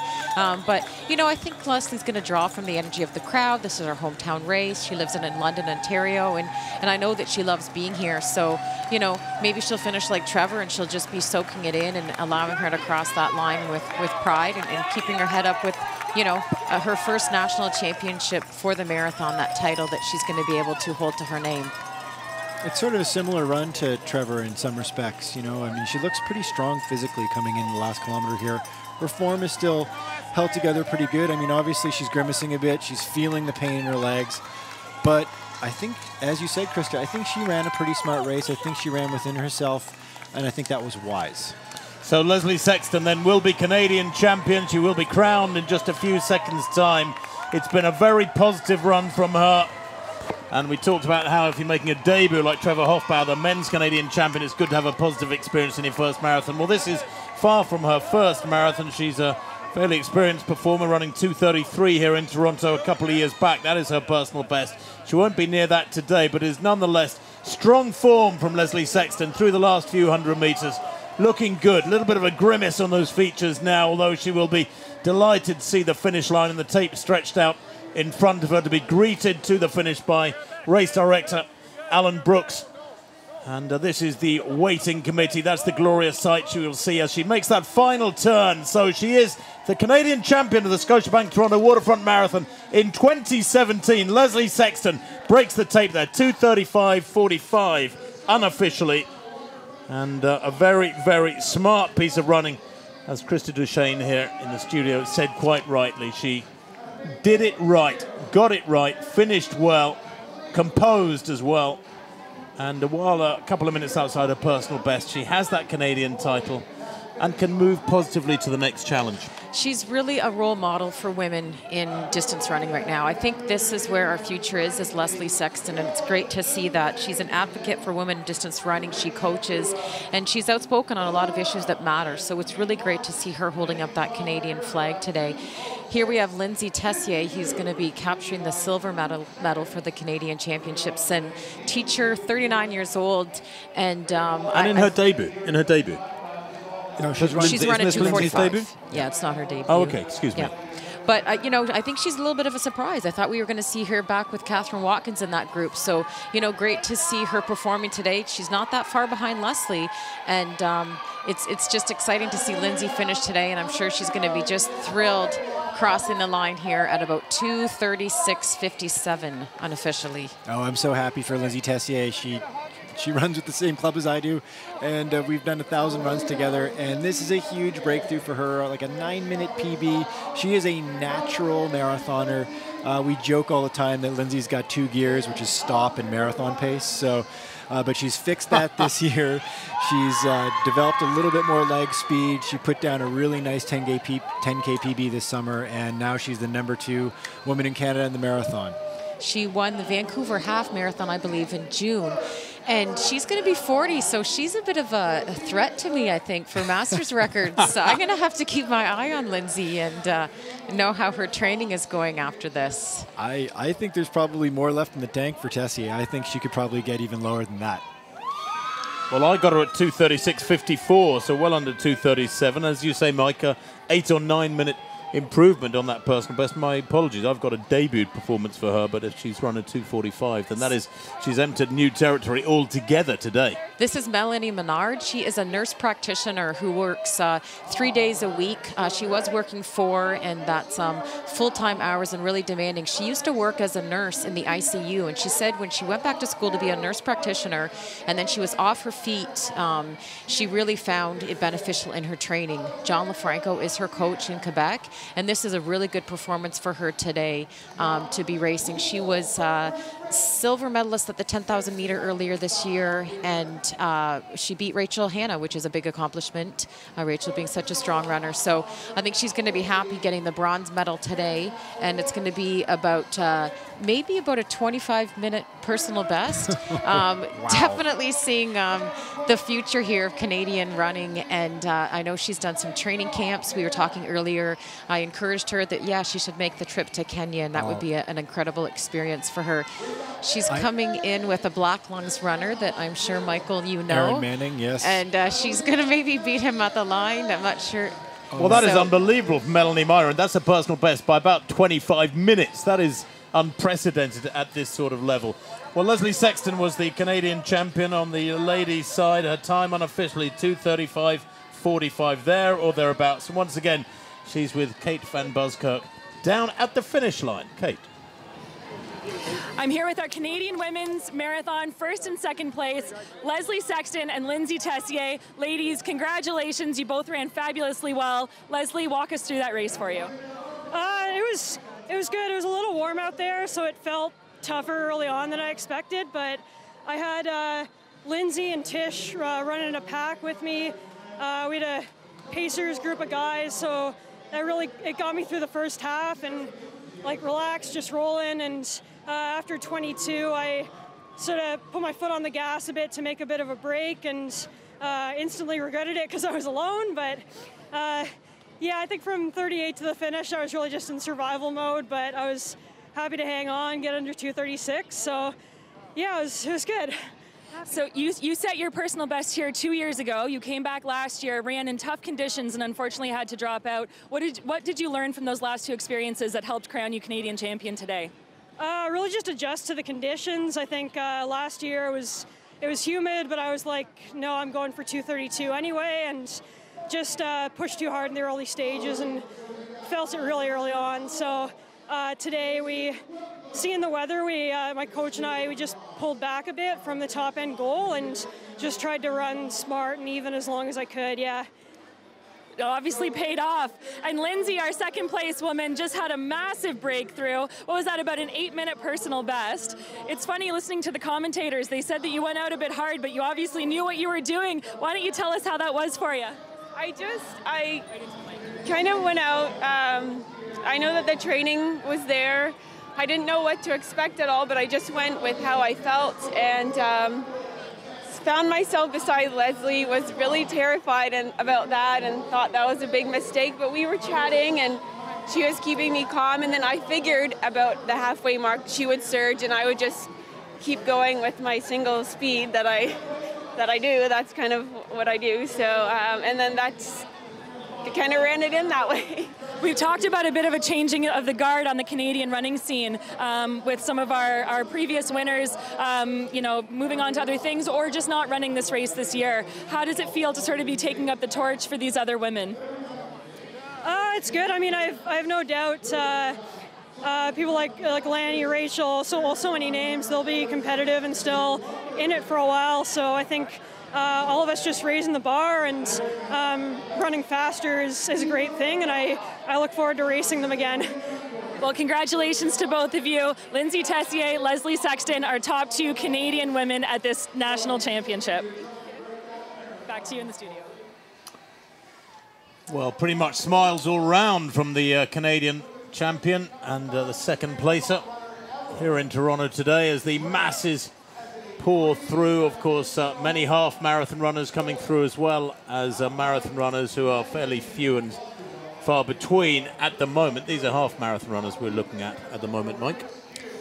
Well, 242 is uh, an impressive marathon time, so it's not surprising that you see uh, a little bit of a, a gap between the finishers on the uh, on the left-hand side of that finishing chute from our vantage point. But obviously, uh, the sea, the sea of humanity that is this uh, this event with 25,000 some people running today. The bulk of them in the half marathon finishing, and it's a huge accomplishment. Doesn't matter what your time is. Running 21.1 kilometers is a big deal. I was always much bigger fan of half marathon than the full marathon, primarily because the pain only lasts half as long. Uh, it wasn't rocket science to me.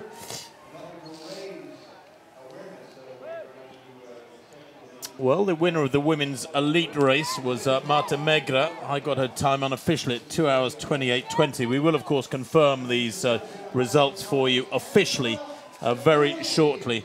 But Megra, well, she had never won a marathon before today, despite this being her 12th start in a 42 kilometer effort.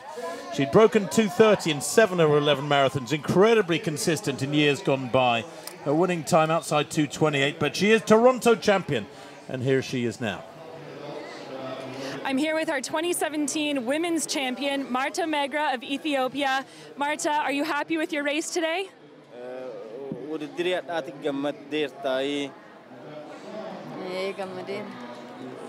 she says to win is eh, eh, she is happy. Uh, yeah. You have to always be happy to win. This is your first time in Toronto. What did you think of the city? Kun yeroo jalqabaatii fi torontootti fiiguun keetiin katamicha dorgommichi. Dorgommiin bareedaadha. Garaa keessa na dhukkube malee soddomaan booda na dhukkube bakka garaa keessa. She says the, the, the, the town is very beautiful, uh, the spectators is very beautiful, the race is very beautiful, but after 30 kilometers she made uh, sickness in her uh, stomach, too much uh, painful. That one is uh, upset her to run poor, poor time. Okay. Well, that can make it tough, but we're very glad you're here. Congratulations. We hope to see you in Toronto again. Well done. Thank you. Back to you in the studio. Well, I think uh, despite the pain of having uh, stomach problems through the last quarter of the race, Marta Megra absolutely delighted with her first marathon victory, and what a big race to to record it in. Uh, all the sweeter, I guess, when it comes up after many, many previous attempts, Krista. Yes, uh, definitely going to be happy with today. Maybe look back at why she maybe had those problems and plan to uh, prevent those ahead in the future if she can.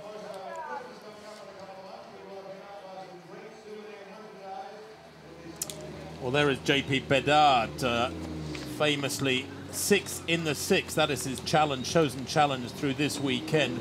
That means six marathons in Toronto and roughly 60 hours for JP Bédard. He started at 2.30 a.m. on Friday and he'll finish at around 2.30 today, we think. So that's two and a half days with six marathons therein.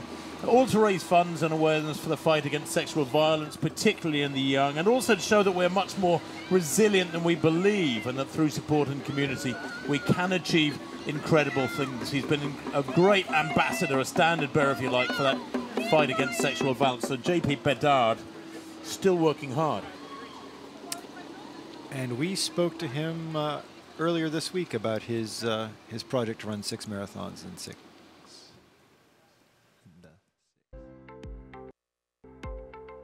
Hi, my name is JP Bédard. Uh, I'm running something at the Scotia Waterfront Marathon called Six in the Six. I'll be running the marathon course six times over the next three days, twice on Friday, back to back, twice on Saturday, back to back, and then twice again on Sunday. And the sixth one will coincide with the official race.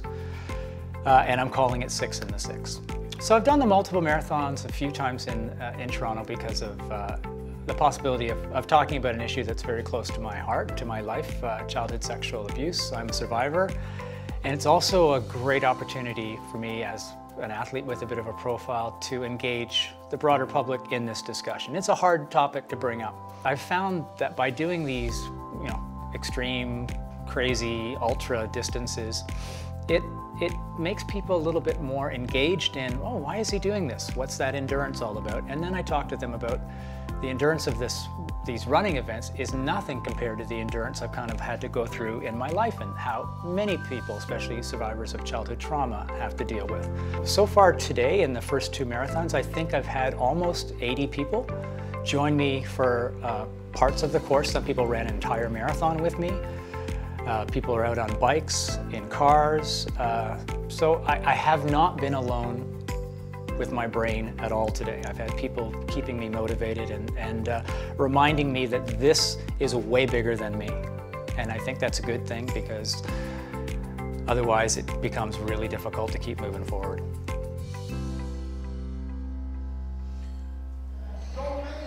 Well, JP Bédard, they're very passionate about uh, the cause. That interview, by the way, was done, if it didn't come across quite so clearly just then, that was done uh, yesterday after he'd run two marathons already in the previous uh, 12 or 15 hours. He was about to go off and get a little bit of sleep, and he only had four more to do. So um, he will still be out there now, I guess, in his final effort. Right. You know, I think one of the things that he did leading up to this, um, as sort of a fundraiser to go with it, was he went without cookies. He loves his sweets, and he went, I believe, six months without cookies to raise funds for this. And uh, no doubt he'll be having some cookies on the way um, back after he's finished. His wife, you could see her on the bike, and you know she's wearing her jeans and her her shoes. I believe that she was out with him on every single one of the six marathons, biking beside him. I went out for a run on Saturday morning actually, and uh, I saw him running with an entourage. There's probably about yeah, about 20 or so people there, and his wife was uh, pedaling alongside uh, next to him, and running about the same clip we just saw him uh, running now. So it's pretty impressive. Like you know, you think to yourself, okay, six marathons over the course of a few days, he's going to walk big chunks of them, especially in the last marathon, but he's moving along nice. I'd say he's probably about like maybe six minute kilometer pace, which is pretty impressive for six six marathons. For those of you who from further afield who may not be uh, familiar with it, the nickname for Toronto because of the phone code is the six. So six in the six is was his six marathons inside Toronto. Well, Laura Silva is out in Greek Town and uh, has been our intrepid explorer around the course, intrepid reporter from around the course actually a pretty cushy number, I think, because she's been enjoying the atmosphere and the music and the energy of the course again and again. And here she is, another cheering section in Greektown. All right, we're here at the Greektown cheering site. There's lots of noise, lots of energy. Tell us what's going on, ladies.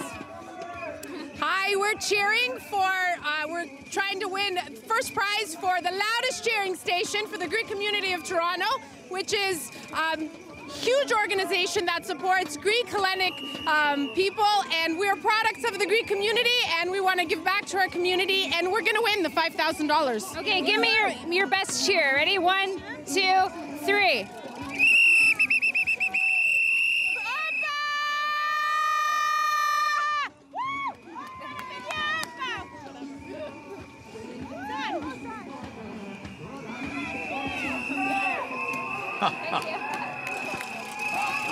Well, having attended the Athens Olympics and that glorious uh, stadium in the Greek capital, I can tell you the Greeks can raise the roof, can raise the volume when they need to, and that's uh, Greek town atmosphere is no exception, clearly. These are the half marathon runners pouring home. Remember, that's the biggest event of the weekend, some 12,000 runners in that one, around 5,000 in the marathon itself, but the vast majority of those runners, uh, with uh, what on the clock now, 2 hours 51 are still out there somewhere in the middle section of their marathon, hopefully uh, enduring the humidity. Another JP that is out there that is running for, um, you know, a good cause is JP Hernandez, and he's doing his fifth and final um, marathon as uh, Batman. So he's going to run as the Dark Knight, and actually he's going to add on another 8K to make it 50K. He said running was a better way, uh, or coping with my of coping with my separation in a dark time in my life than heavy drinking. So it's just great to see that it's a, it's a sport and activity that people can use to overcome barriers and challenges and you know significant events in their life, and it's a, a therapeutic way to deal with, that.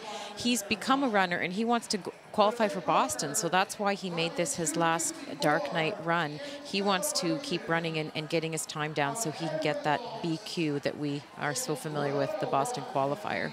Well, we saw a gentleman finishing there in around 252 in the marathon. Of course, anything under three hours is very, very solid running indeed. And uh, uh, the, hence the relatively few athletes, number of athletes coming through with uh, splits that enable them to break three hours. There it is, 252, 253 on the clock. They're beginning to thicken up a little bit. Is that Julian Flynn coming through there? Making a debut, I think. In uh, just outside, uh, just inside 253.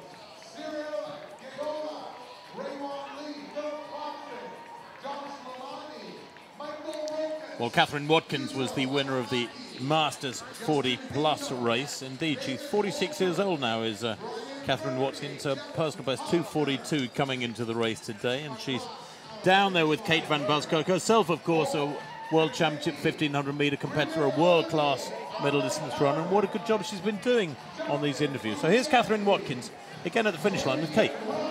I'm here with Catherine Watkins, who has just crossed the line a few minutes ago as our first Canadian female Masters athlete. Catherine, it sounds like it was a tough day out there, conditions and pacers and everything considered. Walk us through it. Yeah, it was really tough. We went out, um, the pacer went out pretty quick, a little faster than I was hoping for. I thought we were going for a 239 pace, but we seemed to be more on like a 237 kind of pace, which it was okay in the shade in the first little 10K, but as soon as we hit the sun, it was tough. And I just tried to stay with the pack. There was quite a good group of us, like Anna, Melanie, myself. Um, Kate was with us for a bit, and then it just sort of, we all splintered apart. And I think Melanie was the only one who was able to stay with him. Yeah. Now, I know coming into this race, one of your goals was to break the women's 45 yeah. plus Canadian record currently held by Marilyn Arsenault. You broke her half marathon record um, by one second earlier yeah. this year. So, is that still a goal for you to break that Canadian Masters 45 plus record? Um, after that, I don't want to think about a marathon for quite a while. Um, it was that was a really I just had to dig to keep going. It was really like just keep one foot in front of the other the whole way. Um, Marilyn, like what an amazing run that she did that on this course here, and uh, all respect to her because that's that's fantastic. Well, congratulations! Thank awesome you. job. Recover well. Thank you. Thanks, Kate. Back to you in the studio. Good to see so many smiles. There's one of the uh, pacemakers, the Ed Whitlock pacers, who are running at uh, specific tempos associated with the greatest achievements and world record-setting achievements of Ed Whitlock. Kate Toohey has just crossed the line. I've done some runs with her. We're from the same area. She lives in Princeton, and she's an occupational therapist. So I think she was running, planning to run a little bit faster today. So maybe the humidity it took its toll on her with the 255. I think that's Megan Franks that's coming in there as well. She's a mother of two from Mississippi. I think she works two jobs, 70 hours a week, coaching and being a mom in training. So um, we're we're seeing her finish that race there today. Uh, under about 256, under 256. Yeah, Megan's a Canadian living in the U.S. now for a few years, and she does quite a bit of mountain running and trail running as well. So those communities that are watching today will recognize that name. That is indeed the same Megan Franks that you probably saw running a crazy mountain race somewhere. is there any other kind of mountain race? She's done nine marathons, and she's 34 years old, um, born and raised in Alberta.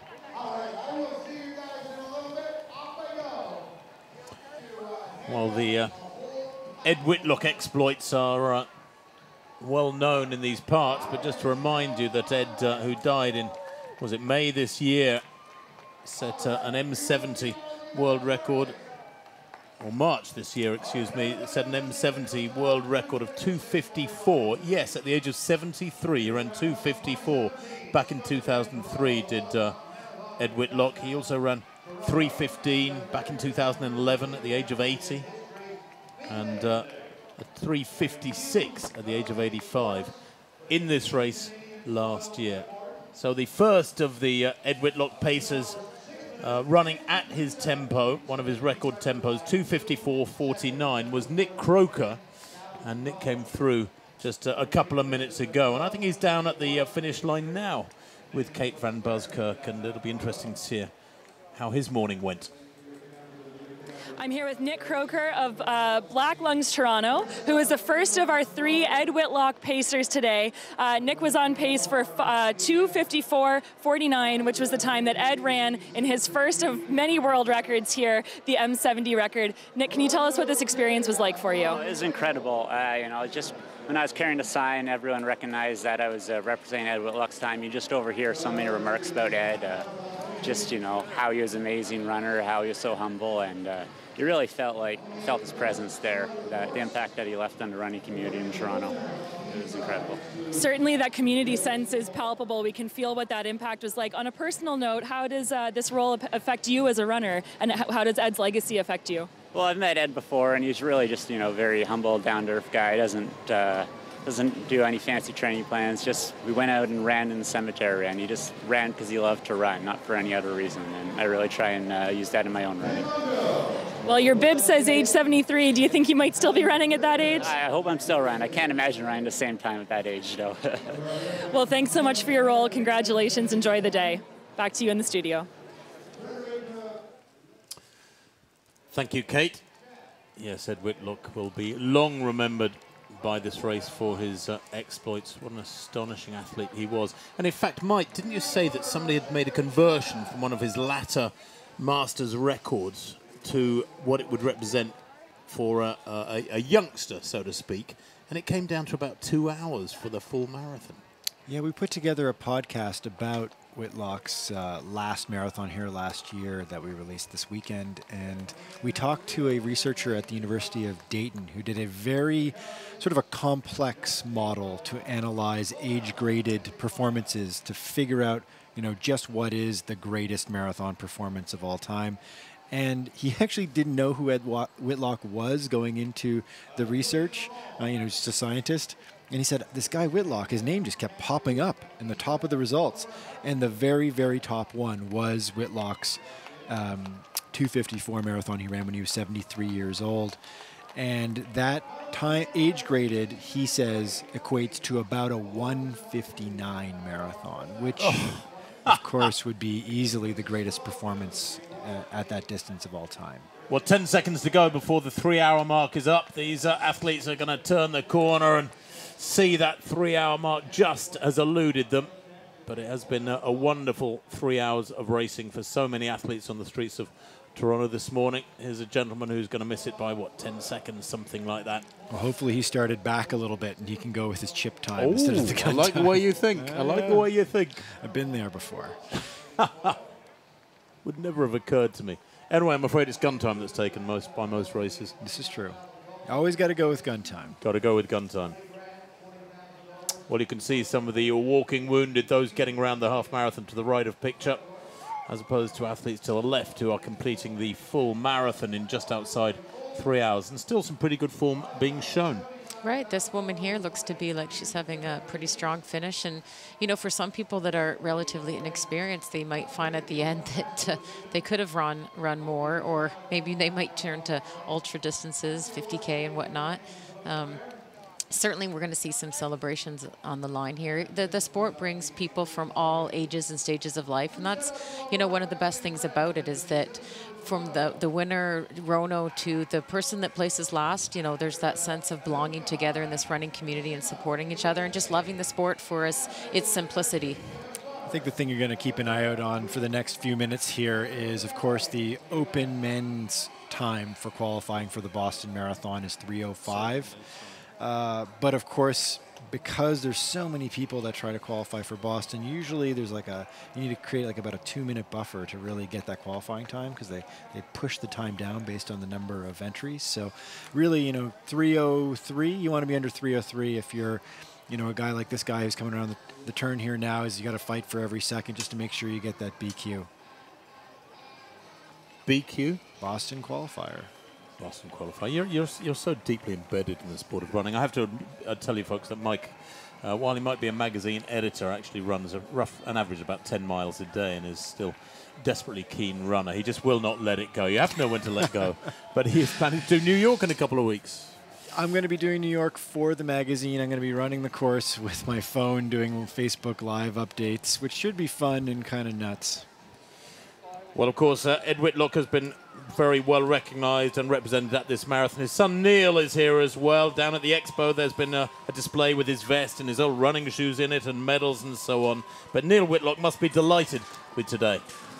I'm here with Neil Whitlock, one of the sons of, of course, the famous Ed Whitlock, whose uh, legacy on this course is going to be felt for a long time to come. Uh, Neil, what was this like for you today, being part of this event in a city that uh, Ed had such an impact on? Well, it's, it's very emotional. For, for me, my, my dad has always been just my dad. but it's always impressive or inspiring to see how much of an influence he had on the wider running community, and everybody here honoring his memory here is very nice. So every year that Ed ran this race, of course, he had a little bit of an entourage. He would be surrounded by folks who are well wishers and supporters trying to run with him. We have three different pacers out on the course today running his famous world record times, also with that sort of entourage. What does that sense of community sort of feel like and mean to you? Well, so the running community is a, is a great community in the way people get together and, and honor my dad like this and, and to, to run those times.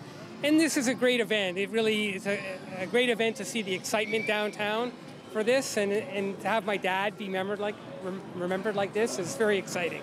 And you're a runner yourself, Neil, and I understand you've had some injuries, um, but that must be really special to be able to carry that on, that, that image and memory of your father when you're running yourself. Well, I try, but it's, it's uh, my dad casts a long shadow, and I, I'm, I don't come any near, anywhere near close to what he used to be able to do. So, hopefully, at some point, I'll be back to running, and uh, maybe I can at least honor him that way, if not his exact times. Well, we thank you so much for being out here today. As a younger person, I've had a great uh, impact by Ed as well, so we're very grateful that you're here, and we hope to continue his legacy for years to come. Back to you in the studio. Thank you very much indeed, Kate. Well, of course, when Ed ran so well here last year, setting another astonishing record, Mike, none of us expected him to pass away just a, a few months later. No, yeah. He, th- so this the marathon takes place here, of course, uh, this weekend every year. That's late October, and uh, Ed Ed died in, in March. And uh, in an interview we did with Neil for for this podcast that we just released, he told us that in fact he um, he thought that uh, Ed actually had had several small fractures in his back uh, finishing that marathon last year. So he was running an incredible amount of pain, which is incredible. Well, contrasting finishing form there from a couple of athletes coming through there. One collapsing at the line, another gentleman sprinting for the uh, finish line very, very impressively. But they're all getting through there, and just outside three hours is still very solid marathon running indeed.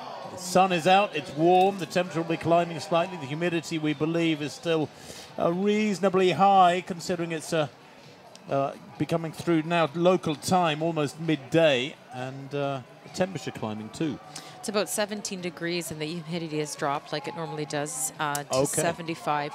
But this is the point in the race where, you know, there are a lot of athletes coming in, and um, some experience, some not. So this is where the medical team really gets busy with, you know, getting people in wheelchairs and making sure that they just uh, rest and get some water in them. So this is definitely where we're going to see them, you know, doing their job, and we're so pleased to have them out there. So many of them volunteers to do this. We saw Melanie Cassell finishing just now, a Canadian 34-year-old. She has a PR of 257, so I might be a little bit disappointed with a 306 or just inside 306 clocking, but she looked like she'd given her all, and you can't ask for any more than that from any athlete.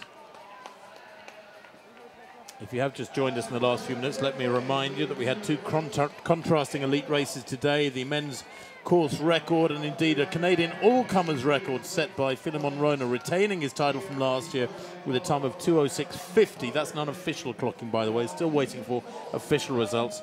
And Marta Megra winning the uh, women's race for Ethiopia with uh, 228.20. Once again, have to underline the fact that's unofficial.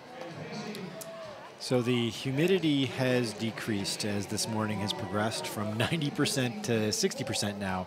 But on the flip side, as you can see in these pictures, it's a really sunny day, and we went from about 13 degrees to we're close to 20 degrees now. So the next the next hour of running for uh, for the recreational runners out there trying to finish, say, sub four for the marathon, which is a big achievement, um, is going to be progressively more challenging. And we had a cool summer. Normally in Ontario, there's a lot of heat and humidity. I know that worked well for me when I was preparing for Rio. And um, so, with this fall being so warm and today being so humid, these runners aren't prepared for it. So, hopefully, they've adjusted their paces and are able to finish, you know, standing up and and celebrating and not dropping at the line. It's like uh, like what Leslie Se- Le- Leslie Sexton said before uh, that she and her coach made that very crucial and wise decision to dial it back a little bit, adjust uh, the expectations for this morning time wise a little bit, and focus more on that Canadian Championship win, which was a smart move on her part, because who knows what what how it plays out if you try to get a little bit too aggressive with the pace in the first half. Well, today has been a wonderful day of racing. There's a little bit more to come yet. The presentations as well. The Scotiabank Toronto Waterfront Marathon wouldn't exist without the sponsor. Their input is absolutely vital. So let's hear a little bit about them.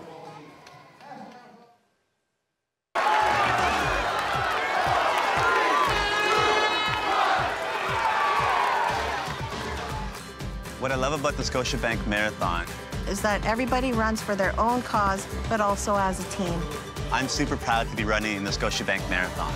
I know that every step I take, I'm helping Native Child and Family Services Giant Steps to log in youth mental health. Scotiabank Marathons. We all run for different reasons. Run for what moves you. And that Scotiabank Charity Challenge, just to remind you, 196 official charities benefit, no cost. The bank is picking up all the credit card transaction costs. Uh, created back in 2003 and 34.1, over $34 million has been raised uh, since 2003. They're hoping to add over $3 million this weekend for all those great causes.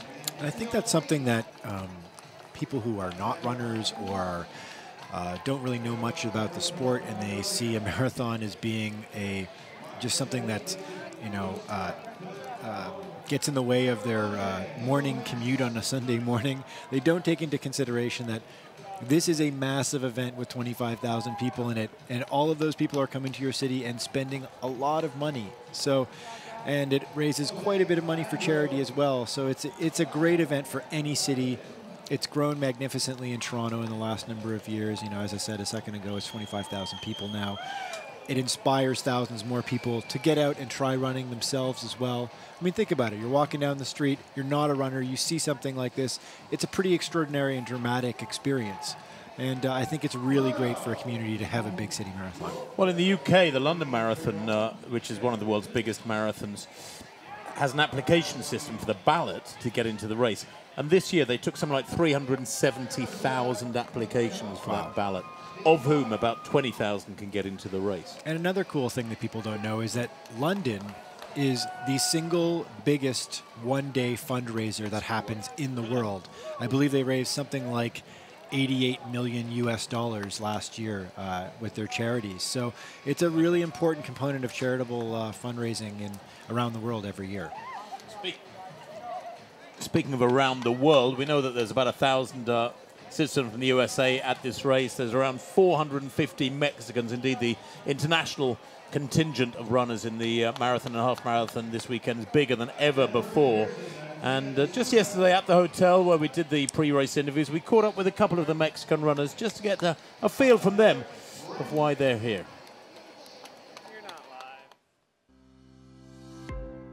I am Araíz Arriola. I am a journalist. I am a running blogger. And I am gonna run the marathon. I want to, to do my best time, hopefully. I've never been in Canada before, so I want to know the city better uh, by running it. I'm Manu Espinosa, better known as Manu Manuti. I'm an Instagrammer and content creator.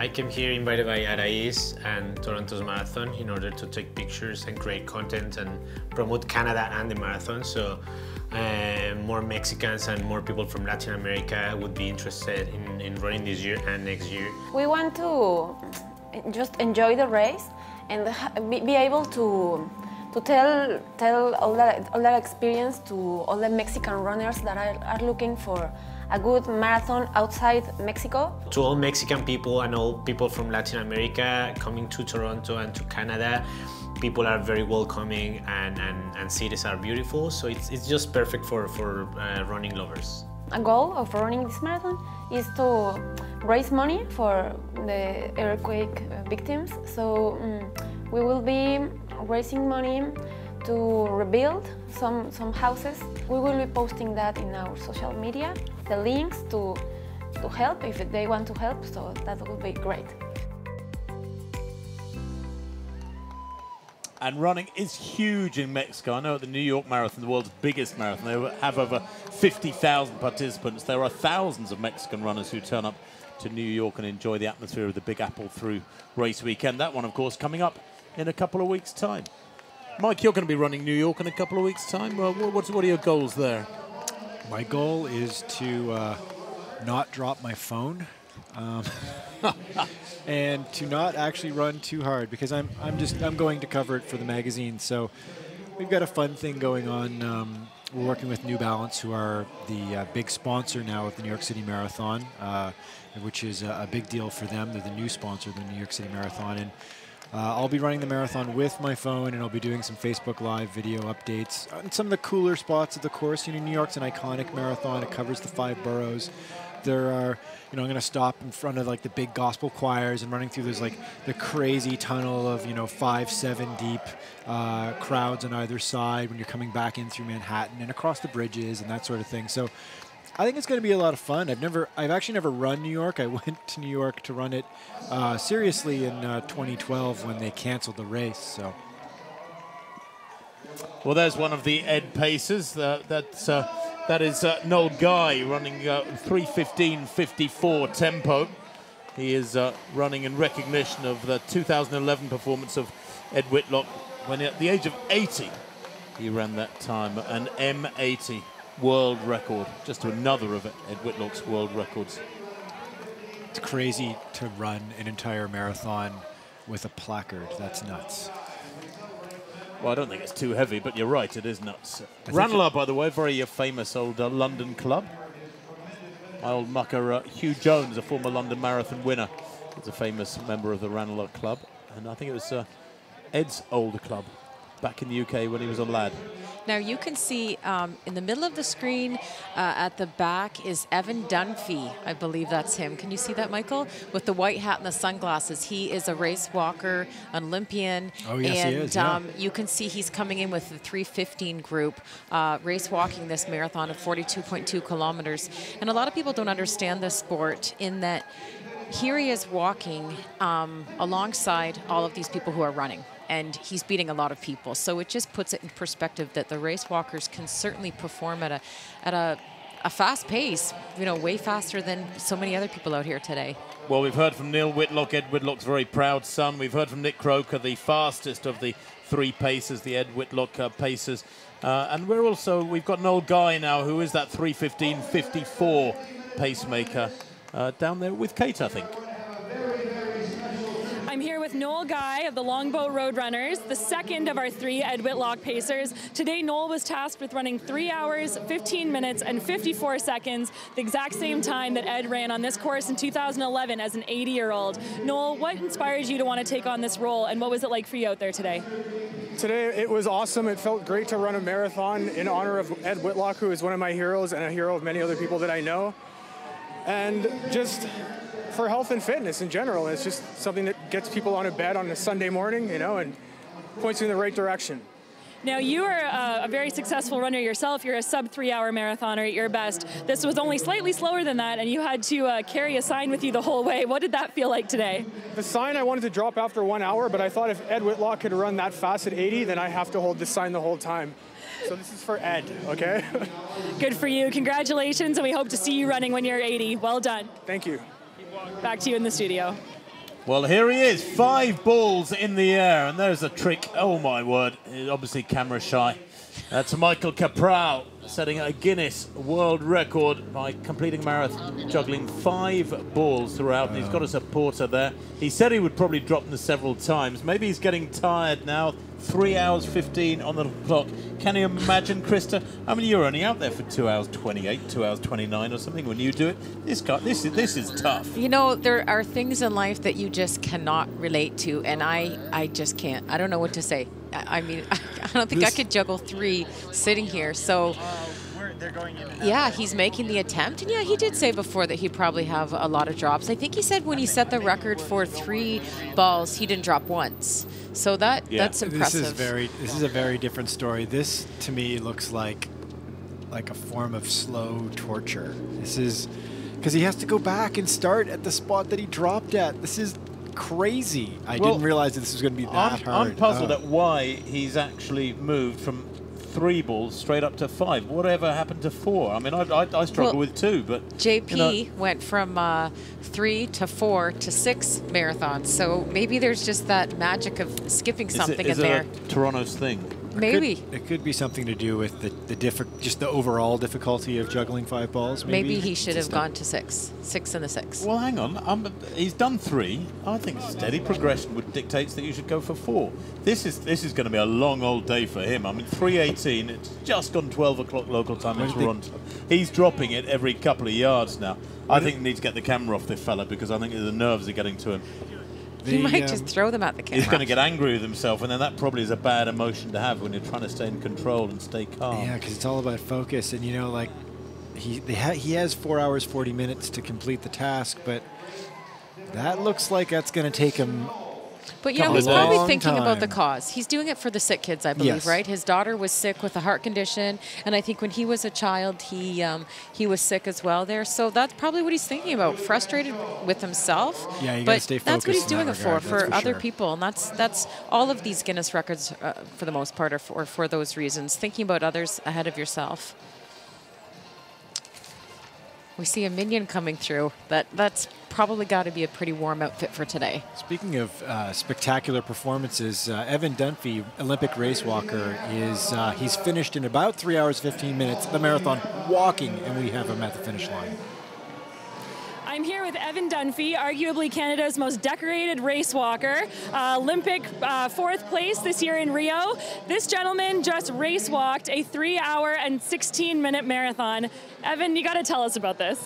Uh, it's it's so much fun. I, love coming out here and doing these road races, and you know, for the elite runners, it's kind of you know for them they get the support, but they're off in the front. They don't get to like be in the masses. I get to go out there and walk with the people, and I love it. You know, you spark up a conversation. You pull a guy to you know a couple of guys thank me for, for keeping them on pace and pulling them along because nobody wants to lose to the race walker. Um, so for me, it's so much fun to come out here and get a good hard workout in, and and you know it helps my training. It, it's so much fun and it helps exposure for race walk. So there's really you know win-win for everyone.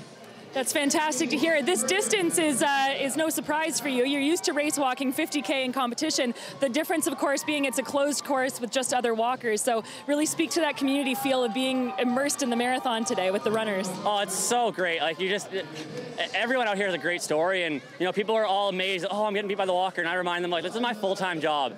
I'm so impressed by these guys who get out and have full-time jobs and fit two workouts in a day around around work and stuff. And for me, that I draw so much inspiration from these guys' stories, and and so it's so much fun. And then the other side of it, being a 50k walker, 42 short. So I actually counted the last 3k I passed 50 people because for me, I know that I got that that the, the wheels in me those last little bit and for a lot of these people that have never run a marathon before, the la- they've never gone further than 35, 36K. So I was able to pick off a whole bunch of people in the end, and that's, that's always a nice feeling. Absolutely. Well, congratulations. We hope to see you back here in Toronto. Best of luck. Absolutely. Thanks so much. Thanks, Evan. Back to you in the studio. Still smiling there at the finish line is Kate, and to the awards now with uh, Alan Brookes, the race director. He's already been spot. drawn. Uh, Matt Berman from uh, Caledon. So uh, looking forward to going to Barbados the first week of December with you, Matt. And if Cheryl Gow is here, come on up. This is weighing heavily on my arm, Cheryl. All right, congratulations, Cheryl Gow. Oh, all kinds of goodies in there. Uh, and again, we have Lanni Marchand, uh, Natasha Wodak, uh, a whole group going to Run Barbados weekend, uh, the first weekend of December. It's not a bad year-end reward on the beach. So uh, enjoy the gift basket. Thanks, Cheryl. And Kevin, on All right, the hey, th- thank you, uh, thank you, Alan. Well, we've got a few people to thank along the way, and I wonder if you guys can help me out quickly and uh, maybe make some noise for a group of people. They've been out here since heck, since three, two, three in the morning. Some of them working all night. How about those amazing volunteers who got you through the course here today? And we can't do this without those volunteers. We also can't do this without our amazing sponsors. And uh, one sponsor in particular has been nothing short of amazing for this event. Our title sponsor, Scotiabank, has been behind this race so strongly over the years and is a huge part of what has made this one of the greatest marathons on the planet. It gives me great pleasure to introduce Kyle McNamara, the Executive Vice President of Global Retail Banking Technology. Could you get a longer title next year? I didn't have. yeah, there we Kevin. go. From Scotiabank, let's hear it for Kyle. Thank you. Thanks, Kevin. So I'm thrilled to be here on behalf of Scotiabank. We've been involved in this marathon, this fantastic marathon, this fantastic course for over 21 years. And I have so much admiration for everyone who participates in the marathon. I've run it a number of years myself, and it's a fantastic event. Um, it's a great combination of athleticism, philanthropy, and the whole community getting together. So, just one thing I'd like to highlight Kevin mentioned it uh, uh, previously the Scotiabank Charity Challenge. It is a fantastic event, and it's a really simple and effective way to help raise much needed funds, helping young people reach their infinite potential right across uh, all of our vibrant communities right across the country of Canada. The Scotiabank Charity Challenge began here in 2003 and we started with 32 um, uh, charities involved. Now we've moved to over 550 charities right across the country. And, and as Kevin said, fantastic news with respect to this year's fundraising total at the Scotiabank Toronto Waterfront Marathon. The Scotiabank Charity Challenge raised over $3.5 million. Thank you. And and you can still raise money right up until October 31st. So thanks for participating and thank you very much for participating in this fantastic day. Thanks, Kevin. Hey, thank you so much, Kyle. And I, and uh, Kyle's going to stay here and help us uh, give out the awards. He's a 308 marathoner himself, so he very much understands sport and community, what brings us all together with about 200 charities here today. 25% of you guys out there were running in the Scotiabank Charity Challenge today. And, uh, well, I won't say it was all because of Kyle, but his team and their unwavering support has allowed us to build a race and build a charity challenge. So thank you, Kyle. We'll see you sub three next year. Well, and Alan, did I hear you correctly earlier today? If we hit 3.5 million, that meant we were at 35 million total for the Scotia Scotiabank Charity Challenge over the years. At Waterfront, since, as Kyle mentioned, its inception in 2003, uh, if we hit 3.6, it'll be exactly 35 million. So, How about that? We can make some noise for that achievement. $35 million. That is just amazing. To uh, sort of paraphrase uh, Mrs. Thatcher, it's remarkable what us ordinary people can do if we put our minds to it and we work together. Yeah, I'm not seeing too many ordinary people out there, Alan, but. uh, Definitely not.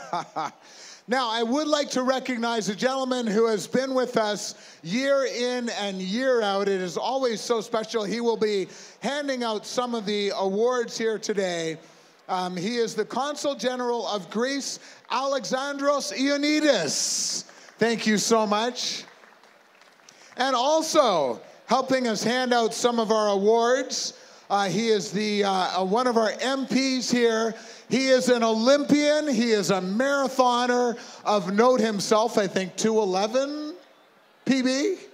There we go. My memory hasn't completely Fastest debut marathon of uh, any Canadian. And, So uh, that that is Peter Fonseca. Woo. Was that 212, Peter, the debut? Yeah. Wow. Guy is quick, man. Um, and uh, just before we hand out all of the awards and checks, I would like to get up to say a few wor- uh, words to you all. He is the CEO of Athletics Canada. This event, your Canadian Marathon Championship. Let's uh, make some noise for Rob Guy.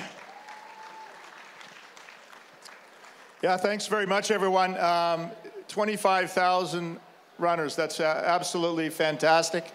Uh, it was uh, it was another great event. Uh, nice for the spectators. Certainly, it's it's warmed up. It's fantastic. Uh, whether you were out there to raise money for charity, uh, to run a personal best, to set a record, it's been another great day. top hats off to Alan and his team at Canada Running Series for a fantastic event certainly our, our appreciation to the City of Toronto for allowing this to happen. Um, without you all, it's not possible. So uh, thanks very much. Thank you, Rob, and don't go away. And again, we often think of the Track and Field Association. It's now Athletics Canada, and they're here because they want to represent everybody who runs, whether you're on the country, the trails, the roads, or on the track. This is our federation, and they're not the governing body anymore. They're our federation here to support uh, and help us enjoy the sport we all love so much. So thank you for being here, Mr. Guy. All right. You uh, ready to start handing out some money, Alan? I think so. Okay, here we go. Ladies first, let's say in our women's marathon here today.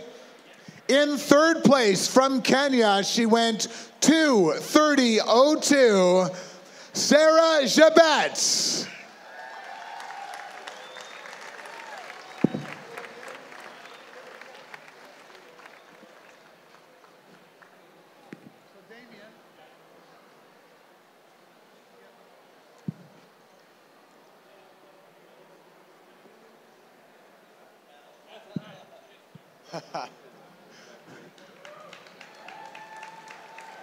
All right, so Kyle placing the medal.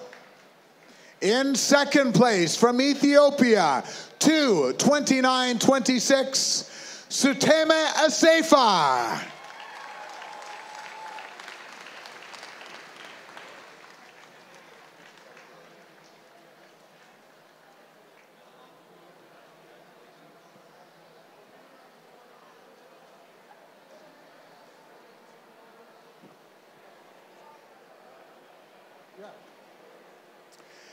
And your women's champion, also from Ethiopia. She went 2 28 20. Let's hear it for Marta Megra.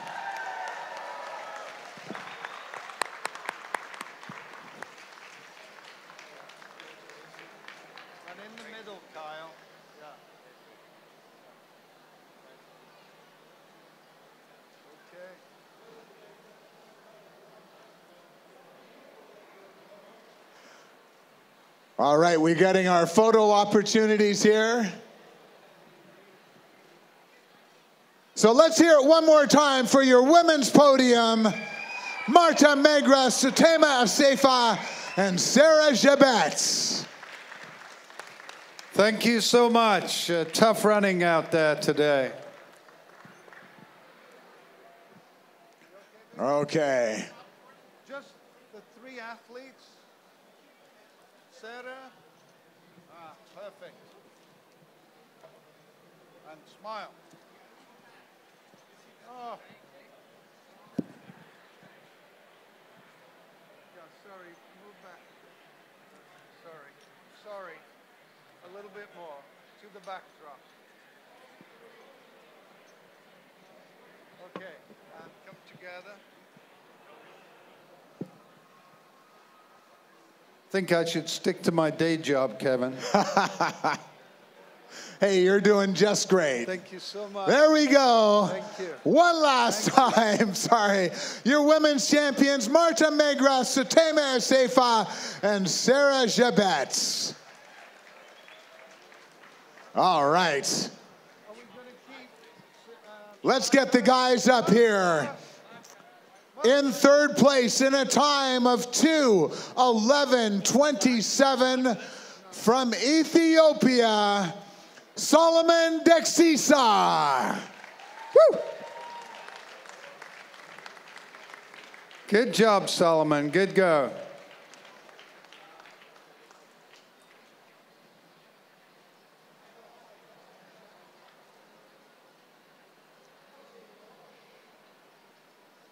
And of co- course, the uh, landmark on this year's finishers medals that you all got is the Leuty Lifeguard Station in the beach.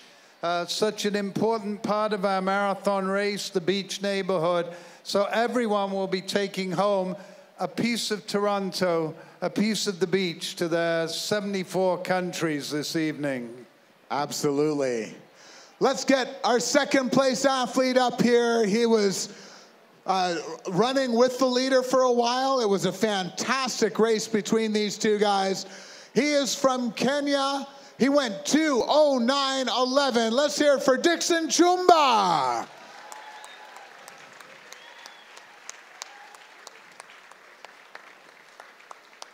Good job, Dickson.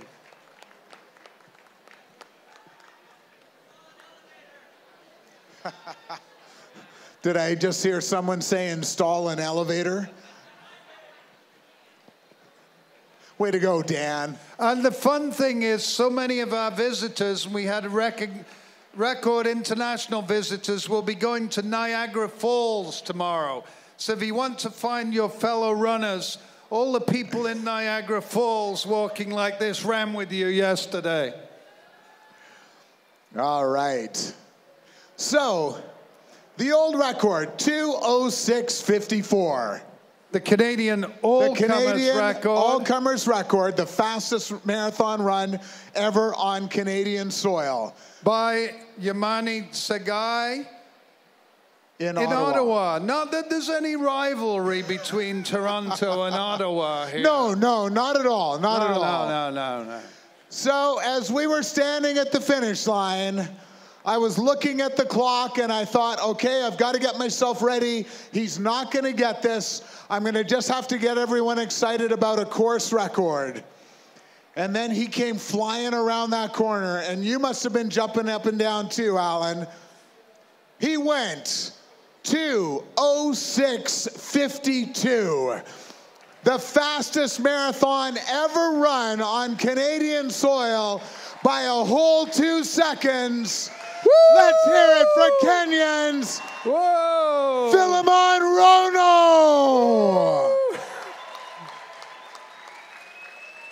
With the nickname Baby Police, he trains with the famous uh, coach Patrick Sang in Kaptagat. He trains uh, with Eliud Kipchoge, Olympic gold medalist, one of the people, well, I guess considered the number one marathoner in the world right now.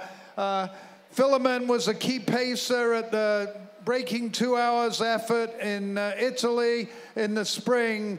So uh, I think Eliud will be pleased when you go home. Yes. I would guess so. He hasn't stopped grinning like that since he came across that finish line. Let's hear it one more time for your top three up here Philemon Rono, Dickson Chumba, and Solomon Deksisa. And then if we can get the VIPs to move a little bit to one side. Uh, All right, and I believe we're going to get Kyle. Yeah. Those uh, presentations will continue for a little while yet. The uh, top finishing Canadians, of course, in their own domestic championships, will be rightly recognised up there by the uh, presentation party. But uh, athletes continue to come through in both the marathon and the half marathon finish lines. Thicker and thicker finishing numbers in the marathon, of course, with three and a half hours having come and gone. But let's have a look at the top 10 men today here at the Scotiabank Toronto Waterfront Marathon. Philemon Rono winning with that 206.51. We just heard 206.52 read out at uh, the presentation ceremony, but that doesn't matter. The fact is, it's the fastest time ever. It's an all-comers record in Canada, the fastest time in Canadian soil. Great win for Philemon Rono. Dickson Chumba taking second place, also under 210, though he was suffering through the last few kilometres, and Solomon Deksisa making it to the rostrum as well, 211.24. Chezakit, Abraha, and Diema, perhaps all victims of that very, very fast early pace. Remember, they went through halfway in 62.35, pretty much bang on 205 tempo, so everybody slowed a little bit through the second half. But uh, great racing on the streets of Toronto today. And Trevor Hofbauer there in ninth place, taking that Canadian title, uh, Chris, Krista. Trevor Hofbauer was our first Canadian at 218.04, Sami Jibril 222, and Erin Cooper 224. And so there is the ladies' result, of course. Marta Megra, the champion in Toronto 2017, 228.17. Sutume Asefa making it a 1-2 for Ethiopia with 229.24, and also nudging under 230 Sarah Jebet of Kenya, 229.58. Now, those women's times very strong, but slower than they might have been, but for the fact that the ladies today really attacked the race very bravely, going out in 71.01 for the first half. So 222 tempo.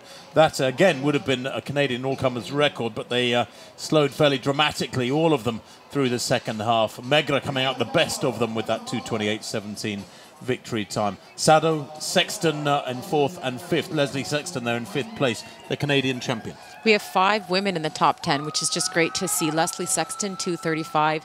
Lyndsay Tessier taking, I believe, about eight minutes off of her previous personal best with a 236.50. And Melanie Myrand, I think it's about a 25 minute personal best for her, a 239. So those are our gold, silver, and bronze medalists uh, in the race today. We have Catherine Watkins, who would be our fourth um, Canadian um, performing today.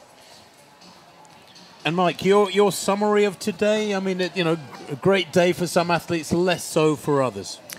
I think first you got to say that getting the all comers record back in Toronto is huge for this race. I mean, this was one of the primary goals of building this race this year was to bring some fast runners, and I think it's really important for Philemon Rono for his career that he landed, he defended his championship, and he scored this big personal best. He got under 207, got an all-comers record, huge payday here. It's sort of been great all around on the men's side in that regard. The women's race, you know, I think as we just looked at that top 10 and the half of the top 10 is filled with Canadian finishers, which is which is great for you know domestically for Canada. But I think it also sort of illustrates uh, how tough the second half of that race was after that really fast opening uh, half for the uh, top women runners from East Africa. And people are talking about the next generation coming through. Krista, I know that you and Lanni are still racing a lot, but in, in about 15 seconds, can you just tell me what you feel about today and how it projects forward for this next period? I think uh, Leslie Sexton definitely is someone that we're going to see um, on the line in, in, Tokyo in 2020, provided all goes well. And then on the men's side, Trevor Hofbauer with his debut of 218. We're definitely going to see more of him. He's likely going to start putting, uh, you know, two marathons a year in his schedule now and getting away from those shorter distances, making his mark. Well, the energy at the finish line is still palpable, and it is out on the course where people are out there in their masses, of course. Nora Silver is at St. Lawrence Market. Market. These runners only have one kilometer left to go, so they definitely need that final push, that final encouragement. I'm here with Tabitha. Tabitha, what does your sign say? You are great. That's such a good message for these runners. Now I want to see how loud you can cheer. Ready? One, two, three. Awesome. Guys taping for?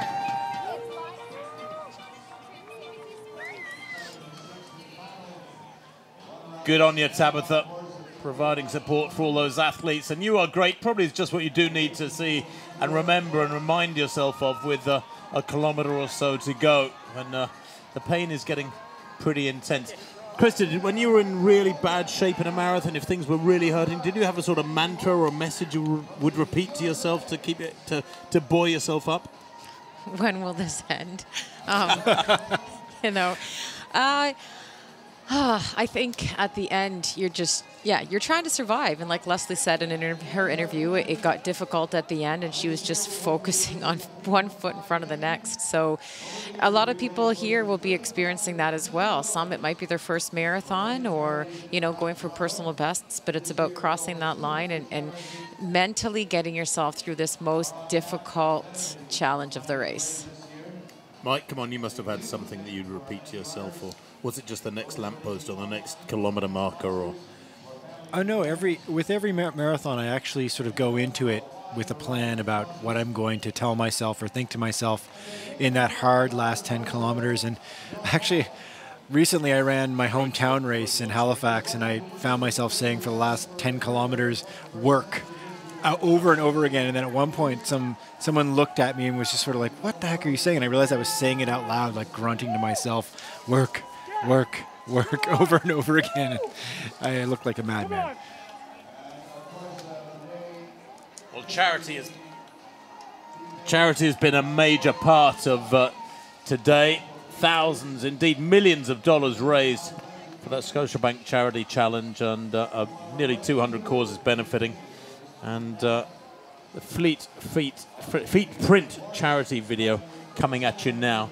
Learn a little bit more about a good cause. Emmy presents Feet Print, a unique collection of stories drawn on shoes, which will be featured at this year's Scotiabank Toronto Waterfront Marathon. We got 150 people from the community to design a shoe uh, based off of the three questions Who am I? Where do I belong? And how do I behave? and we have a series of workshops with um, an artist from the from the community. So everyone goes on this spiritual journey to find themselves, to reflect on themselves, to be mindful about themselves, but also themselves and their place in the world, in the community, in their families, in their schools, in their homes, wherever they work. They find themselves and they try to the best as best as they can to represent that on a shoe. The key thing is life. One, because I'm living it and I get to choose the way I want to live it. And you only have one life to live, so enjoy it. When I'm navigating through all my life's experiences to the very end where I just jump into everything. You should love yourself and you always should have that type of love for yourself. So I carry that with me everywhere I go. This is like an artistic version of an archive. You guys are creating an archive of the Esplanade right now. How like cool is that? Discover today the Feet Print Shoe exhibit at the St. Lawrence Market cheering section of the Scotiabank Toronto Waterfront Marathon. Well, the day is more or less done here, certainly from the elite racing point of view, with the thousands still pouring through on the marathon course. We will be leaving you very shortly. But uh, first of all, Krista, your thoughts on today, where it puts this event on the global scene, the, the great racing we've seen on both men's and women's sides, and in particular the, the, the Canadian, the state of Canadian distance running, how it's left after today. I think uh, it's all about the future of Canadian distance running. We've had some athletes that have been around and made their mark for some time, and so it's exciting to see uh, Trevor Hofbauer and Leslie Sexton get their titles today and, and see what's to come for them in the future and what it holds for distance running. Do you feel that Trevor, in particular, has got the opportunity to go on and run a lot faster than his what 218 today, just outside 218? He'd have broken 218 if he hadn't, celebrated so much down the home straight. But do you feel that Trevor's an athlete who can go to 215, 212, and, and so on? Definitely. You know, he made the move across the country to go to Guelph to be with Dave Scott Thomas, and he accomplished what he wanted today with with a good experience on that first marathon and a decent time, right? So, I think definitely we're going to see that that's going to be his focus uh, to get to Tokyo in 2020 to be on that line for Canada in the marathon. And Mike, what about you? What would you feel about uh, the, the chances of anybody challenging these East Africans? I mean, they were so dominant here today. The Canadians, Hofbauer, a great champion, running 218 in his debut, but it's a different level to the 25, 26 performances that we see churned out by these guys from Kenya and Ethiopia. Yeah, absolutely, and particularly today because it was a Canadian all-comers record, uh, and we saw an extraordinarily fast race. I think it does sort of highlight just where that bar is on an international level. And so, a guy like Trevor, I mean, it's a good it's a good experience for him to see that to see that gap as well. Uh, our our previous Canadian champions like Reid Coolsaet and and Eric Gillis, you know, they know that well. They've raced internationally. They've been to to Berlin, to the Olympics, th- these sorts of races. So I think it's an important step for a guy like Trevor, and of course for Leslie Sexton on the women's side. Um, but now there's that couple of years before you really start thinking about who could go to the Olympics for Canada in the marathon, and some they need to get to work. Well, it has been a fabulous day of racing here in Toronto in the six. And uh, while there are other people out there still doing their six in the six or juggling their whatever number of balls it may be. Uh, we're going to have to leave you, I'm afraid. But it has been wonderful. Thanks for your company throughout these last three or four hours. Uh, we will be back, of course, next year with a bit of a little bit of luck. But from the production team here in Toronto, from Krista and Mike and myself, thanks very much indeed for being with us. We do hope you've enjoyed the coverage, the great racing, and the fun as well. You've got to remember that bit, the fun. See you again. Bye bye.